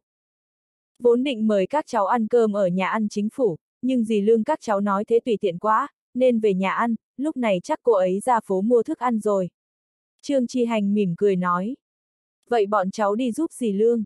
Đường Thanh biết Trương khác có chuyện muốn nói với cha, các cô cũng không thể tham quan chính phủ mãi được. Cố Hiểu Mai chủ động nói, vậy tôi đưa hai cô bé về nhé. Trương Chi Hành gật đầu, sau khi ông lên làm thị trưởng, liền chuyển vào khu tập thể thành ủy, có 7-8 căn nhà độc lập, khung cảnh u tính, kiến trúc đậm phong cách cổ, được xây vào thập niên 80 cùng tòa nhà chính phủ. Trương khác theo cha vào văn phòng. Một số vùng núi phía tây bắc Tân Vu điều kiện giáo dục gian khổ, vất vả nhất là 2.000 giáo viên tới đó dạy thay. Trương Chi Hành kéo ghế ngồi xuống.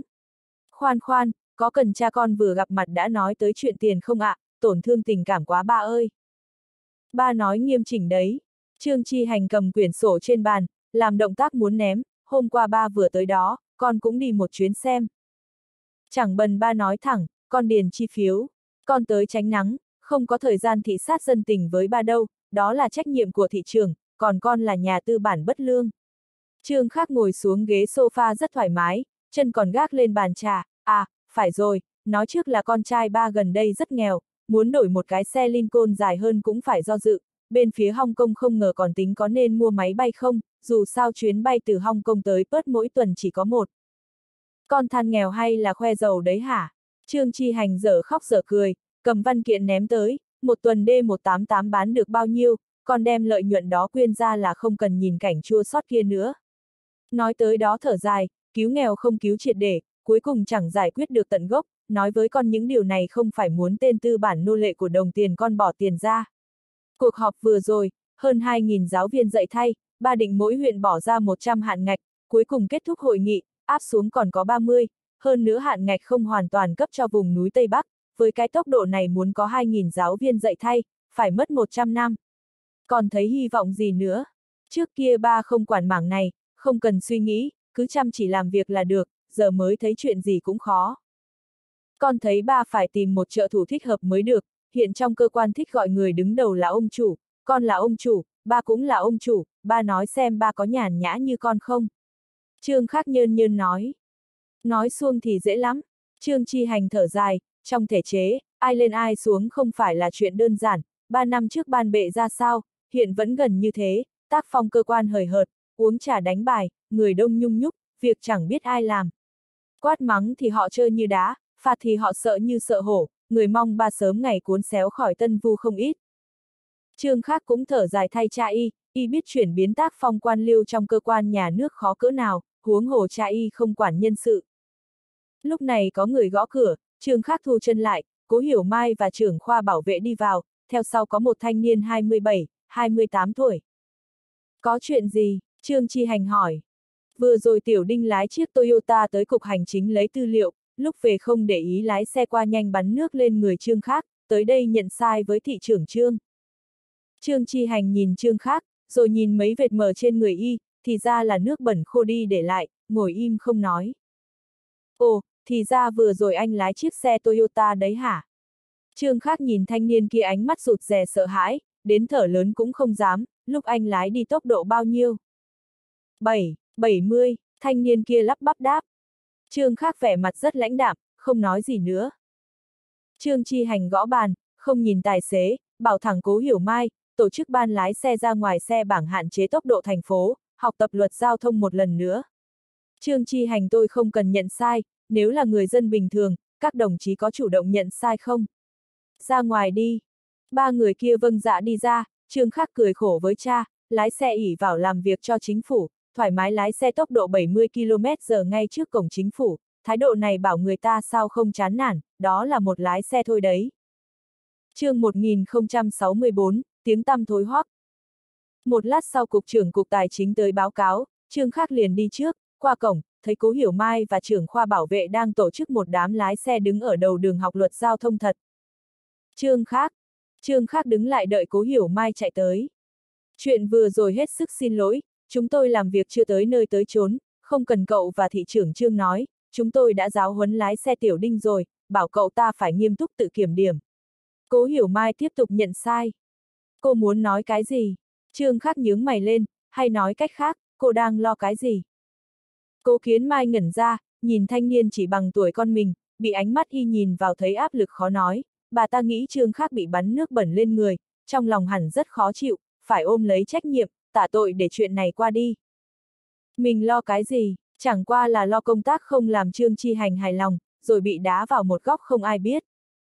Dù Trương Chi Hành, hay con trai ông, Cố Hiểu Mai đều phát hiện mình nhìn không thấu, cấp dưới không nhìn thấu tính cách lãnh đạo và người nhà, khó tránh khỏi luống cuống, không biết làm sao, áp lực trên vai vì thế mà tăng lên nhiều.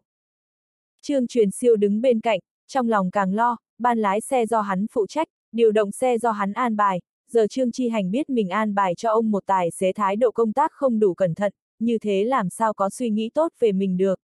Hận không thể lột ra tên lái xe đó, người làm việc bên cạnh lãnh đạo quan trọng nhất là cẩn thận, không làm được việc này là bằng với bị phán tử hình.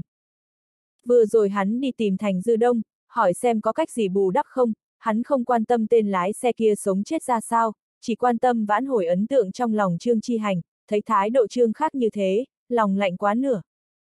Khoa trưởng Trương, anh đi tổ chức các lái xe học luật giao thông đi.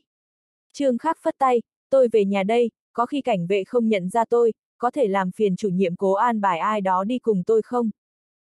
Tôi đi với cậu, vài bước thôi mà. Chúng ta đi nào, cố hiểu mai vội nói, Trương khác tới tiểu khu hoàn toàn có thể gọi người ra đón, nhưng bà ta không thể nói như vậy, cũng không thể tùy tiện phái người đi cùng. Qua đường, Trương khác quay lại nhìn biển giới hạn tốc độ, ghi 30 km, đợi đi xa một lúc mới hỏi, ba tôi làm thị trưởng có khó hầu hạ hơn thị trưởng lưu không? Cố Hiểu Mai hoàn toàn không nghĩ tới lại thảo luận vấn đề này với con trai Trương Chi Hành, khó ăn nói, chỉ cười đáp, mỗi lãnh đạo đều có tính khí riêng, ba cậu lúc làm phó thị trưởng rất dễ tính, chúng tôi đều ủng hộ ba cậu. Ba tôi làm phó thị trưởng dễ tính, làm thị trưởng chưa chắc. Làm phó thị trưởng có thể mắt nhắm mắt mở cho qua vài việc, hiện ông không thể thuyết phục bản thân làm như thế nữa. Trương Khác lắc đầu, nghiêm túc nói, tôi nghĩ trong mắt mọi người, ba tôi là người khó nhìn thấu. Cố hiểu mai cười ngược, chủ đề này làm sao bà ta dám tiếp lời. Thầm nghĩ cậu ta chỉ hơn con mình một tuổi, vậy mà lấy ngữ khí thâm trầm như thế đánh giá cha mình. Cố hiểu mai từ chỗ con trai biết rất nhiều chuyện không hay ho của Trương khác ở đỡ ết Đông Hải, có thể nói là hoàn khổ tiêu chuẩn, ỷ gia đình có tiền có thể, ngông cuồng ngang ngược, con gái xinh đẹp bên cạnh thay như thay áo. Mấy năm trước ở Tân Vu còn chẳng phải vì một cô gái trong nhà khách mà hô đánh hô giết con tai La Quy Nguyên, làm cả thành phố náo loạn, khiến La Quy Nguyên rất đài sao. Trước đó nói muốn giới thiệu Vu Trúc cho Trương Khác, bà ta chỉ lo con trai bị y làm hư. Thái độ lãnh đạm của Trương Khác làm bà ta khó chịu nhưng cũng thở phào, nếu để tên công tử phong lưu này nhìn thấy Trần Ninh, không biết y có nảy tâm tư gì không. Cố hiểu mai nghĩ, con gái đường học khiêm xinh đẹp như thế, địa vị trong nhà cao như thế, đều không ngăn cản được y thay nữ nhân liên tục, nếu giới thiệu Vu Trúc, Trần Ninh cho y, tuyệt đối chẳng phải chuyện tốt. Bà ta đúng là không hiểu nổi phong cách làm việc của Trương Chi Hành, từ quá trình làm việc của ông 3 năm qua có thể thấy tuyệt đối là vị thị trưởng có năng lực, có trách nhiệm có đạo đức, nhưng vì sao có đứa con hư hỏng như thế? Hay biểu hiện của ông ta ba năm qua chỉ vì muốn leo lên chỗ cao hơn, nên mới đeo cái mặt nạ như thế? Thời buổi này lãnh đạo nào chẳng có vài cái mặt nạ, nhưng chỉ cần nắm được cái góc, tham tiền, tham quyền hay háo sắc là ứng phó được hết. Tham tiền thì không rồi, háo sắc không giống, nói nói tham quyền, cố hiểu mai mấy lần nhìn thấy Trương Chi Hành đuổi mấy vị cục trưởng tới xin báo cáo công tác về. Trương khác ít nhiều đoán ra cố hiểu mai nghĩ gì, vận mệnh đúng là thứ kỳ diệu, qua kỳ nghỉ hè này, Trần Ninh sẽ từ khu trường mới về đỡ ết Đông Hải, có điều hiện giờ mình chẳng là gì với cô ấy, vài thứ có lẽ không thể vãn hồi được nữa. Vừa rồi Cục trưởng Vương Cục Tài chính có chuyện muốn báo cáo với ba tôi, ba tôi hỏi có văn kiện pháp quy chuyên môn làm chỗ dựa không, ông ấy nói có. Ba tôi hỏi có nội dung không thể quyết định ngoài văn kiện pháp quy không, ông ta nói không. Ba tôi bảo thế thì tới xin chỉ thị làm gì, có cần ba tôi kiêm luôn cục trưởng cục tài chính không?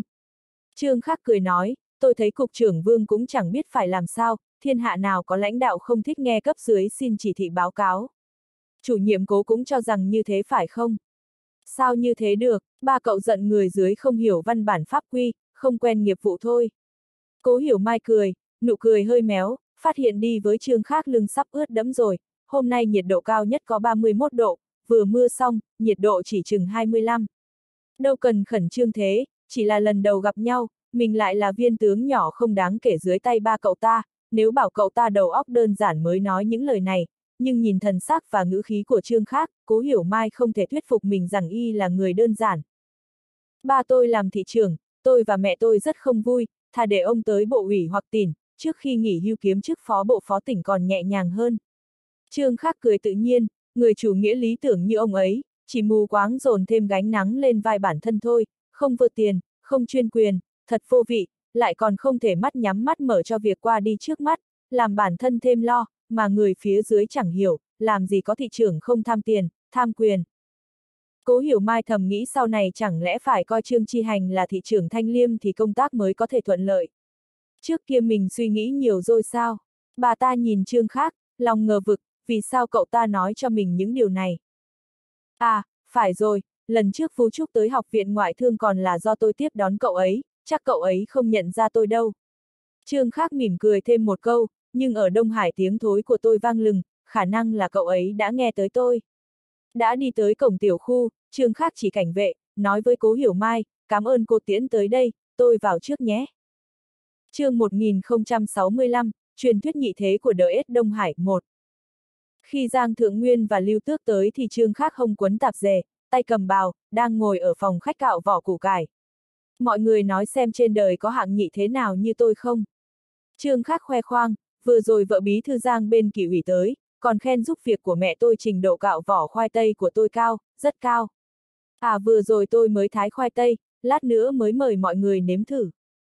Giang Thượng Nguyên và Lưu Tước cười ha hả, lường cách chân từ trong phòng đi ra, xoắn tai trương khác, trước mặt chủ nhiệm Giang, bí thư Lưu mà dám ba hoa trích trẻ à, kỳ nghỉ hè đã qua mất quá nửa mới nhớ về thăm mẹ già, không phải hạng nhị thế vô lương tâm thì là cái gì. Cố hiểu mai đứng sau mỉm cười khẽ, cười cũng phải xem tư cách, Giang Thượng Nguyên, Lưu Tước có thể cười lớn, biểu thị thân cận, bà ta mà cười quá buông thả, là không biết thân phận. Bà ta nhìn thấy quá nhiều hạng nhị thể trước mặt trưởng bối ngoan ngoãn lanh lợi, đó là bản năng mị hoặc thấm trong người nhờ xuất thân gia đình. Năm xưa bà ta từng tiếp xúc với La Văn con trai La Quy Nguyên, trước mặt trưởng bối lúc nào chẳng hiền lành lịch thiệp, giờ chẳng phải cũng không cha bị tử hình hoãn thi hành rồi sao? Chỉ là những lời trước đó của Trương Khác để lại cho bà ta ấn tượng quá sâu, nhưng không thể nói có cảm giác gì, có lẽ ngữ khí đó quá chứng chạc mà thôi. Nói thực, cố hiểu Mai cũng không ngờ Trương Khác còn giỏi nấu ăn, bà ta và Dư Thành Đông không có tư cách ở lại ăn cơm, báo cáo công việc xong liền cáo từ. Cố hiểu Mai không có xe, cũng không có tư cách phân phối xe, có điều tan ca luôn có xe đi nhờ, hôm nay lái xe của ban lái xe đều bị giữ lại học luật giao thông rồi, ba ta ngồi xe Santana của Thành Dư Đông về. Đi qua khu biệt thự nhà giàu, cố hiểu mai nhìn vào trong, bà ta biết nhà Trương Chi Hành trước kia ở đó, hỏi, thị trường ở kiến nghiện cũng có nhà phải không? Bà ta nhìn thấy chiếc S600 ở bên cạnh chiếc Ford mà lương cách chân thường đi, thầm nghĩ mình chưa bao giờ thấy chiếc xe sang trọng như thế, xem ra tin đồn Trương gia là hào phú Hải Châu không sai, vợ chồng Trương Chi Hành phải chú ý ảnh hưởng không thể quá xa hoa, còn tên nhị thế kia chẳng cần băn khoăn gì, thoải mái hưởng thụ, lại nghĩ tới lời y nói trên đường, luôn có cảm giác quái dị. Ừm, Thành Dư Đông chỉ là thư ký an bài theo trình tự, không phải do Trương Chi Hành chỉ đích danh, cho nên mức độ thân mật chỉ ngang với Cố Hiểu Mai, hắn cũng không cho rằng địa vị của mình cao hơn Cố Hiểu Mai, bà ta làm việc quanh quẩn bên Trương Chi Hành nên một số chuyện không cần kiêng kỵ không kiêng kỵ gì, đổi lại là tôi nói không chừng chẳng muốn làm thị trường, thị trường Trương mỗi ngày vất vả như thế, đổi lại là người khác nhất định không hiểu. Chị cố định đưa Vu Trúc tới kiến nghiệp phải không? Nếu có cơ hội đến nhà thị trường Trương một chuyến, để biết thế nào là có tiền thực sự, chắc chị nhìn thấy những khu vườn đẹp nhiều rồi, nhưng chưa bao giờ thấy vườn hoa trên không. Cố hiểu mai không biết vườn hoa trên không là cái khái niệm gì, tân vu có gì thì tôi biết cái đó, tầm mắt tôi chỉ có thế thôi, vườn hoa trên không cậu nói là trồng hoa ở sân phơi chứ gì. Là trồng hoa cỏ trên tầng thượng, ngoài ra còn có giả sơn, suối nhỏ, xây tròi, phải chừng nửa mẫu. Hả, cố hiểu mai đương nhiên biết nửa mẫu lớn cỡ nào, biệt thự đắt tiền ở Tân Vu chỉ có nửa mẫu, tặc lưỡi không nói gì, trương khác ở một mình tại kiến nghiệp, vậy nơi đó là chỗ y hưởng thụ một mình, có lẽ còn cả những có gái thay đổi không ngừng nữa. Thành Dư Đông thuận miệng nói vì chuyện này sớm muộn cố hiểu mai cũng biết, còn chuyện khác hắn quan sát được, hắn không nói bừa, tiền đồ của hắn đặt hết lên người Trương Chi Hành. Tới tiểu khu Tân Áp, cố hiểu mai xuống xe, Thành Dư Đông hỏi, chị cố sao còn ở đây, không nghĩ tới chuyển nhà à? Mới ở hơn 4 năm đã chuyển, tiếc lắm, tôi đâu thừa hơi sức hành hạ mình như thế. Nghe nói thím vệ cũng ở đây, chị cố đã gặp chưa? Tôi cũng chỉ gặp ở tiểu khu vài lần thôi. Nhớ tới giúp việc chân có tật của nhà Trương Chi Hành, cố hiểu mai lại nhớ tới vụ án La Quy Nguyên 3 năm trước, vụ đó trừ đi một cái nhỏ độc cho Tân Vu, toàn thành phố vỗ tay vui sướng. Nghe nói đốm lửa gây ra vụ án đó là do Trương Khắc tranh giành ghen tuông với La Văn vì vệ lan con gái thím vệ. Hai năm trước cố hiểu mai còn thường thấy cô gái đó ở tiểu khu, xinh đẹp hết sức, rốt cuộc có bị La Văn cưỡng bức hay không thì mỗi người nói một kiểu, về sau thím vệ làm giúp việc cho nhà Trương Chi Hành, thêm vào vợ chồng họ nhận vệ Lan làm con gái nuôi, người ta không dám bàn luận nữa. Rồi tiếp đó vệ Lan về trường học, sau đó cùng Vu Trúc thi vào DS Đông Hải, đúng là cô gái không tệ, trước kia xảy ra bao chuyện chỉ vì đó là bi ai của đáy xã hội. Mùa hè này chưa gặp vệ Lan ở tiểu khu, trường khác về Tân Vu rồi, chẳng lẽ vệ Lan vẫn ở lại kiến nghiệp. Tân Áp là một tiểu khu khá mới ở Tân Vu, vì khi mới xây có an bài một số gia đình như nhà vệ Lan vào, nên cấp cho người ngoài cảm giác cấp bậc hơi thấp, thực ra hoàn cảnh không tệ. Nhà cố hiểu mai có ba gian phòng ở, một gian phòng khách, tuy nhà hơi sát, ở Tân Vu thế là được rồi, và lại mình vừa lên phó chủ nhiệm văn phòng chính phủ đã đổi nhà đổi cửa, truyền ra không hay. Cố hiểu mai mở cửa, thấy chồng con mình trần ngồi đánh cờ, trách, hai vị đại lão ra ở nhà không làm cơm tối à? Em con đâu? Nó đi chơi với Trần Ninh. Vu Trúc mặt chưa hết vẻ trẻ con, nói, ba bảo hiếm khi được hưởng thụ hạnh phúc được lãnh đạo phục vụ, mẹ nói hôm nay sẽ về sớm làm cơm còn gì. Cố Kiến Mai vào phòng ngủ thay đồ thường ngày, than vãn với chồng, công tử thị trưởng Trương mang bạn về nhà, chủ nhiệm Giang, bí thư Lưu đều ăn tối ở đó, em mới được về sớm. Em gặp con thị trưởng Trương rồi à? Có khoa trương như Vu Trúc nó nói không? Vu vệ hỏi, người ta nói rồng sinh rồng, phượng sinh phượng, cậu ta đâu thể thiếu gia giáo như Vu Trúc nói phải không? Em chưa kể con trai La Quy Nguyên cho anh à. Bản tính đám nhị thế này không có mắt lửa ngươi vàng thì một hai lần sao có thể nhìn ra được. Cố hiểu mai đeo tạp dề lên, vào bếp làm thức ăn, nghĩ thế nào lại chạy ra cảnh cáo con trai, con nghe cho rõ đây, ít chiêu chọc vào tên tiểu tử đó, coi như không quen biết, con và ba con đều ù ù lì lì, nói không chừng bị người ta bán còn đếm tiền hộ. Tên tiểu tử đó dù thuần khiết cũng có hạn, đưa bạn gái về Tân Vu, lại còn đưa theo một cô gái xinh đẹp nữa. Vậy nhất định là Trần Phi Dung, hoa khôi trường con rồi. Vu Trúc không cần nghĩ, nói ngay, cả trường đầu công nhận Trần Phi Dung là bạn gái của anh ta, thường thấy bọn họ cùng ôn bài ở thư viện với nhau. Cố hiểu mai há hốc mồm, đây là chuyện gì vậy, tên nhóc đó công khai đưa cả hai cô bạn gái về Tân Vu nghỉ hè, thật không hiểu y làm sao mới có thể dẹp được mâu thuẫn giữa hai cô gái, mà cả hai đều nguyệt thẹn hoa nhường, bình thường có được một đã đủ rồi, chỉ hạng nhị thế mới không biết trân trọng con gái như thế. Cái gì chưa nói chứ phong lưu háo sắc là chắn chắn rồi. Cố hiểu mai chép miệng bảo chồng, cô gái đó đẹp lắm. Anh xem còn mặt mũi nào nói nói rồng sinh rồng, phượng sinh phượng, con thị trưởng trương chưa chắc có bản tính tốt đẹp. Phu vệ cười đùa, có chàng trai nào thấy con gái đẹp mà không thích, làm gì ù lì như vu trúc. Cả trường đều nói Trần Phi Dung là hoa khôi, còn nhìn thấy rồi, đẹp thì đẹp, nhưng không phải đẹp nhất trường, bọn họ chưa thấy Tiểu Ninh thôi, đợi học kỳ sau Tiểu Ninh về trường, bọn họ sẽ biết ai là hoa khôi thực sự. Vu Trúc mắt nhìn chằm chằm vào bàn cờ, miệng lẩm bẩm. Không phải con coi Tiểu Ninh là em gái đấy chứ, đừng có suốt ngày gọi Tiểu Ninh, Tiểu Ninh. Cố Hiểu Mai nói. Con đánh giá khách quan thôi. Vu Trúc cãi, em con mà sinh thì con sẽ nói nó sinh, quan trọng nó có sinh không, trông nó giống ba, chẳng sinh tí nào. Làm gì có ai nói em gái mình như thế? Cẩn thận tối về nó cãi nhau với con. Cố Hiếu Mai đi vào bếp, đem so con gái Trần Dục ra với đường thanh, Trần Phi Dung, đúng là khó nói ai đẹp hơn ai, mỗi người có một nét riêng, công bằng mà nói thì vẻ đẹp của Trần Ninh và đường thanh thuộc loại dạng dỡ bắt mắt ngay từ cái nhìn đầu tiên, Trần Phi Dung thoạt nhìn có hơi kém hơn, nhưng đó là một vẻ đẹp như hoa mai mùa đông, càng nhìn càng đẹp, thằng con ngốc của mình không cảm nhận hết được là phải, Trần Phi Dung tuyệt đối không thua kém Trần Ninh. Mà cố hiểu Mai cũng không thích bạn gái con mình quá đẹp, biết con mình tính quá hướng nội, thích hợp con gái bình thường hơn, cái xã hội này quá phức tạp, và lại bệnh của con gái Trần Dục ra có chữa được không cũng là vấn đề, hay là sớm chuyển đi. Nghĩ tới đó liền gọi chồng vào bếp thương lượng. Phu vệ, anh lại đây một chút. Chuyện gì? Phu vệ ngồi yên, đặt cờ xuống hỏi vợ. Tiểu khu Tân Giang mới xây bán nhà ra ngoài, nhân viên chính phủ được ưu đãi, chúng ta bỏ thời gian ra đi xem nhé. Cái nhà này mới đổi chưa được bao lâu, làm hàng xóm với xưởng trưởng Trần rất tốt, vì sao lại chuyển nhà? Hơn nữa chỗ đó ưu đãi cho cán bộ chính phủ, chẳng phải là hối lộ công khai à? Vu vệ không bằng lòng. chương 1066, truyền thuyết nhị thế của đời Đông Hải 2. Chuyện này anh đừng quan tâm, chúng ta cũng chỉ có thể kiên trì không nhận tiền của người ta, lễ Tết người ta tặng quà, không trả lại được còn chẳng đổi ra tiền sao. Vài chuyện không thể tránh, nếu anh làm mình quá thanh liêm, thì đừng mong làm được gì ở cơ quan, xã hội hiện giờ nó là thế. Anh luôn khen thị trưởng Trương Thanh Liêm, ông ấy chẳng phải cũng nhận quà, rồi bảo em giúp bán đi rồi quyên góp sao.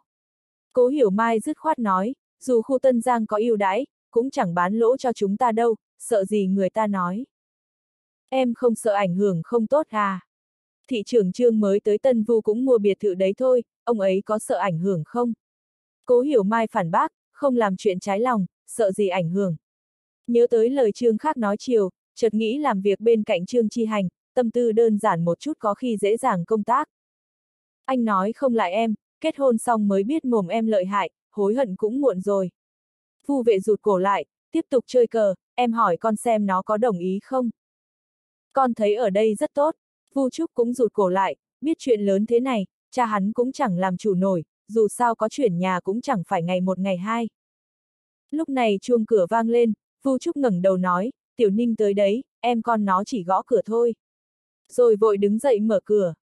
Cố Hiểu Mai thò đầu ra, nhìn khuôn mặt xinh đẹp của con gái nhà Trần Dục, gò má hồng tươi như hoa hồng, đôi mắt to long lanh trong vắt làm người ta cảm thấy mát tận tim, chiếc mũi xinh xinh hoạt bát, cánh môi cong cong tinh nghịch, gò má yêu mỹ lưu loát, tựa hồ mọi nét đẹp nhất của một thiếu nữ đều tập trung trên khuôn mặt đó, mỗi tội người hơi gầy gò, nhưng càng thanh tú thoát tục, quốc sắc thiên hương, tiên nữ giao chỉ không nhuốm khói bụi nhân gian, mặc chiếc áo da cam, càng thêm sức sống thanh xuân tràn ngập. Dạng con gái này lớn lên là đại họa, con bé nhà mình đứng bên cạnh chẳng ai thèm chú ý. Chào dì cố, nghe Vu Trúc nói hôm nay dì làm cơm, tiểu muội kéo cháu qua, cháu không khách khí nữa. Trần Ninh cười lém lỉnh nói. Ba cháu đâu, hôm nay mẹ cháu làm ca tôi phải không, chẳng lẽ ba cháu tự ở nhà làm cơm? Cố hiểu mai hỏi. Ba cháu còn đợi chú Vu gọi điện mời, cháu sang trước. Trần Ninh bán đứng cha mình. Cố hiểu mai lắc đầu, bà và Trần Dục học với nhau từ tiểu học, sơ trung, cao trung, là thanh mai trúc mã từ nhỏ, nếu về sau không gặp vu vệ, chắc sẽ nghe người lớn trong nhà kết hôn với Trần Dục rồi, nghĩ cũng là, trong lòng Trần Ninh, Vu Trúc chắc cũng giống Trần Dục năm xưa trong lòng mình. Thanh Mai Trúc Mã, thân cận thì cực thân cận, nhưng lại giống như người thân vậy. Cố hiểu Mai thở dài, dù chuyển nhà thì một số chuyện cũng chẳng thay đổi được, thôi cứ để nó thuận theo tự nhiên, tới đâu thì đến. Nhìn thấy chồng đứng dậy gọi điện thoại, cố hiểu Mai vào bếp làm thức ăn, một lúc sau chuông cửa vang lên, Vu Trúc đứng dậy mở cửa, bà ta chẳng để ý. Cố hiểu Mai chân tay nhanh nhẹn, điều này liên quan tính cách đáo để của bà ta, không thích người khác vào bếp giúp, vèo một cái làm được bàn ăn thịnh soạn. Chẳng trách bí thư lưu điều cô tới văn phòng chính phủ, riêng làm thức ăn nhanh thế này, đủ để đám quan lão ra tự than không bằng rồi. Trần Dục tướng mạo nho nhã, do giao tình mấy chục năm với cố hiểu mai nói chuyện cũng tùy tiện, nghe nói Tần Sương Hoa muốn làm phó thị trưởng, thành phố có tin này không? Chúng tôi cũng suốt ngày chỉ nghe đồn, ai biết tin tức từ đâu ra. Tần Sương Hoa là người đầu tiên giúp thị trưởng Trương dựng lên rượu Vân Trì, nghe nói lên làm cục trưởng công nghiệp nhẹ là Trương Chi Hành trực tiếp đề bạt, giờ ông ấy làm thị trưởng, để bạt người ta làm phó thị trưởng là hiển nhiên thôi. Trần Dục phân tích, và lại Trương Chi Hành muốn làm được việc gì ở Tân Vu, cũng phải kiếm vài người hỗ trợ. Trước kia sao anh không chủ động tới rượu Vân Trì, nếu không anh là phó thị trưởng rồi. Cố Hiểu Mai không phủ nhận suy đoán của Trần Dục, chỉ đùa với ông ta. Ba năm trước Trương Chi Hành mang hào quang ái tướng của từ học bình tới Tân Vu, vừa tới nơi đã gây sóng gió, ai nhìn thấu được. Theo ông ta họa phúc khó lường, giờ đương nhiên là khác. Nói ra Tần Sương Hoa cũng có tài, làm phó thị trưởng cũng không ai không phục. Chẳng phải anh thanh cao lắm sao? Cổ hiểu mai cứ chọc vào chỗ đau của Trần Dục, trước khi thị trưởng trương tới Tân Vu, chẳng phải anh cũng có suy tính của mình với ngành rượu Tân Vu à? Bảo anh rồi, muốn thành công thì bỏ thanh cao xuống. Sự thực chứng minh gì nào? Thị trưởng trương chẳng phải được quần chúng yêu quý đấy sao? Hôm nay ở cuộc họp thị trưởng trương nói, ở phát triển kinh tế, các cục phải bớt chuyện vẽ với không thiết thực, có thể để đông đảo quần chúng hưởng lợi mới là chính ách tốt, nói nông dân nuôi heo cũng làm giàu được, đừng theo đuổi công nghệ với trả Internet. Tôi nghĩ nhãn quang kinh tế của thị trường trương lợi hại hơn anh đấy, ba năm trước anh nói cái gì nhỉ? Rồi dài giọng ra, là lừa hay là ngựa đợi người ta ở lại được ba năm hãy nói. Bị cố hiểu mai nói thế, Trần Dục cũng chẳng giận, chỉ trơ mặt cười, thế nào chẳng cần quá trình nhận thức chứ. Phu vệ xen vào, có điều chúng tôi vừa xác nhận rồi, con trai thị trưởng trương chẳng ra gì, anh bảo Tiểu Ninh ở trường tránh xa người ta ra. Cái gì, cái gì? Trần Ninh quay đầu sang, cánh môi hơi cong cong, sao lại kéo cháu vào? Con trai thị trưởng trương cũng trong trường chúng ta, còn ở học viện ngoại thương, đang nói về anh ta. Vu Trúc trả lời. Thế à, mình gặp chưa? Anh ta hơn bọn mình một khóa, ở trường cả năm mình chưa gặp, chỉ nghe kể thôi. Nghe đầu cuối năm đầu thi cuối kỳ gian lận bị chủ nhiệm khóa bắt tại chỗ, chủ nhiệm khóa đó sau đấy bị đuổi khỏi trường. Rồi nghe nói một lần hiếm hỏi anh ta tới giảng đường nghe tọa giảng, kết quả cãi nhau với giảng viên, làm một giáo sư nổi tiếng tức hộc máu, hiện nằm trong bệnh viện thành người thực vận. Bạn ở bên Tân Phổ chắc có nghe những truyền thuyết này. Vu Trúc dùng giọng đầy kịch tính kể, nghe nói còn một lần bạn anh ta bị hội trưởng hội sinh viên bắt nạt, bạn đoán xem về sau thế nào. Anh ta dỡ sạch văn phòng hội sinh viên, còn thiếu chút nữa cho mồi lửa đốt sạch, hiện cửa văn phòng hội sinh viên còn giấu chân anh ta. Còn nghe nói anh ta nhìn chúng một cô gái có bạn trai, chẳng biết dùng cách gì mà cô gái kia bỏ bạn trai theo anh ta, người bạn trai kia tức quá thuê lưu manh đối phó, đâm cho anh ta một dao. Biết sao không, người đó bị phán 20 năm, tên đâm anh ta bị phán tử hình. Ghê không, cuối cùng kết luận, rồi đánh nhau với lưu học sinh, theo đuổi các cô gái xinh đẹp, kể ba ngày ba đêm cũng không hết. Trần Dục há hốc mồm, nhìn cố hiểu mai, phu vệ cũng tròn mắt nhìn vợ, ý tứ là thằng đó còn là con người không? Chẳng qua là vì con trai Trương Chi Hành nên không nói ra thôi, nếu chẳng phải biết Phu Trúc không biết nói dối đã nghi con mình bịa đặt, chỉ hỏi, trường mặc kể cho y làm bừa thế à? Cố hiểu mai thì nghi hoặc hỏi, con chưa gặp Trương khác à? Chưa ạ, à, anh ta gần như chưa bao giờ tới phòng học, chỉ thường xuyên tự ôn bài ở thư viện, thì thoảng con cũng tới thư viện ôn bài. Sao à? Không sao, cố hiểu mai lắc đầu, cậu ta nói đã gặp con, con cũng đã gặp cậu ta, chỉ không nhận ra thôi. Trần Dục xoa đầu, tiếng tăm của Trương Chi Hành cực tốt, không ngờ có đứa con đốn mặt như thế. Lời đồn bên phía nữ sinh bọn mình hình như hơi khác. Trần Ninh đột nhiên ngoẹo đầu sen vào một câu. chương 1067, ác thiếu gia truyền kỳ. Bên nữ sinh nói sao? Cố hiểu mai, phù vệ, Trần Dục đồng loạt quay đầu sang nhìn Trần Ninh.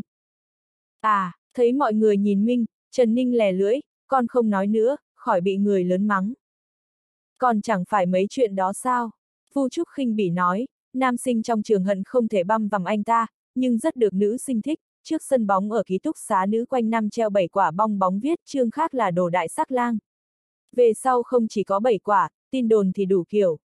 Nhưng đều nói do Trần Phi Dung treo lên đầu tiên. Trần Phi Dung là ai? Trần Dục hỏi.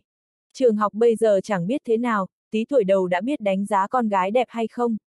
Cố hiểu mai thở dài, Trần Phi Dung là hoa khôi trường chúng nó. Trần Dục huyết vai vu vệ, cười quỷ dị, cái truyền thống này không phải chỉ giờ mới có, hơn nữa lên đại học cũng chẳng nhỏ nhít gì nữa. Cố hiểu mai trừng mắt lên nhìn hai người bọn họ, không cho họ nói năng bậy bạ trên bàn ăn, lần này trương khác tới, trừ đường thanh con gái đường học khiêm phó tỉnh trưởng tỉnh Giang Nam còn có một cô gái nữa, là Trần Phi Dung. Thế thì làm sao? Trần Dục hỏi. Thị trưởng phu nhân đã nhận định đường thanh là con dâu tương lai rồi, người ta học ở Hong Kong, cô bé Trần Phi Dung kia lại được thừa nhận là bạn gái của trương khác ở đợi ết Đông Hải. Anh nói nó ra làm sao? Cố hiểu mai đanh đá hỏi. Trần Dục khoa trương há mồm, tới mấy giây không có phản ứng gì, ghé tai vu vệ nói, sao thằng nhóc đó giỏi thế nhỉ? Vu Trúc nhà anh mà có cái tài đó, mọi người chẳng cần lo nó quá thành thực không tìm được vợ. Ông ta nói tuy nhỏ nhưng cả bàn ăn ai cũng nghe thấy, nói xong còn cười lớn hỏi Vu Trúc, cô bé hoa khôi đó có đẹp bằng Trần Ninh của chúng ta không? Ba này, Trần Ninh bất mãn lên tiếng, rõ ràng không phải như Vu Trúc nói. Quảng trường ở khổng miếu có ông già chuyên bán bong bóng, râu tóc bạc trắng, hơn 80 tuổi rồi, còn có con trai mắc bệnh hơn 60 phải nuôi. Người khác đều nói ông ta đi ăn mày đi, bán bóng làm gì cho vất vả, nhưng ông già đó không chịu đi ăn mày.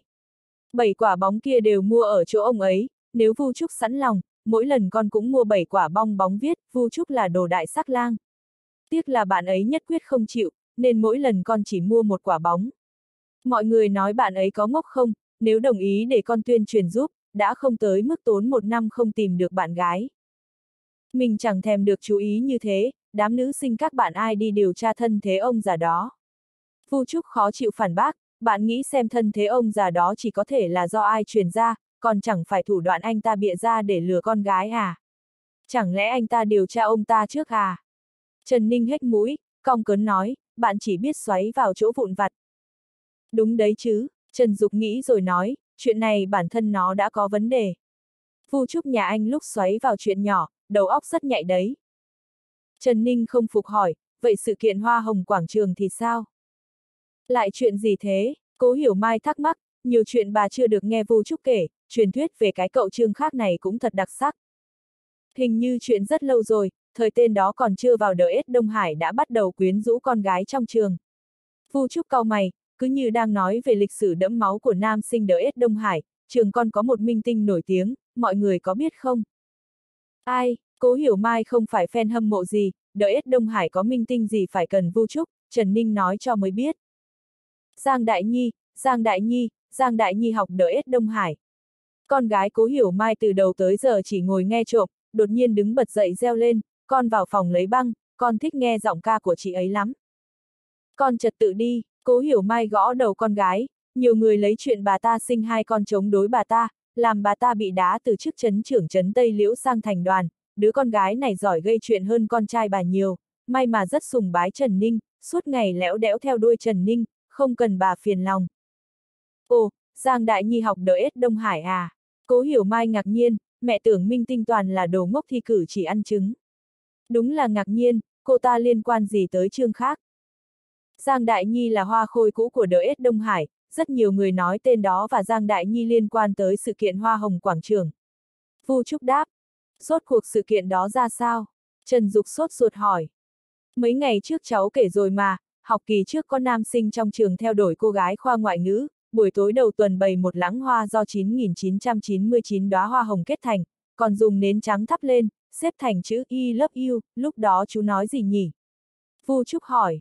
Đúng là lắm tiền nhiều trò. Con gái rất thích như thế. Cố hiểu mai lần này đứng ở góc độ nữ nhân, bình luận công bằng, dù là bề ngoài xấu hổ, nhưng trong lòng rất thích. Ha, nhưng cô bé kia lại không thích trò này. Trần Ninh thình lình xen vào. Thì ra ở tân phổ tin tức cũng chẳng bế tắc nhỉ. Vu Trúc mỉa mai. Chuyện gì trên mạng không có. Trần Ninh trợn mắt nhìn Vu Trúc. Vu Trúc kể tiếp, cô gái kia nói với nam sinh kia, chỉ cần cậu ta có thể làm được sự kiện hoa hồng quảng trường, thì đồng ý làm bạn gái cậu ta, nam sinh kia lập tức rút lui. Rốt cuộc nó là sự kiện gì? Trần Dục sốt ruột lắm rồi. Truyền thuyết nói một tối tên đó hẹn Giang Đại Nhi đi chơi phó tân thị, nơi đó có rất nhiều đứa bé bán hoa hồng cho đôi nam nữ qua đường, thực ra toàn là hoa nguyệt quý, đâu ra hoa hồng thật. Tên đó liền đứng ở quảng trường nói mua tất cả hoa hồng ở xung quanh, ngay cả người bán hoa ở khổng miếu, phủ Nam Hà đều chạy tới bán. Nghe đầu về sau hoa chất đầy quảng trường, khi mua hoa y còn kỳ thị nam nữ, nam mua 5 đồng một bông, nữ mua 10 đồng một bông. Không biết tên đó có não hay không? Giọng vu trúc mỗi lúc một hàn học, kể. Rõ ràng không phải như thế. Trần Ninh tức tối phản bác, hôm đó trời rất lạnh, anh ấy không nỡ để những đứa bé đó bán hoa ngoài trời lạnh như thế, chỉ muốn mua hoa để bọn chúng được về sớm nghỉ thôi. Đó là suy nghĩ của đám con gái, bọn trẻ con đó sau lưng có người khống chế, cho dù một tối có thể được về nghỉ sớm, hôm sau vẫn cứ phải ra uống gió lạnh bán hoa. Nếu thương bọn trẻ thật đã bảo cục công an đưa bọn chúng về nhà, cần gì mua hoa hồng lấy lòng con gái. Không thèm nói, đồ cố chấp nhỏ nhen. Trần Ninh bĩu môi quay đi. chương 1068, ở Hoàng hậu người ta gọi tôi là Tiểu Tuyết một. Con lớn lên cũng muốn làm bạn gái anh ấy. Con gái cố hiểu mai đột nhiên hét lên làm mọi người giật mình, từ bây giờ con sẽ chăm chỉ học tập, con sẽ thi vào đợi ết Đông Hải làm bạn gái anh ấy. Trần Ninh phì cười ôm lấy cô bé, đợi em vào đợi ết Đông Hải, người ta đã sớm tốt nghiệp rồi. Yên cho mẹ, cố hiểu mai gõ con gái một cái, nhìn Trần Dục và Vu Vệ đều, mím môi không nói. Vu Vệ khe khe huyết vai Trần Dục nói nhỏ, bảo con gái anh tránh xa thằng hỗn thế ma vương đó ra. Nó là kẻ thù của nam nhân. Trần Dục cười, tiểu ninh nhà tôi không bị loại đó lừa đâu, có điều con gái bình thường khó nói lắm. Anh nên bảo con anh học tập người ta, có thủ đoạn này, không biết khi nào đó dẫn hai cô con dâu về. Nói tới đó cười lớn, nhưng cảm thấy chuyện này quá khó tin, nói với vu vệ, khi chúng ta đi học cũng thích bịa chuyện, tiếc là không phải chuyện bịa lúc nào cũng hiệu quả. Hồi đó anh chẳng chơi như gỗ là gì, hiểu mai rõ ràng tới trường tìm tôi, cuối cùng bị anh bắt mất. Như Quách Tĩnh và Âu Dương Khắc trong xã điêu anh hùng chuyện đó, tôi thấy Hoàng Dung nên chọn Âu Dương Khắc. Đừng nói lung tung nữa, không sợ trẻ con nó cười cho à. Cố hiểu mai cắt ngang, mấy câu chuyện quấn lấy nhau, đột nhiên hình tượng trương khác trở nên mơ hồ, công tử phong lưu thì đúng rồi, nhưng ẩn dưới lớp vỏ đó là bản tính thiện hay ác. Trương khác nằm trên bãi cỏ, nhìn bầu trời trong xanh như viên lam bảo thạch, nắm ấm chiếu lên người, gió hưu hưu thổi qua mang theo hương hoa ngoà ngạt, cảm giác thật quen thuộc, quen như thấm vào tận xương tủy, như kiếp trước mình cùng Trần Ninh tới Tân Vu nghỉ hè, không khí chẳng hề thay đổi, có nhắm mắt lại cũng tưởng tượng ra tất cả. Hồn vía phiêu diêu chân trời bị nước hồ lạnh giá hất lên mặt kéo về, Trương Khác mở mắt ra, nhìn thấy đường thanh giơ tay còn định vắt khăn ướt nhỏ nước lên mặt mình, Trần Phi Dung theo sau, tay cũng cầm một cái khăn ướt. Đừng nghĩ đang là mùa hè mà nhầm, hồ ở đây nếu nhảy xuống bơi có thể đóng băng nửa người, Trương Khác lồm cồm bò dậy như con khỉ, chạy thật xa tránh hai cô gái. Bọn mình sắp về rồi, còn định nằm đây mơ mộng à? Đường Thanh giơ tay gọi. Mặt trời đã ngả bóng, một lúc nữa thôi còn ở bên hồ sẽ cảm thấy lạnh. Tuy trên núi nhiệt độ thấp, nhưng nhờ suối nước nóng, giữa chưa có cảm giác nóng nực thực sự của mùa hè, đám trương khác ban ngày lên núi đi dạo, thấy thời gian đã muộn, liền đi men theo triền núi trở về, khi mặt trời khuất hẳn về được gần suối nước nóng. Đám trương khác đều không muốn để người ta mang đồ ăn tới căn nhà gỗ, đường thanh thích náo nhiệt, thế là ở ngoài ăn cơm mới về. Buổi tối ngâm suối nước nóng là thích hợp nhất, có điều đường thanh và Trần Phi Dung đều quên mang áo bơi theo, trước khi ăn tối hai cô gái sang cửa hàng quần áo chọn đồ, Trương Khác một mình buồn chán vào quán cà phê. Ba năm trước nơi này chỉ là một cái nhà khách lẻ loi, lúc này quán cà phê, nhà ăn, cửa hàng bán đồ lưu niệm, v. Với phong cách kiến trúc giả cổ đã mọc lên khắp nơi, hình thành một con phố thương nghiệp quy mô không nhỏ. Du khách rất nhiều, cũng có đoàn du khách đội mũ che nắng thống nhất của công ty du lịch, có cả khách ba lô, có cả dân thành phố lên núi chơi, Thiên Vân Sơn đã thành thắng cảnh nghỉ hè xa gần rồi, thêm vào trên dưới núi lượng mưa dư thừa, cảnh sắc càng thêm mê người, đây là mùa du lịch thịnh vượng. Chọn xong áo bơi, nhìn thấy phía đối diện có một cửa hàng bán đồ mây che đan, đường thanh nhìn thấy mấy thứ giày cỏ váy cỏ, mắt sáng lên, chúng ta mua hai đôi giày cỏ với váy cỏ mặc vào chắc là có thể có thể xuống hồ bơi rồi, tránh tên háo sắc trương khác cứ hao háo nhìn đùi chúng ta, lại còn có thể thưởng thức cuộc sống của người hoang dã. Rồi kéo Trần Phi Dung chạy vào cửa hàng, vội tới mức thiếu chút nữa va vào xe đẹp trước cửa hàng. Trong cửa hàng ngoại trừ chủ, còn có du khách đang chọn đồ bên trong, Trần Phi Dung chẳng hứng thú lớn như đường thanh, cô cầm đồ bơi đứng đợi ngoài cửa. Bên trong cửa hàng có hai nữ một nam đứng trước quầy ướm thử váy cỏ. Trần Phi Dung luôn rất tự tin vào dung mạo của mình, nhưng phải thừa nhận cô gái đang cầm cái cỏ ướm thử trên người nụ cười tươi tắn cực kỳ xinh đẹp. Cô gái nhỏ hơn tuổi chừng 15 thì lấy mũ cỏ chụp lên đầu chàng trai, nói, chị Tiểu Ninh, giữ tai anh trai em, em thấy cái mũ này hợp lắm, chúng ta mua hộ anh ấy. Trần Phi Dung nhìn chàng trai né tránh, nhưng không làm gì được cô bé, thầm nghĩ làm anh khó tránh bị em gái bắt nạt, thiếu nữ bên cạnh chắc là người yêu của cậu ta. Cô đang phân tâm suy nghĩ lung tung thì chàng trai kia vô tình quay đầu sang, ngớ ra nhìn cô tới mấy giây. Trần Phi Dung quá quen với ánh mắt này rồi, thầm nghĩ cô bạn gái xinh đẹp như thế mà còn đi nhìn người khác, không sợ bạn gái nổi giận, mặt dày ngang với trương khác rồi.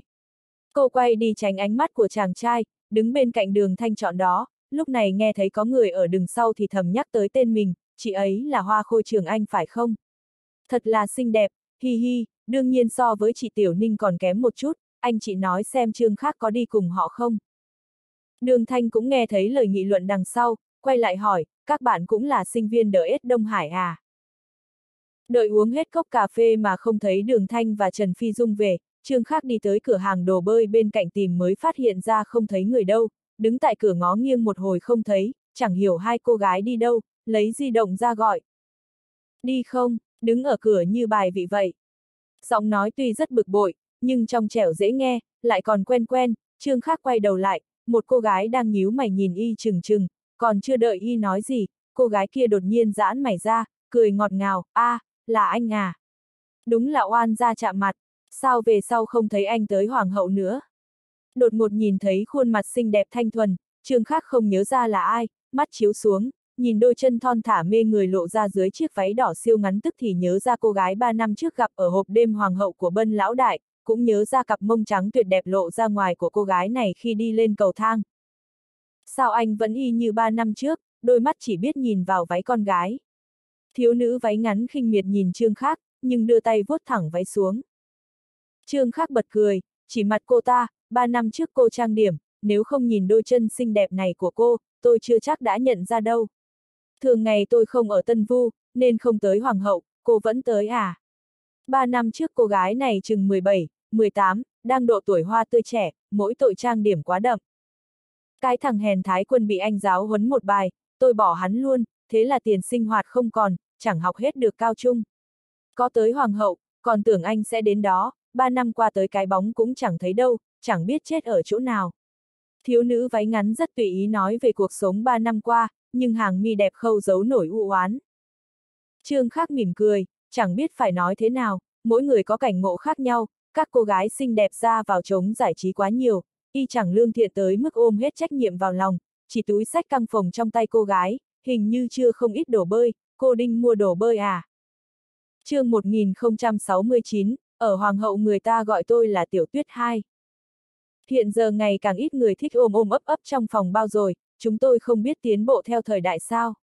Một số khách muốn các cô gái bơi cùng, tôi đi mua đồ bơi cho họ. Thiếu nữ váy ngắn mở túi cho Trương Khắc xem, bên trong toàn là bikini gợi cảm. Ồ, làm má mì rồi à?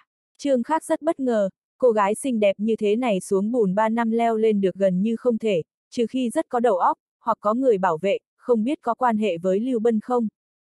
Kiếm sống thôi, thiếu nữ váy ngắn thở dài một tiếng tang thương, tuy không tiếp khách nữa, nhưng với người thường, nếu là khác thiếu gia anh, tôi sẽ tiếp miễn phí. Cô biết tôi, Trương Khắc ngạc nhiên. Tôi không mù, không biết, sao không biết anh là nha nội của đương kim thị trường. Thiếu nữ váy ngắn co chân lên, lộ ra cặp đùi trắng mịn hơn ngọc, dưới ánh sáng cuối cùng trong ngày, dụ hoặc khó nói bằng lời. Cùng thiếu nữ váy ngắn đứng ở trước hiệu đồ bơi nói chuyện về vài tin đồn ở Tân Vu, có cảm giác tha hương gặp cố nhân. a à, sao bạn ở đây? Tìm cả vòng không thấy.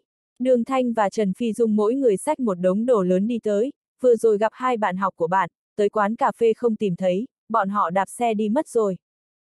Thế à, mình đã bảo Thiên Vân Sơn không tệ mà, mình muốn đạp xe tới, chỉ sợ hai bạn không chịu nổi nắng, đây là...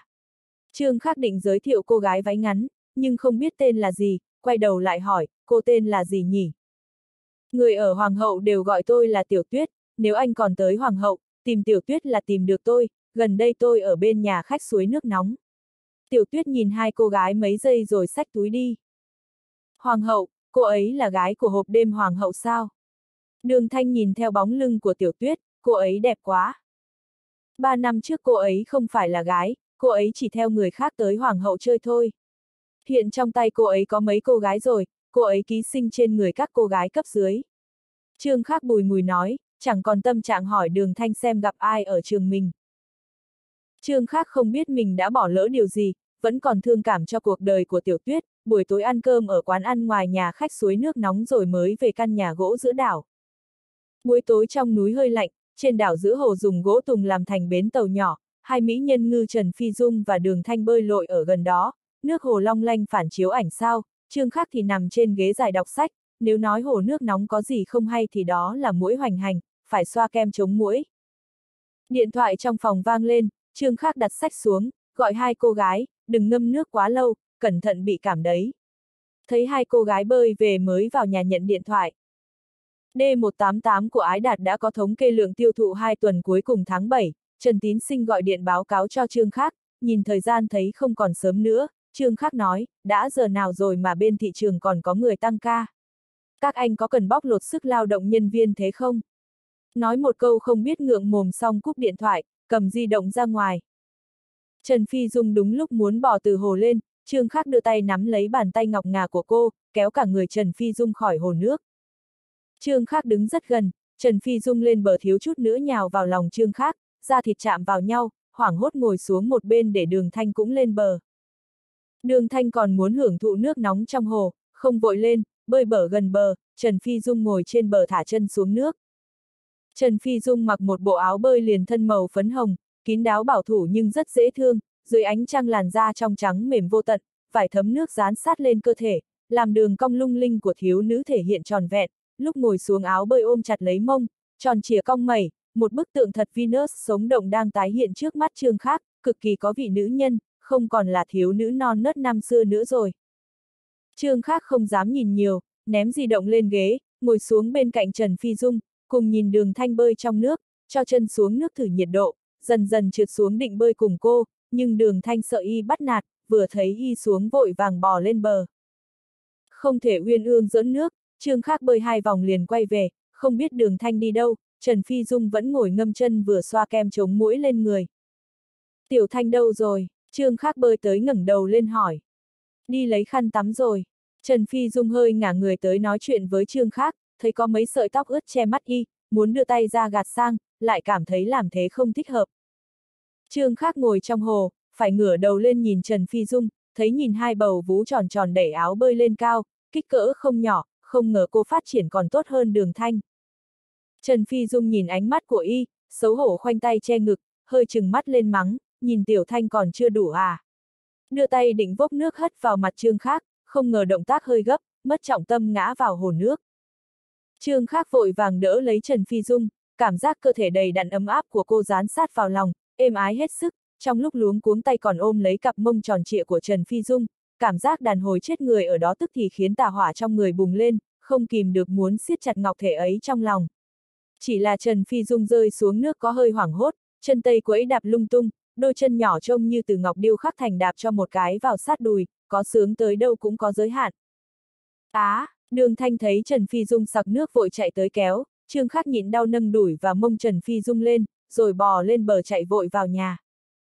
Bạn làm sao thế? Đường thanh thấy trương khắc động tác quái dị, quan tâm hỏi. Không sao đâu, bạn đừng theo. Trương khắc giơ tay lên, kẹp chân chạy vào trong, đâu thể ôm chỗ hiểm ngồi trước mặt hai cô gái thế thì bẽ mặt quá. Đợi hồi phục lại trương khác mới đi ra thì thấy Trần Phi Dung và Đường Thanh ngồi xoa kem chống mũi cho nhau còn vô lương tâm cười quái dị, cả hai đều dùng khăn chám lớn bọc lấy cặp đùi mỹ miều, làm trương khác hết sức thất vọng.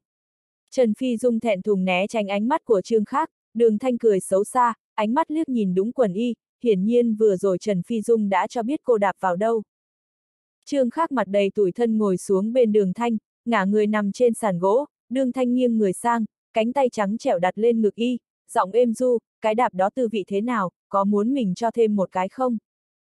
Cái đổ vô lương tâm, Trương khắc ôm lấy eo đường thanh, để cơ thể mềm mại của cô nằm lên người mình, đưa tay vỗ nhẹ nhẹ lên má, nói vào tai cô, không sợ đạp một cái hủy luôn nửa đời sau của bạn à. Càng tốt, bớt cho bạn đi hại cô gái khác. Đường thanh hung dữ nói, nhưng hung dữ chưa đủ, nghe cứ như dụ dỗ trương khác đi hại cô lúc này vậy. Thật đúng là, hai người không biết nấp vào phòng rồi hãng làm gì đó à, hay là muốn mình tránh đi. Trần Phi Dung cười đứng dậy, muốn quay về phòng. Đừng, cùng nằm xuống đây nói chuyện đi, ai muốn ở cùng tên này chứ? Đường Thanh kéo Trần Phi Dung nằm xuống. Trương Khắc nghiêng người sang, nhìn hai cô gái, hai bạn lúc đứng cao ngang nhau, không ngờ nằm xuống cũng cao ngang nhau, còn cao hơn mình.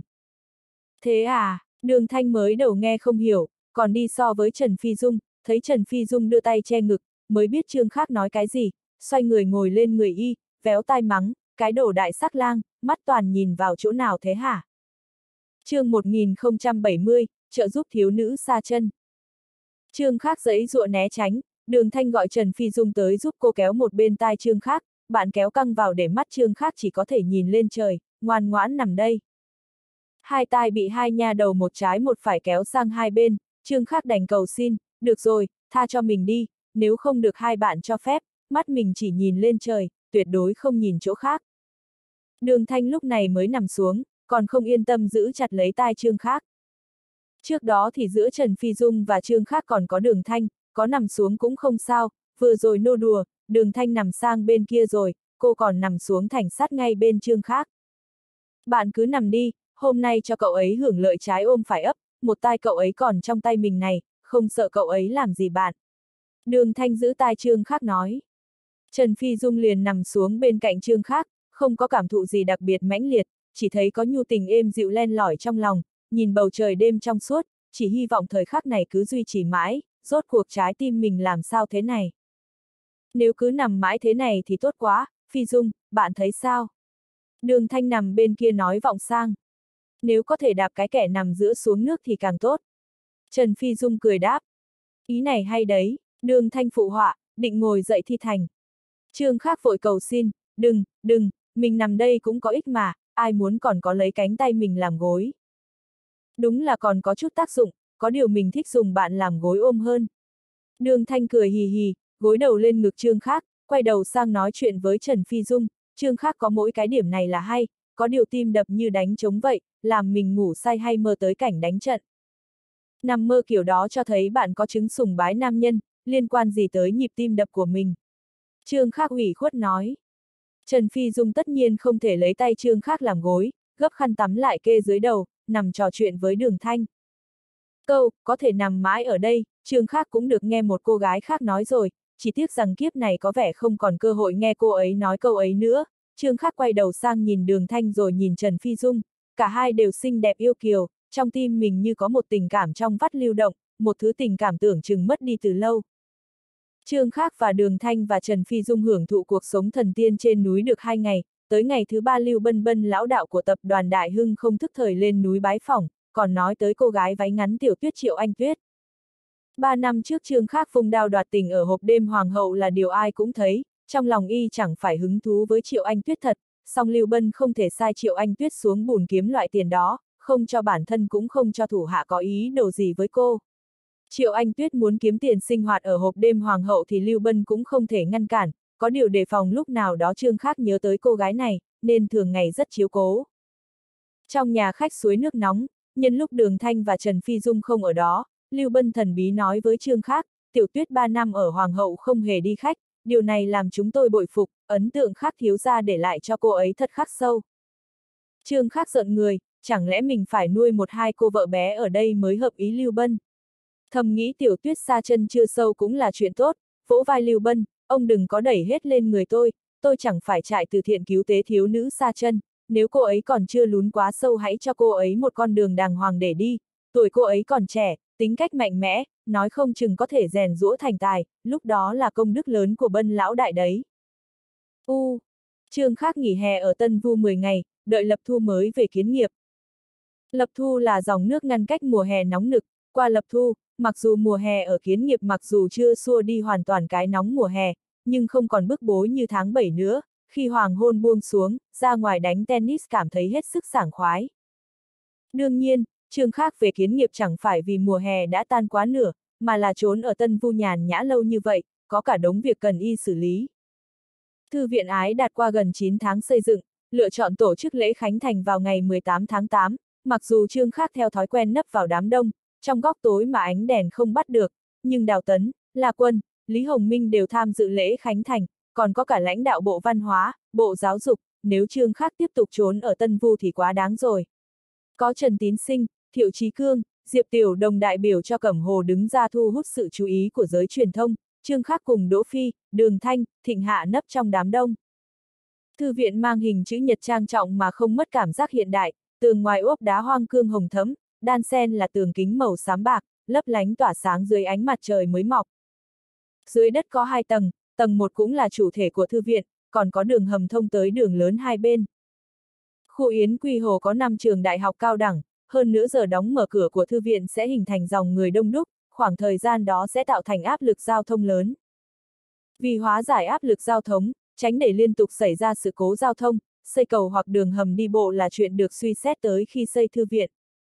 Làm đường hầm tốn kém gấp nhiều lần cầu, nhưng hai bên đường hầm còn có thể tận dụng xây cửa hàng, Thiệu Chí Cương muốn ép dầu ép mỡ được càng nhiều giá trị thương nghiệp trên người hơn 4 vạn sư đồ các trường học xung quanh.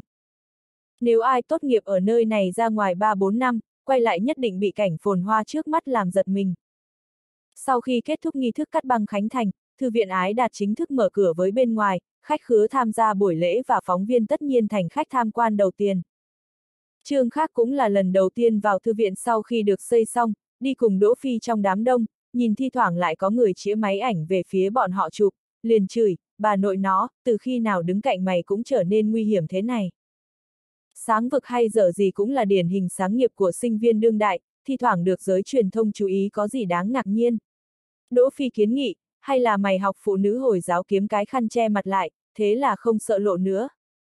Dù thế nào tao cũng là một trong số quản lý của Hiệp hội Sáng nghiệp sinh viên, cái này cần gì phải che che giấu giấu.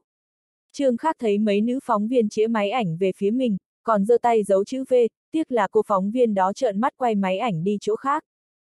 Đường Thanh đi đằng sau nhéo hông Trương Khắc, không cho y khoe khoang ở nơi này. Tầng hầm thứ hai là nơi đỗ xe, tầng thứ nhất là khu phục vụ công cộng, trên mặt đất từ tầng 1 tới tầng 4 là khu đọc sách lớn, tổng cộng có 16 phòng đọc sách, có thể chưa đồng thời 8.000 người, tầng 5,6 là khu mượn sách và chứa sách. Từ tầng 1 tới 4 đều có phòng đọc điện tử, thư viện sau khi xây xong tổng cộng đầu tư 240 triệu, chi phí xây dựng không cao, tính cả trang trí trong ngoài mới hơn 100 triệu, chỉ có trang thiết bị phần cứng phần mềm mới tốn kém nhất, riêng phòng điện tử đã đầu tư gần 40 triệu, đầu tư phần mềm bản quyền làm người ta nghĩ thôi đã sót của. Tham quan phòng đọc điện tử, Đỗ Phi cảm khái, quanh đây nếu có ai cam hận thư viện chắc là những chủ quán nét, tổng số máy trong quán nét chừng 6, 7 nghìn, giờ thêm liền một lúc 2.000 máy nối mạng tốc độ cao, mày nói người ta không hận mày được không? chương 1071, cảm giác thành tựu. Phòng đọc điện tử cũng thu phí mà, dù hơi thấp một chút, nhưng không được chơi game, không thể bảo web sex, không có phim lậu để xem, thuần khiết như thiếu nữ 16, làm sao ảnh hưởng tới chuyện làm ăn của quán nét được. Trương Khác vô trách nhiệm nói.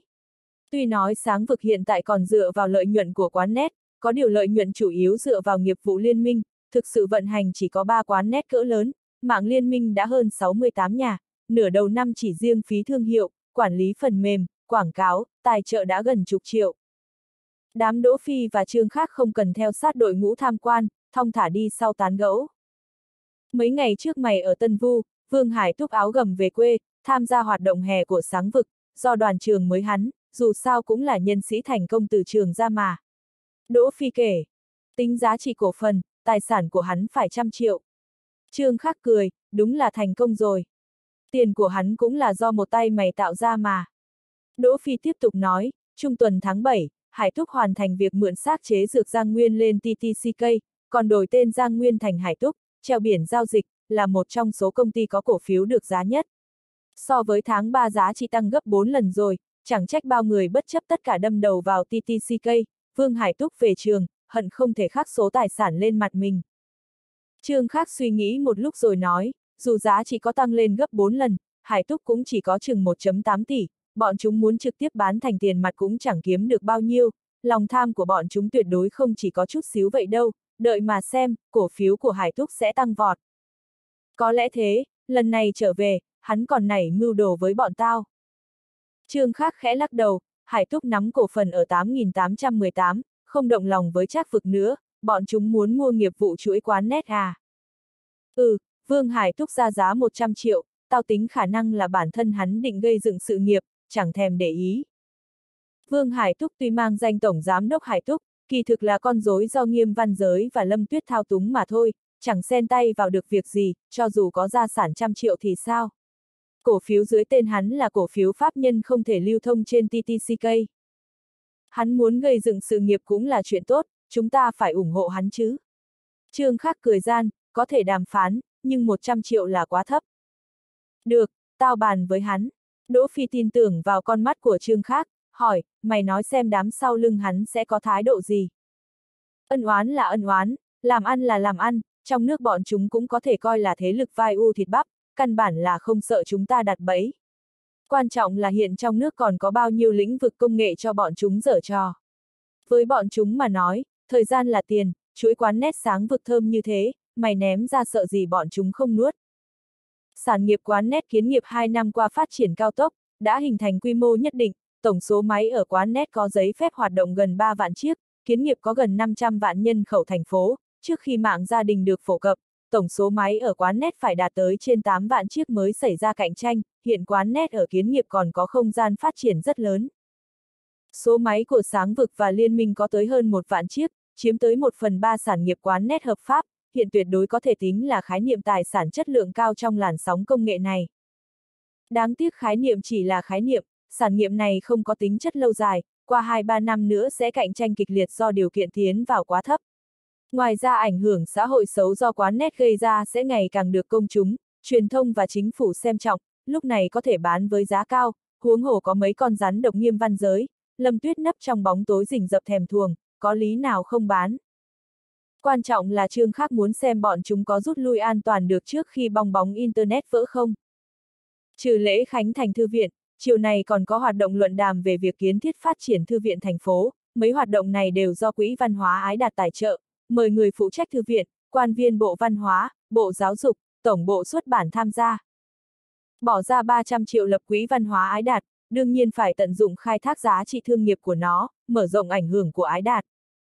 Hoạt động buổi chiều do quan viên chủ quản tham gia là được, Đào Tân, La Quân không cần xuất hiện. Ăn cơm chưa xong, La Quân ở lại tìm Trương Khác có việc cần thương lượng, cùng đám Vương Duy Quân, Thiệu Chí Cương, Đỗ Phi lái xe thẳng tới công trường Đông Yến Quy Hồ là Quân đích thân kéo Trương Khác tới đây chẳng phải vì bàn tiến độ kiến thiết khu thương nghiệp Đông Hồ, dù có tìm Trương Khác bàn, y cũng sẽ đẩy việc lên đầu đám Thiệu trí Cương. Nơi đây sẽ là trung tâm thành phố thứ hai của nghiến nghiệp, thành phố kỳ thực càng hy vọng nó sẽ thành trung tâm thành phố mới, đường Tân Nhai đã không gánh nổi trọng trách rồi, đường Nam Hà thì bị hạn chế bởi địa hình, khó mà phát triển lớn được, chúng ta có thể quy hoạch lại. Cậu nói xem nơi này có cần một hai tòa kiến trúc tiêu chí để chấn hưng nhiệt tình các nhà đầu tư không? La Quân đứng ở đường Đông Hoa, nhìn mảnh đất trông phía bắc, nơi đó tạm thời chỉ có cây bạch dương to bằng cổ tay. Trương Khác nhìn ánh mắt tha thiết của đám La Quân, Vương Duy Quân, thực sự muốn nói mình thích nằm dưới đất nhìn người khác xây nhà cao tầng chơi, kiến trúc tiêu chí đâu có dễ xây. Sớm đã nghe nói thành phố muốn xây một kiến trúc cao hơn 150 mét để nâng cao giá trị thương nghiệp chỉnh thể của cả khu, không ngờ chuyện lại đổ lên đầu cầm hồ. Trương khác chỉ đành tạm thuận theo ngữ khí của La Quân trước, ừm, có một hai kiến trúc tiêu chí đúng là có thể nâng cao hình tượng nơi này. Đúng thế, mau chóng hình thành quy mô quần thể kiến trúc cao tầng, có giá trị đề cao hạng mục khu thương nghiệp Đông Hồ. Vương Duy Quân vô cùng nhiệt tình nói, cậu thấy công trình phải cao bao nhiêu mét mới thích hợp. Trương khác chỉ muốn ngồi không hưởng lợi, đợi người khác giúp khu thương nghiệp Đông Hồ tăng giá trị, liếc nhìn Thiệu Chí Cương, thầm nghĩ chắc hắn có ý tưởng trước, thấy Thiệu Chí Cương mau lẹ đưa ra hai ngón tay ra hiệu. 200 mét, Trương khác than thầm trong lòng, ít nhất phải đầu tư một tỷ, số tiền này chỉ tạm thời mua được cái hư danh nhà cao nhất Đông Hải thôi, người ta sẽ đua nhau xây nhà cao hơn nữa, 3-4 năm là bị người ta vượt qua hết. Thật sót của. Nhìn đám vương duy quân đang mong đợi mình trả lời, Trương Khắc cười hăng hắc, rốt cuộc cao bao nhiêu mới thích hợp thì khó nói, một tòa nhà cao 100 mét, rồi dựng lên bên trên cái đỉnh tháp 100 mét, thế là thành 200 mét, tháp truyền hình tân phổ không phải cũng cao 190 mét sao? Tôi nghĩ, nếu để cầm hồ xây, ít nhất phải có công trình chủ thể cao 140 mét, dù sao tạo hình kiến trúc chủ thể cao bằng đỉnh tháp trông khó coi lắm. Hi hi, tôi không hiểu kiến trúc lắm, chỉ nó bừa thôi, bí thư la, bí thư vương muốn tòa nhà này cao bao nhiêu. Vương Duy Quân thiếu chút nữa phun ra máu, không ngờ kiến trúc lý tưởng của Trương khác là tòa nhà cao 100 mét, thêm vào cái đỉnh tháp cao 100 mét, ông ta và La Quân chỉ biết đưa mặt nhìn nhau, thầm nghĩ công tác này phải làm từ từ thôi. La Quân, Vương Duy Quân không thể ở lại ăn trực, thị sát công trường xong rồi đi, Trương Khác lúc này mới làm động tác lau mồ hôi, thở phào, đúng là dọa tôi toát mồ hôi lạnh, nhà cao tầng đâu có dễ xây như thế. Lão Thiệu, các anh có đánh giá nếu chúng ta xây nhà cao tầng ở đây cao bao nhiêu mới đảm bảo lợi nhiều hơn hại chưa? Tháp nhọn trên công trình chủ thể không cần đầu tư nhiều, nhưng thành phố sẽ không đồng ý cho nó quá cao, nếu không sẽ để thành phố xung quanh chế nhạo. Thiệu Chí Cương cười, từ lúc thành phố truyền ra tin muốn xây tòa nhà siêu cao tầng, tôi nghĩ Cẩm Hồ không thoát khỏi kiếp nạn rồi, tôi chẳng muốn tranh cái danh đệ nhất, chừng 160, 170 là được, chỉ cần không quá 200 mét, vấn đề không lớn. Trần Tĩnh Sinh không tiện bình luận trước, đợi thế kỳ Cẩm Hồ đưa phương án ra đã. Vậy các anh đưa phương án cho mọi người thảo luận. Trương Khắc cười nhạo, nếu không có vấn đề gì thì cứ xây cho cao, rảnh rỗi đứng ở trên nóc nhà cao 200 mét đáy xuống, rất có cảm giác thành tựu. chương 1072, nhân sinh hà sử bất thương phùng một. Nếu đổi lại là người khác nắm trong tay đế quốc kinh tế khổng lồ như thế, đại khái hận không thể xây nhà thật cao hưởng cảm giác đứng trên tầng mây dẫm chúng sinh dưới chân, nên Vương Duy Quân trước đó nắm chắc có thể thuyết phục được trương khác, thấy y dở trò đưa đẩy, lòng hơi nguội lạnh. Ngồi vào trong xe, bảo tài xế giảm tốc độ xuống, Vương Duy Quân nhìn lưu lượng xe ở Nhị Kiều rất lớn, nói, ai, Nhị Kiều vừa xây xong đã phải tính chuyện xây Tam Kiều rồi, chẳng dùng được mấy năm tình hình của Nhị Kiều đã chẳng tốt hơn Đại Kiều là bao. Đó là do kiến nghiệp phát triển mau chóng. Siêu Văn Thịnh cười. Cậu nói xem cuối cùng Cẩm Hồ có thể đồng ý xây cao bao nhiêu. Xây kiến trúc siêu cao trước, có thể tăng cường lòng tin của các nhà đầu tư khác, tác dụng rõ ràng với khu thương nghiệp, đạo lý này Trương Khác chắc chắn rõ hơn chúng ta, có điều hôm nay Bí Thư La đột nhiên đề xuất, cậu ta chưa nắm chắc. Mà chuyện cậu ta chưa chắc, dù có Bí Thư Đào Tấn ra mặt, cũng chẳng kiếm được một câu khẳng định của cậu ta đâu. Siêu Văn Thịnh khá hiểu Trương Khác. Cậu ta là đồ khôn lỏi. Vương Duy Quân cười lớn, chuyện này cậu theo sát cho tôi, hiện chỉ có thể hy vọng Cẩm Hồ đi tiên phong thôi. Năm 916 mới khởi động chiến lược hành lang số, thành phố định ra kế hoạch đầu tư 10 tỷ trong vòng 5 năm, ai ngờ kiến nghiệp tiến nhanh như thế, 10 tỷ nhiều lắm đủ cầm cự cho tới giữa năm sau, tín tròn ra chỉ được 3 năm. Chẳng trách Bí Thư La muốn xây nhà cao tầng trước dự định. Siêu Văn Thịnh biết Cẩm Hồ muốn xây nhà, chẳng cần phải lo không có tiền, Trương Khác Đại Khái không muốn chi phí vượt quá mức của nhà cao tầng, lắc đầu nói, bỏ ra 300 triệu xây thư viện không thấy cậu ta nhíu mày lấy một cái. Cũng không trách cậu ta được, khi đó cậu ta tuyên bố bỏ ra 300 triệu xây dựng thư viện, trong nước đúng là khen ngợi không ngớt, nhưng cũng có những tạp âm, một vài lãnh đạo chất vấn vì sao trong vài ba năm mà Cẩm Hồ có nhiều tiền như thế, phải tra xem Cẩm Hồ có chiếm đoạt tài sản quốc gia không, tra xem bọn họ có nộp thuế rõ ràng không. Tôi nghĩ Trương Khác có lẽ nghe được không ít tin đồn tương tự. Siêu Văn Thịnh thở dài, cũng chẳng phải chỉ có lãnh đạo cá biệt nghi ngờ, nếu không có người bên trên nói giúp thì lời của lãnh đạo kia sẽ thành lời vàng ý ngọc, bao nhiêu xí nghiệp có thể chịu đựng nổi lãnh đạo nghi ngờ như thế. Thầm nghĩ Cẩm Hồ coi trong thị trường nước ngoài như thế, nhưng cho dù có hùng tâm tráng trí cạnh tranh toàn cầu, cũng đâu cần đem bộ phận vận hành hải ngoại đặt vào thương vụ Cẩm Hồ, như thế chặn hết lại lợi nhuận hải ngoại tiện cho thương vụ Cẩm Hồ khuếch trương bên ngoài, cao tầng Cẩm Hồ cũng luôn nhấn mạnh chiến lược phát triển ở ngoài không ở trong, đại khái là suy tính tới tình thế chính trị trong nước rồi. Khi rời khỏi công trường, Trần Tín Sinh nói với Trương Khác một việc, trước kia vườn sồi có ý lập bộ phận kỹ thuật cảm ứng, đã tìm được nhân tuyển thích hợp, đó là từ Minh Sán, kỹ sư thâm niên của Cypress, trong lĩnh vực cảm ứng điện dung, ông ta có ba giấy phép phát minh, Trần Hán Trương tiếp xúc mấy lần, từ Sán Minh khuyên chướng chấp nhận cùng Cẩm Hồ đầu tư đăng ký công ty, ông ta và hai thành viên trong đội đã bay giới kiến nghiệp hôm qua, cậu có muốn gặp mặt không? Có kế hoạch thư không? Trước khi gặp mặt thế nào cũng phải xem trước đã. Trần Tín Sinh lấy từ trong cặp mang theo người đưa một bàn tài liệu cho Trương khác, y lật xem vài trang nói, buổi chiều tôi có thể đọc xong, vậy tôi gặp mặt. Đỗ Phi nhìn mà hoa mắt, đợi đám Trần Tín Sinh xuống xe hết mới hỏi Trương Khắc kỹ thuật cảm ứng tiếp xúc là cái gì. Đúng là bất học vô thuật, Trương Khắc cười nhạo Đỗ Phi rồi mới giải thích, tắt pet trên laptop chủ yếu ứng dụng kỹ thuật này, nội dung kỹ thuật cụ thể chắc mày cũng không có tâm tư tìm hiểu đâu. Năm ngoái Motorola đưa ra một chiếc điện thoại thông minh mang công năng viết chữ cũng thuộc về lĩnh vực này. Hiện Pocket PC rất coi trọng lĩnh vực kỹ thuật kỹ thuật cảm ứng để thực hiện nhỏ gọn hóa, ngoài ra nó cũng có ứng dụng rất rộng lớn ở lĩnh vực khác, không giới hạn ở sản phẩm điện tử tiêu dùng. Hiện di động chúng ta thường dùng thao tác đều là tách rời màn hình, tương lai có thể sờ màn hình thực hiện các công năng. Đỗ Phi lấy di động ra nhìn, cười nói, nếu thể thì phải bắt nhân viên nghiên cứu vườn sồi phải miệt mài phấn đầu vài năm mới được. Đừng nói kiểu vui mừng trên đau khổ người khác như thế. Trương Khắc cười lớn, đừng nói là kỹ thuật cảm ứng, riêng bao phủ chính diện di động bằng màn hình tinh thể đã cần phải đột phá kỹ thuật pin lẫn ứng dụng màn hình rồi, hiện Cẩm Hồ mới chỉ có chút đột phá lĩnh vực màn hình màu.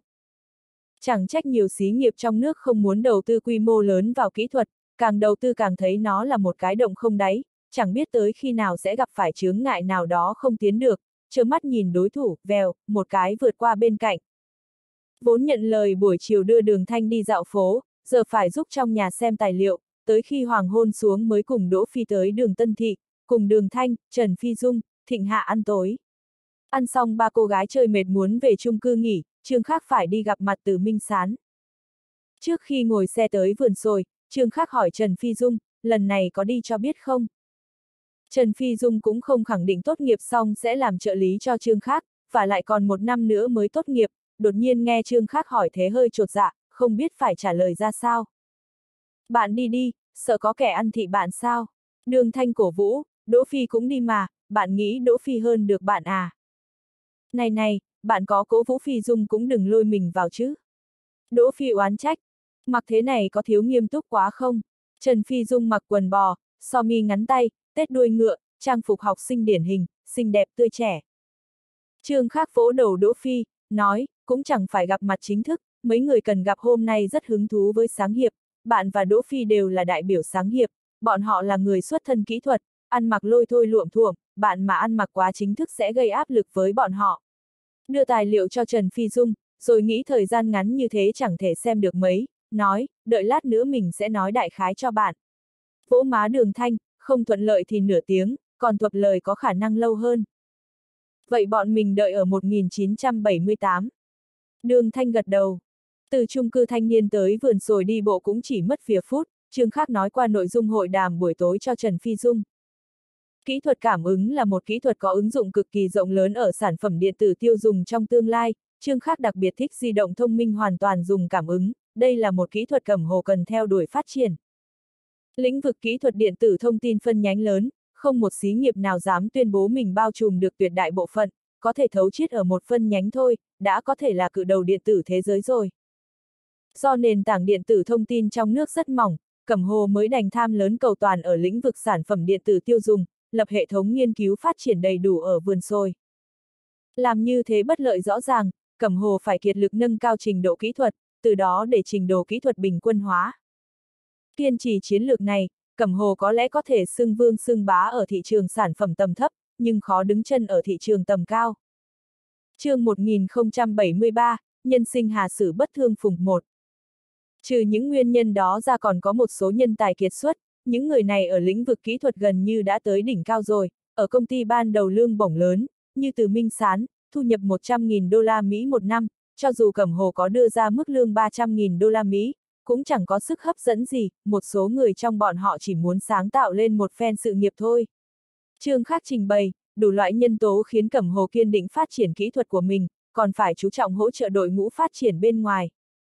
Trần Phi Dung còn có chút khẩn trương, sờ cái mũi nhỏ nhắn, cảm thấy có mồ hôi thấm ra từ đó, gập ngón tay cười tự chào, một năm 300.000 đô la Mỹ mà không có sức hấp dẫn à, đổi lại là mình một năm được 25.000 đồng đã đủ rồi. Con người ở giai đoạn khác nhau có truy cầu khác nhau. Đỗ Phi quay đầu sang cười nói, biết năm xưa lý tưởng của Trương khác là cái gì không? Nó chỉ mong mỗi ngày được ăn mì thịt. Quan trọng là hiện giờ tao cũng chỉ có chút truy cầu đó. Trương Khắc cười hì hì nói, tối về nhớ mời tao mì thịt đấy. Biết vậy đếch đáp lời mày, tốn mẹ nó 25 đồng. Đỗ Phi đi lên phía trước mấy bước không xen lời vào nữa. Trần Phi Dung không nhịn được cười, cô và Đường Thanh, Trương khác quan hệ thân mật, biết đại khái quỹ tích quật khởi của Cẩm Hồ, nhưng vẫn cách một cánh cửa, từ giờ mới hiểu sâu hơn, hiểu ra đạo lý chân tướng kinh người hơn tưởng tượng. Trước kia Trần Phi Dung cũng ngồi xe buýt từ xa xa nhìn vườn sồi, chưa vào bao giờ, nơi đó quản lý có vẻ rất lỏng lẻo, rất nhiều thanh niên đi dép lê, ăn mặc lôi thôi ra vào cũng chẳng có bảo vệ ra hỏi. Bên trong còn có không ít đôi tình lữ trà rộn vào, phía trước bọn họ cũng có một đôi nam nữ đang trò chuyện. Nam đang ba hoa khoác lác với nữ, đừng thấy người này lôi thôi, tướng mạo xấu xí, trong đó không ít phú ông đâu, vườn rồi mà lên sàn giao dịch Nasdaq bọn họ ai nấy cũng có chục triệu dắt lưng đấy. Em thấy đám con gái học viện âm nhạc, đợi ít sư phạm có phủ phiếm không, tưởng lái một chiếc Santana vào trường là lắm tiền à. Toàn là cứ chó, ở vườn rồi lái một chiếc Santana không có mặt mũi nào nhìn người khác. Càng nói càng hăng, đám nhà giàu bên ngoài nuôi gái cùng lắm mỗi tháng cho được 3, 5 nghìn tiền sinh hoạt. Còn những người mới vào vườn sồi công tác cũng có thể làm thế rồi. Đám đó giỏi kiếm tiền nhưng trừ dùng máy vi tính thì cũng chỉ biết máy vi tính, trừ xem phim sex ra thì kỹ thuật tán gái chẳng khác đám bại não, đừng nói tới hoạt động trí tuệ cao như chơi đùa tình cảm. Quản lý tiền cũng kém, sau này thành ra lập nghiệp, định sẵn là sẽ phải dâng đại quyền tài chính ra, tuy nói thiếu chút tình thú, nhưng cũng chắn đứng được khả năng bọn họ ngoại tình bậy bạ. Nói tới đây phải dừng lại lấy hơi, em biết không hôm nọ trên mạng đọc được bài viết có nữ sinh thảo luận tiêu chuẩn nam nhân ba tốt ở xã hội hiện nay, lấy tiêu chuẩn đó tới vườn sồi tìm, đám con gái các em sẽ phản hiện đó là mỏ vàng lớn. Nhìn thấy chung cư cao tầng xung quanh không, nhân viên ở đây nếu kết hôn, được phát cho một căn nhà. Đám Đỗ Phi đi tới quay đầu nhìn nam thanh niên, lại liếc nhìn Trương khác, ý hỏi đó có phải nhân viên vườn sồi ra ngoài câu em gái học sinh không? Trương khác nhún vai không bình luận, Tuy nói đại đa số nhân viên nghiên cứu của Cẩm Hồ đa phần ù lì, nhưng cũng có dị loại mồm mép, những dị loại này năng lực đều rất xuất sắc. Nam thanh niên lại khoe khoang, em về lớp nên tuyên truyền thêm, đặc biệt là các cô gái muốn đổi đời, tối ăn mặc thuần khiết một chút, rãnh rỗi tới đây lượn lờ, anh thấy rất thích hợp, không sợ người ta hiểu lầm là gái gọi, quan trọng là phải thuần khiết, đám đầu óc chỉ độn ở đây không chịu nổi các cô gái ngây thơ đâu. Cùng lắm anh vào đây làm, rồi giới thiệu trực tiếp cho bạn gái ở lớp em. Thì ra không phải nhân viên vườn sồi, Trương Khác nói vào tai Trần Phi Dung, cái thằng cha này giỏi ba hoa thật, mình thấy Đỗ Phi chưa chắc đã bằng, nói nửa ngày trời thì ra toàn rát vàng lên mặt, nghe lời hắn nói, nếu cô gái này không theo hắn, nửa đời sau sẽ hối hận. Trần Phi Dung mím môi cười, không tiện quay lại nhìn hai người kia, không ngờ cô gái mồm mép cũng rất sắc sảo. Nghe anh nói như thật vậy, rảnh rỗi tới đây lượn lờ người ta không hiểu lầm là gái thì là cái gì. Nếu anh qua được phỏng vấn, em chẳng cần tốn công như vậy, làm bạn gái anh luôn cho xong. Hoặc làm bạn gái tầng Học Hoành, anh ta cũng có ý này. Ý, nam thanh niên ngẩn ra, tầng Học Hoành nói kết quả sơ tuyển nói cho em rồi à. Cái thằng đó trông ra người ngợm gì, làm việc cũng chẳng ra sao. Em mà theo nó cứ đợi hối hận đi. Sơ tuyển chủ yếu là thi viết, mấy đề bài đều kiểm tra chương trình cơ sở, anh bảo nhân viên tuyển mộ rồi, mấy năm qua anh theo thầy giáo hướng dẫn công tác, mấy chương trình cơ sở đã quên gần hết, hơn nữa anh tham gia tuyển kỹ sư lập trình chứ không phải lập trình viên bình thường. Thằng phòng vẫn nói với anh chương trình đơn giản không biết viết còn dám nói ứng tuyển kỹ sư. Thế là loại anh luôn, anh tức tím mặt, tăng học hoành trình độ vớ vẩn mà cũng trúng, anh ôn lại mấy thứ cơ sở, lần sau sẽ không vấn đề gì. Nghe tới đây trương khác không kìm được dừng bước quay đầu nhìn, nam thanh niên tuổi chừng 27, mặt trắng trẻo, người cao gầy, trông tuyệt đối không giống loại người mồm mép, đúng là nhìn người không thể nhìn tướng mạo. Cô gái khá là xinh xắn, đang cười đùa với nam thanh niên, nụ cười tinh nghịch dạng dỡ, rất là mê người. Trương Khắc hỏi, anh thi kỹ sư vì không biết lập trình nên bị loại à? Thì sao, Trương khác bất ngờ bắt chuyện làm nam thanh niên ngớ ra. Chẳng sao, nếu anh có thời gian tôi có thể an bài một cuộc phỏng vấn khác cho anh, có thể để lại phương thức liên lạc cho tôi không? Trần Phi Dung nghi hoặc người này ứng tuyển kỹ sư lập trình mà ngay cả lập trình đơn giản không biết bị loại là bình thường, vì sao Trương Khác cho hắn cơ hội. Trương Khác lấy sổ tay ra ghi lại cách liên hệ, thấy Trần Phi Dung có vẻ thắc mắc, giải thích cho cô, lấy cho bạn một ví dụ nhé, trong ngành xây dựng, lát gạch mà một trong kỹ năng cơ bản, nhưng khi tuyển kiến trúc sư, bảo anh ta thể hiện trình độ lát gạch thì vô lý quá. Kỹ sư lập trình khác lập trình viên, điều này nói lên trình tự tuyển mộ bên nhân sự có sơ hở lớn, chúng ta không thể để công nhân lát gạch kiểm tra kiến trúc sư được. Thanh niên kia nghe Trương Khác nói thế thì vỗ tay đánh đét, người anh em, không ngờ cậu là dân trong nghề. Rồi quay sang khoác lác với cô gái, anh bảo em mà, một người thoạt nhìn tầm thường ở vườn sồi đều có thể là chân nhân bất lộ tướng. Trương Khắc cười không đáp, nhìn thanh niên kia ghi lại cách liên hệ trên sổ tay của mình, nhận lấy xem qua, ngạc nhiên thốt lên, anh là Lưu Minh Phong. Hả, cậu biết tôi? À, Trương Khắc nhớ ra, mình không biết người này mới đúng, kiếm bừa cái cớ, danh sách mấy tiến sĩ dưới tay viện sĩ Cố Hoài Khánh tôi đầu có danh sách, thế này đi, tôi thấy tôi nay anh cũng chẳng có chuyện gì nghiêm túc, theo tôi, tôi an bài người phỏng vấn anh. Trong sản nghiệp Internet Trung Quốc, Lưu Minh Phong danh tiếng đương nhiên không thể so với đám mã hướng đông, đinh lỗi. Nhưng ở kiến nghiệp này, thì loại như Vương Hải Thúc không thể bì với hắn, tính thời gian thì năm nay vừa vắn hắn tốt nghiệp tiến sĩ học viện Biêu điện kiến nghiệp, không ngờ hắn ứng tuyển vào vườn sôi. chương 1074, cơ hội ném trúng đầu một. Trương khác nhớ nhất một chuyện, là năm 2001, Lưu Minh Phong có đăng một bài viết rất ngắn trên Nhật báo Kiến nghiệp, cho mọi người biết trang web A6 của hắn có thể cho tải nhạc chuông điện thoại. Kết quả ngày hôm đó trang web của hắn có 26 vạn lượt người tải, nhạc chuông thành miếng bánh lớn. Năm 2003, Lưu Minh Phong đề xuất khái niệm thương nghiệp ở lĩnh vực ứng dụng trò chơi di động không dây. Tiếp trước ở tỉnh Đông Hải, danh tiếng của Lưu Minh Phong không hề thua kém đám tạ kiếm nam, tạ tử gia. Trương khác đương nhiên không chơi ác chiêu mộ đám mã hóa đằng, đinh lỗi vào cẩm hồ, để bọn họ có không gian phát triển của mình, cẩm hồ không thể cho bọn họ không gian này, có khi vào cẩm hồ bọn họ lại thành giám đốc bình thường. Nhưng Lưu Minh Phong đâm đầu vào lưới, Trương khác tất nhiên không có lý nào thả cho hắn đi. Cậu là ai? Thiên lý mã được bá nhạc phát hiện, Lưu Phong đương nhiên là đồng ý, đặc biệt trước mặt Trần Yến quan hệ chưa rõ ràng, chuyện này tuyệt đối nở mày nở mặt, mục đích sống của nam nhân chẳng phải để nữ nhân sùng bái sao. Lưu Minh Phong dám chắc chín phần Trần Yến không thoát khỏi lòng bàn tay của mình nữa, không quên hỏi Trương khác là ai, hết nhìn Đỗ Phi lại nhìn Trần Phi Dung, sợ Trần Yến có ý kiến, nhìn không nhìn Trần Phi Dung cái nữa. a à, tôi là Trương khác, hôm nay không mang danh thiếp. Trương khác quay đầu sang, mày mang danh thiếp không? Người anh em, khi nào dạy cho vài chiêu nhé, tôi mà có chị em, thế nào cũng nghe lời anh bảo họ tới đây tìm nhân viên nghiên cứu làm chồng. Đỗ Phi lấy danh thiếp ra đưa cho Lưu Minh Phong, tôi là Đỗ Phi, chỉ là một sinh viên. Hả, Lưu Minh Phong giơ danh thiếp lên đèn xem, hồ nghi nhìn Đỗ Phi tới mấy giây, cậu là Đỗ Phi, không lừa tôi chứ. Trần Yến giật áo hắn, người ta đúng là chủ tịch hiệp hội sáng nghiệp đấy, tháng 6 còn cùng người sáng lập côn đằng online tới trường em diễn giảng, lúc đó anh không ở kiến nghiệp. a à, nghe danh không bằng gặp mặt, không được nghe lời diễn giảng tuyệt vời của cậu, tôi luôn lấy làm tiếc. Lưu Minh Phong đi tới bắt tay Đỗ Phi, nếu gặp nhau ở trường hợp khác, tôi nhất định sẽ hỏi sáng vực có cần người không. Đỗ Phi chỉ cười, hắn không rõ trương khác vì sao coi trọng Lưu Minh Phong, nhưng có vẻ trông không tệ. Dù danh tiếng đến đâu cũng chỉ là sinh viên năm thứ ba thôi, Lưu Minh Phong tốt nghiệp tiến sĩ tất nhiên không quá nể sợ Đỗ Phi, bình tĩnh hàn huyên, nghe nói sáng vực và vườn sồi quan hệ mật thiết, thầm nghĩ bọn họ tranh thủ cho mình một cơ hội phỏng vấn hẳn là chuyện dễ dàng, liền theo vào trong. Gần tới giờ hẹn, trường khác không hàn huyên nhiều, đi thẳng vào trong, Triệu Tử Lâm đã đợi bọn họ ở đại sảnh, nói, Giám đốc Trần và Viện trưởng Đàm cùng khách đợi mọi người ở phòng hội nghị nhỏ. Trương Khác thấy Vu Bác Dương từ đại sảnh đi qua, liền chặn lại, lão Vu, anh đem để thi kỹ sư lập trình cho tôi xem nào.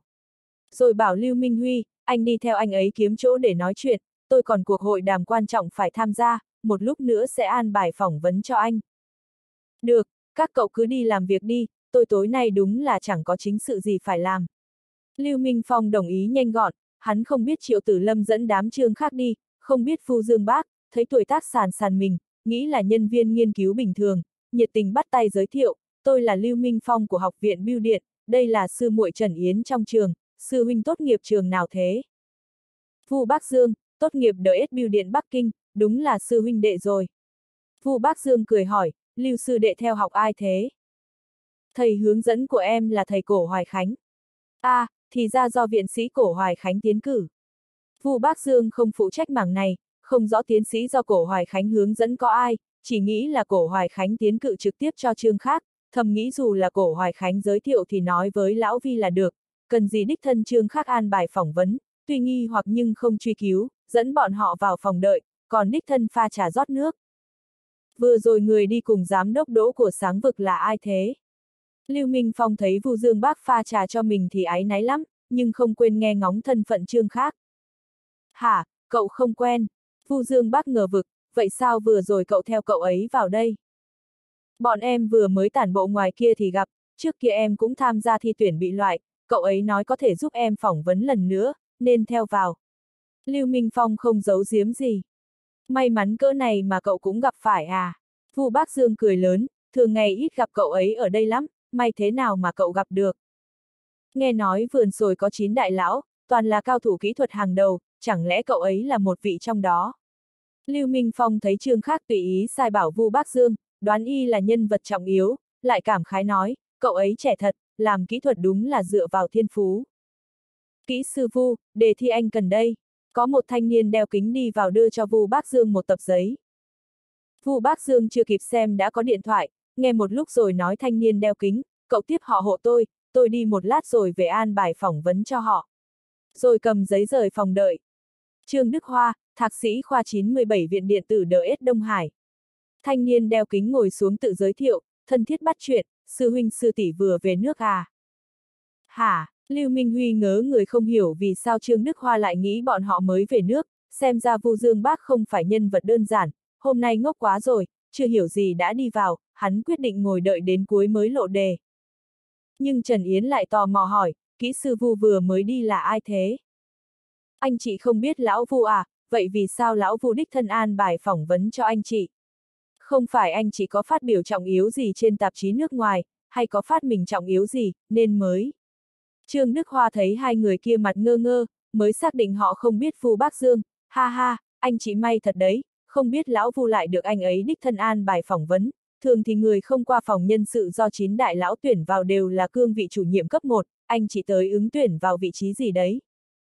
Chúng tôi học học viện bưu điện kiến nghiệp, tới ứng tuyển kỹ sư, tôi chưa tốt nghiệp, đi theo anh ấy mở rộng tầm mắt. Trần Yến lém lỉnh nói, nghe nói vườn sồi có 9 nhà khoa học đứng đầu, được gọi là chín đại lão, thì ra trông như thế. Vu Bác Dương gầy gò nhỏ tẹo, còn nhỏ hơn cả Trần Yến, giống thể loại từ tiểu học tới đại học đều bị bạn trong lớp bắt nạt vậy. Trương Đức Hoa bật cười, không biết Vu Bác Dương về lúc nào không dám hùa theo, kỹ sư Vu là nhà khoa học cấp phó ở đây, phụ trách phòng số 7. Lưu Minh Phong thầm nghĩ với bọn họ mà nói Vu Bác Dương là nhân vật rồng thần thấy đầu chẳng thấy đuôi rồi, vậy Trương khác là ai? Một lúc sau Vu Bác Dương quay lại, đi theo còn có một người trung niên chừng 40, trung niên kia đi thẳng tới chỗ Lưu Minh Phong, tôi là Vi Nguyên Trân, cậu tới thi kỹ sư lập trình. Lưu Minh Phong cho dù chưa gặp Vi Nguyên Trân cũng đã nghe đại danh ông ta, đặc biệt trong lĩnh vực Linux quốc tế, ông ta thuộc hàng mấy người đứng đầu, thế nào cũng không ngờ do đích thân Vi Nguyên Trân tới phỏng vấn mình, vội đứng lên, thầy Vi, tôi là Lưu Minh Phong, có phải phỏng vấn ngay ở đây không? Nháy mắt với Trần Yến, ý bảo cô ra ngoài đợi một chút chương 1075, cơ hội ném trúng đầu hai. Vi Nguyên Trân và Vu Bác Dương ngồi xuống, cũng không bảo Trần Yến ra ngoài đợi, tôi xem tóm tắt nghiên cứu tiến sĩ của cậu, có chút hứng thú, chúng ta nói cái đó đi. Ở lĩnh vực mình sở trường tất nhiên không sợ, Lưu Minh Phong thao thao bất tuyệt nói một tiếng đồng hồ mới có người tới thông báo bọn họ tới tầng thượng nghỉ ngơi. Lưu Minh Phong có hơi run, muốn vào nhà vệ sinh trước, tới hành lang thở phào, nghe tiếng bước chân, quay lại nhìn thấy Trần Yến, hỏi, em cũng mót à? Em tới là muốn xem anh có xón ra quần không? Trần Yến đi tới, nắm lấy cổ áo Lưu Minh Phong, ghé sát mặt hơn một chút, cười nói, thì ra cũng có lúc anh sợ. Thầy cố Hoài Khánh trong nước ghê lắm rồi, nhưng trước mặt thầy vì chỉ có nước ngoan ngoãn xưng tiểu đệ. Em nói xem trên tầng thượng còn nhân vật cỡ nào đợi anh cảm phục. Lưu Minh Phong vinh mặt nói. Tới lúc này còn không quên ba hoa à. Trần Yến giúp Lưu Minh Phong chỉnh trang lại y phục, xong rồi, em tin anh có thể cảm phục bọn họ. Lầu điện tử nằm ngoài cùng khu thực nghiệm, gần sát Yến Quy Hồ, diện tích tuy rộng, nhưng chỉ có hai tầng. Bên ngoài là vườn cây rậm rạp đầy phong cách cổ, bên trong lại mang cảm giác hết sức hiện đại, giếng trời do thép không dỉ và cửa kính quây thành thông thẳng lên tầng thượng, nóc tầng thượng là lớp kính trong ngẩng đầu lên có thể nhìn thấy trời đêm, đi ở hành lang mà cảm giác đi trong không trung.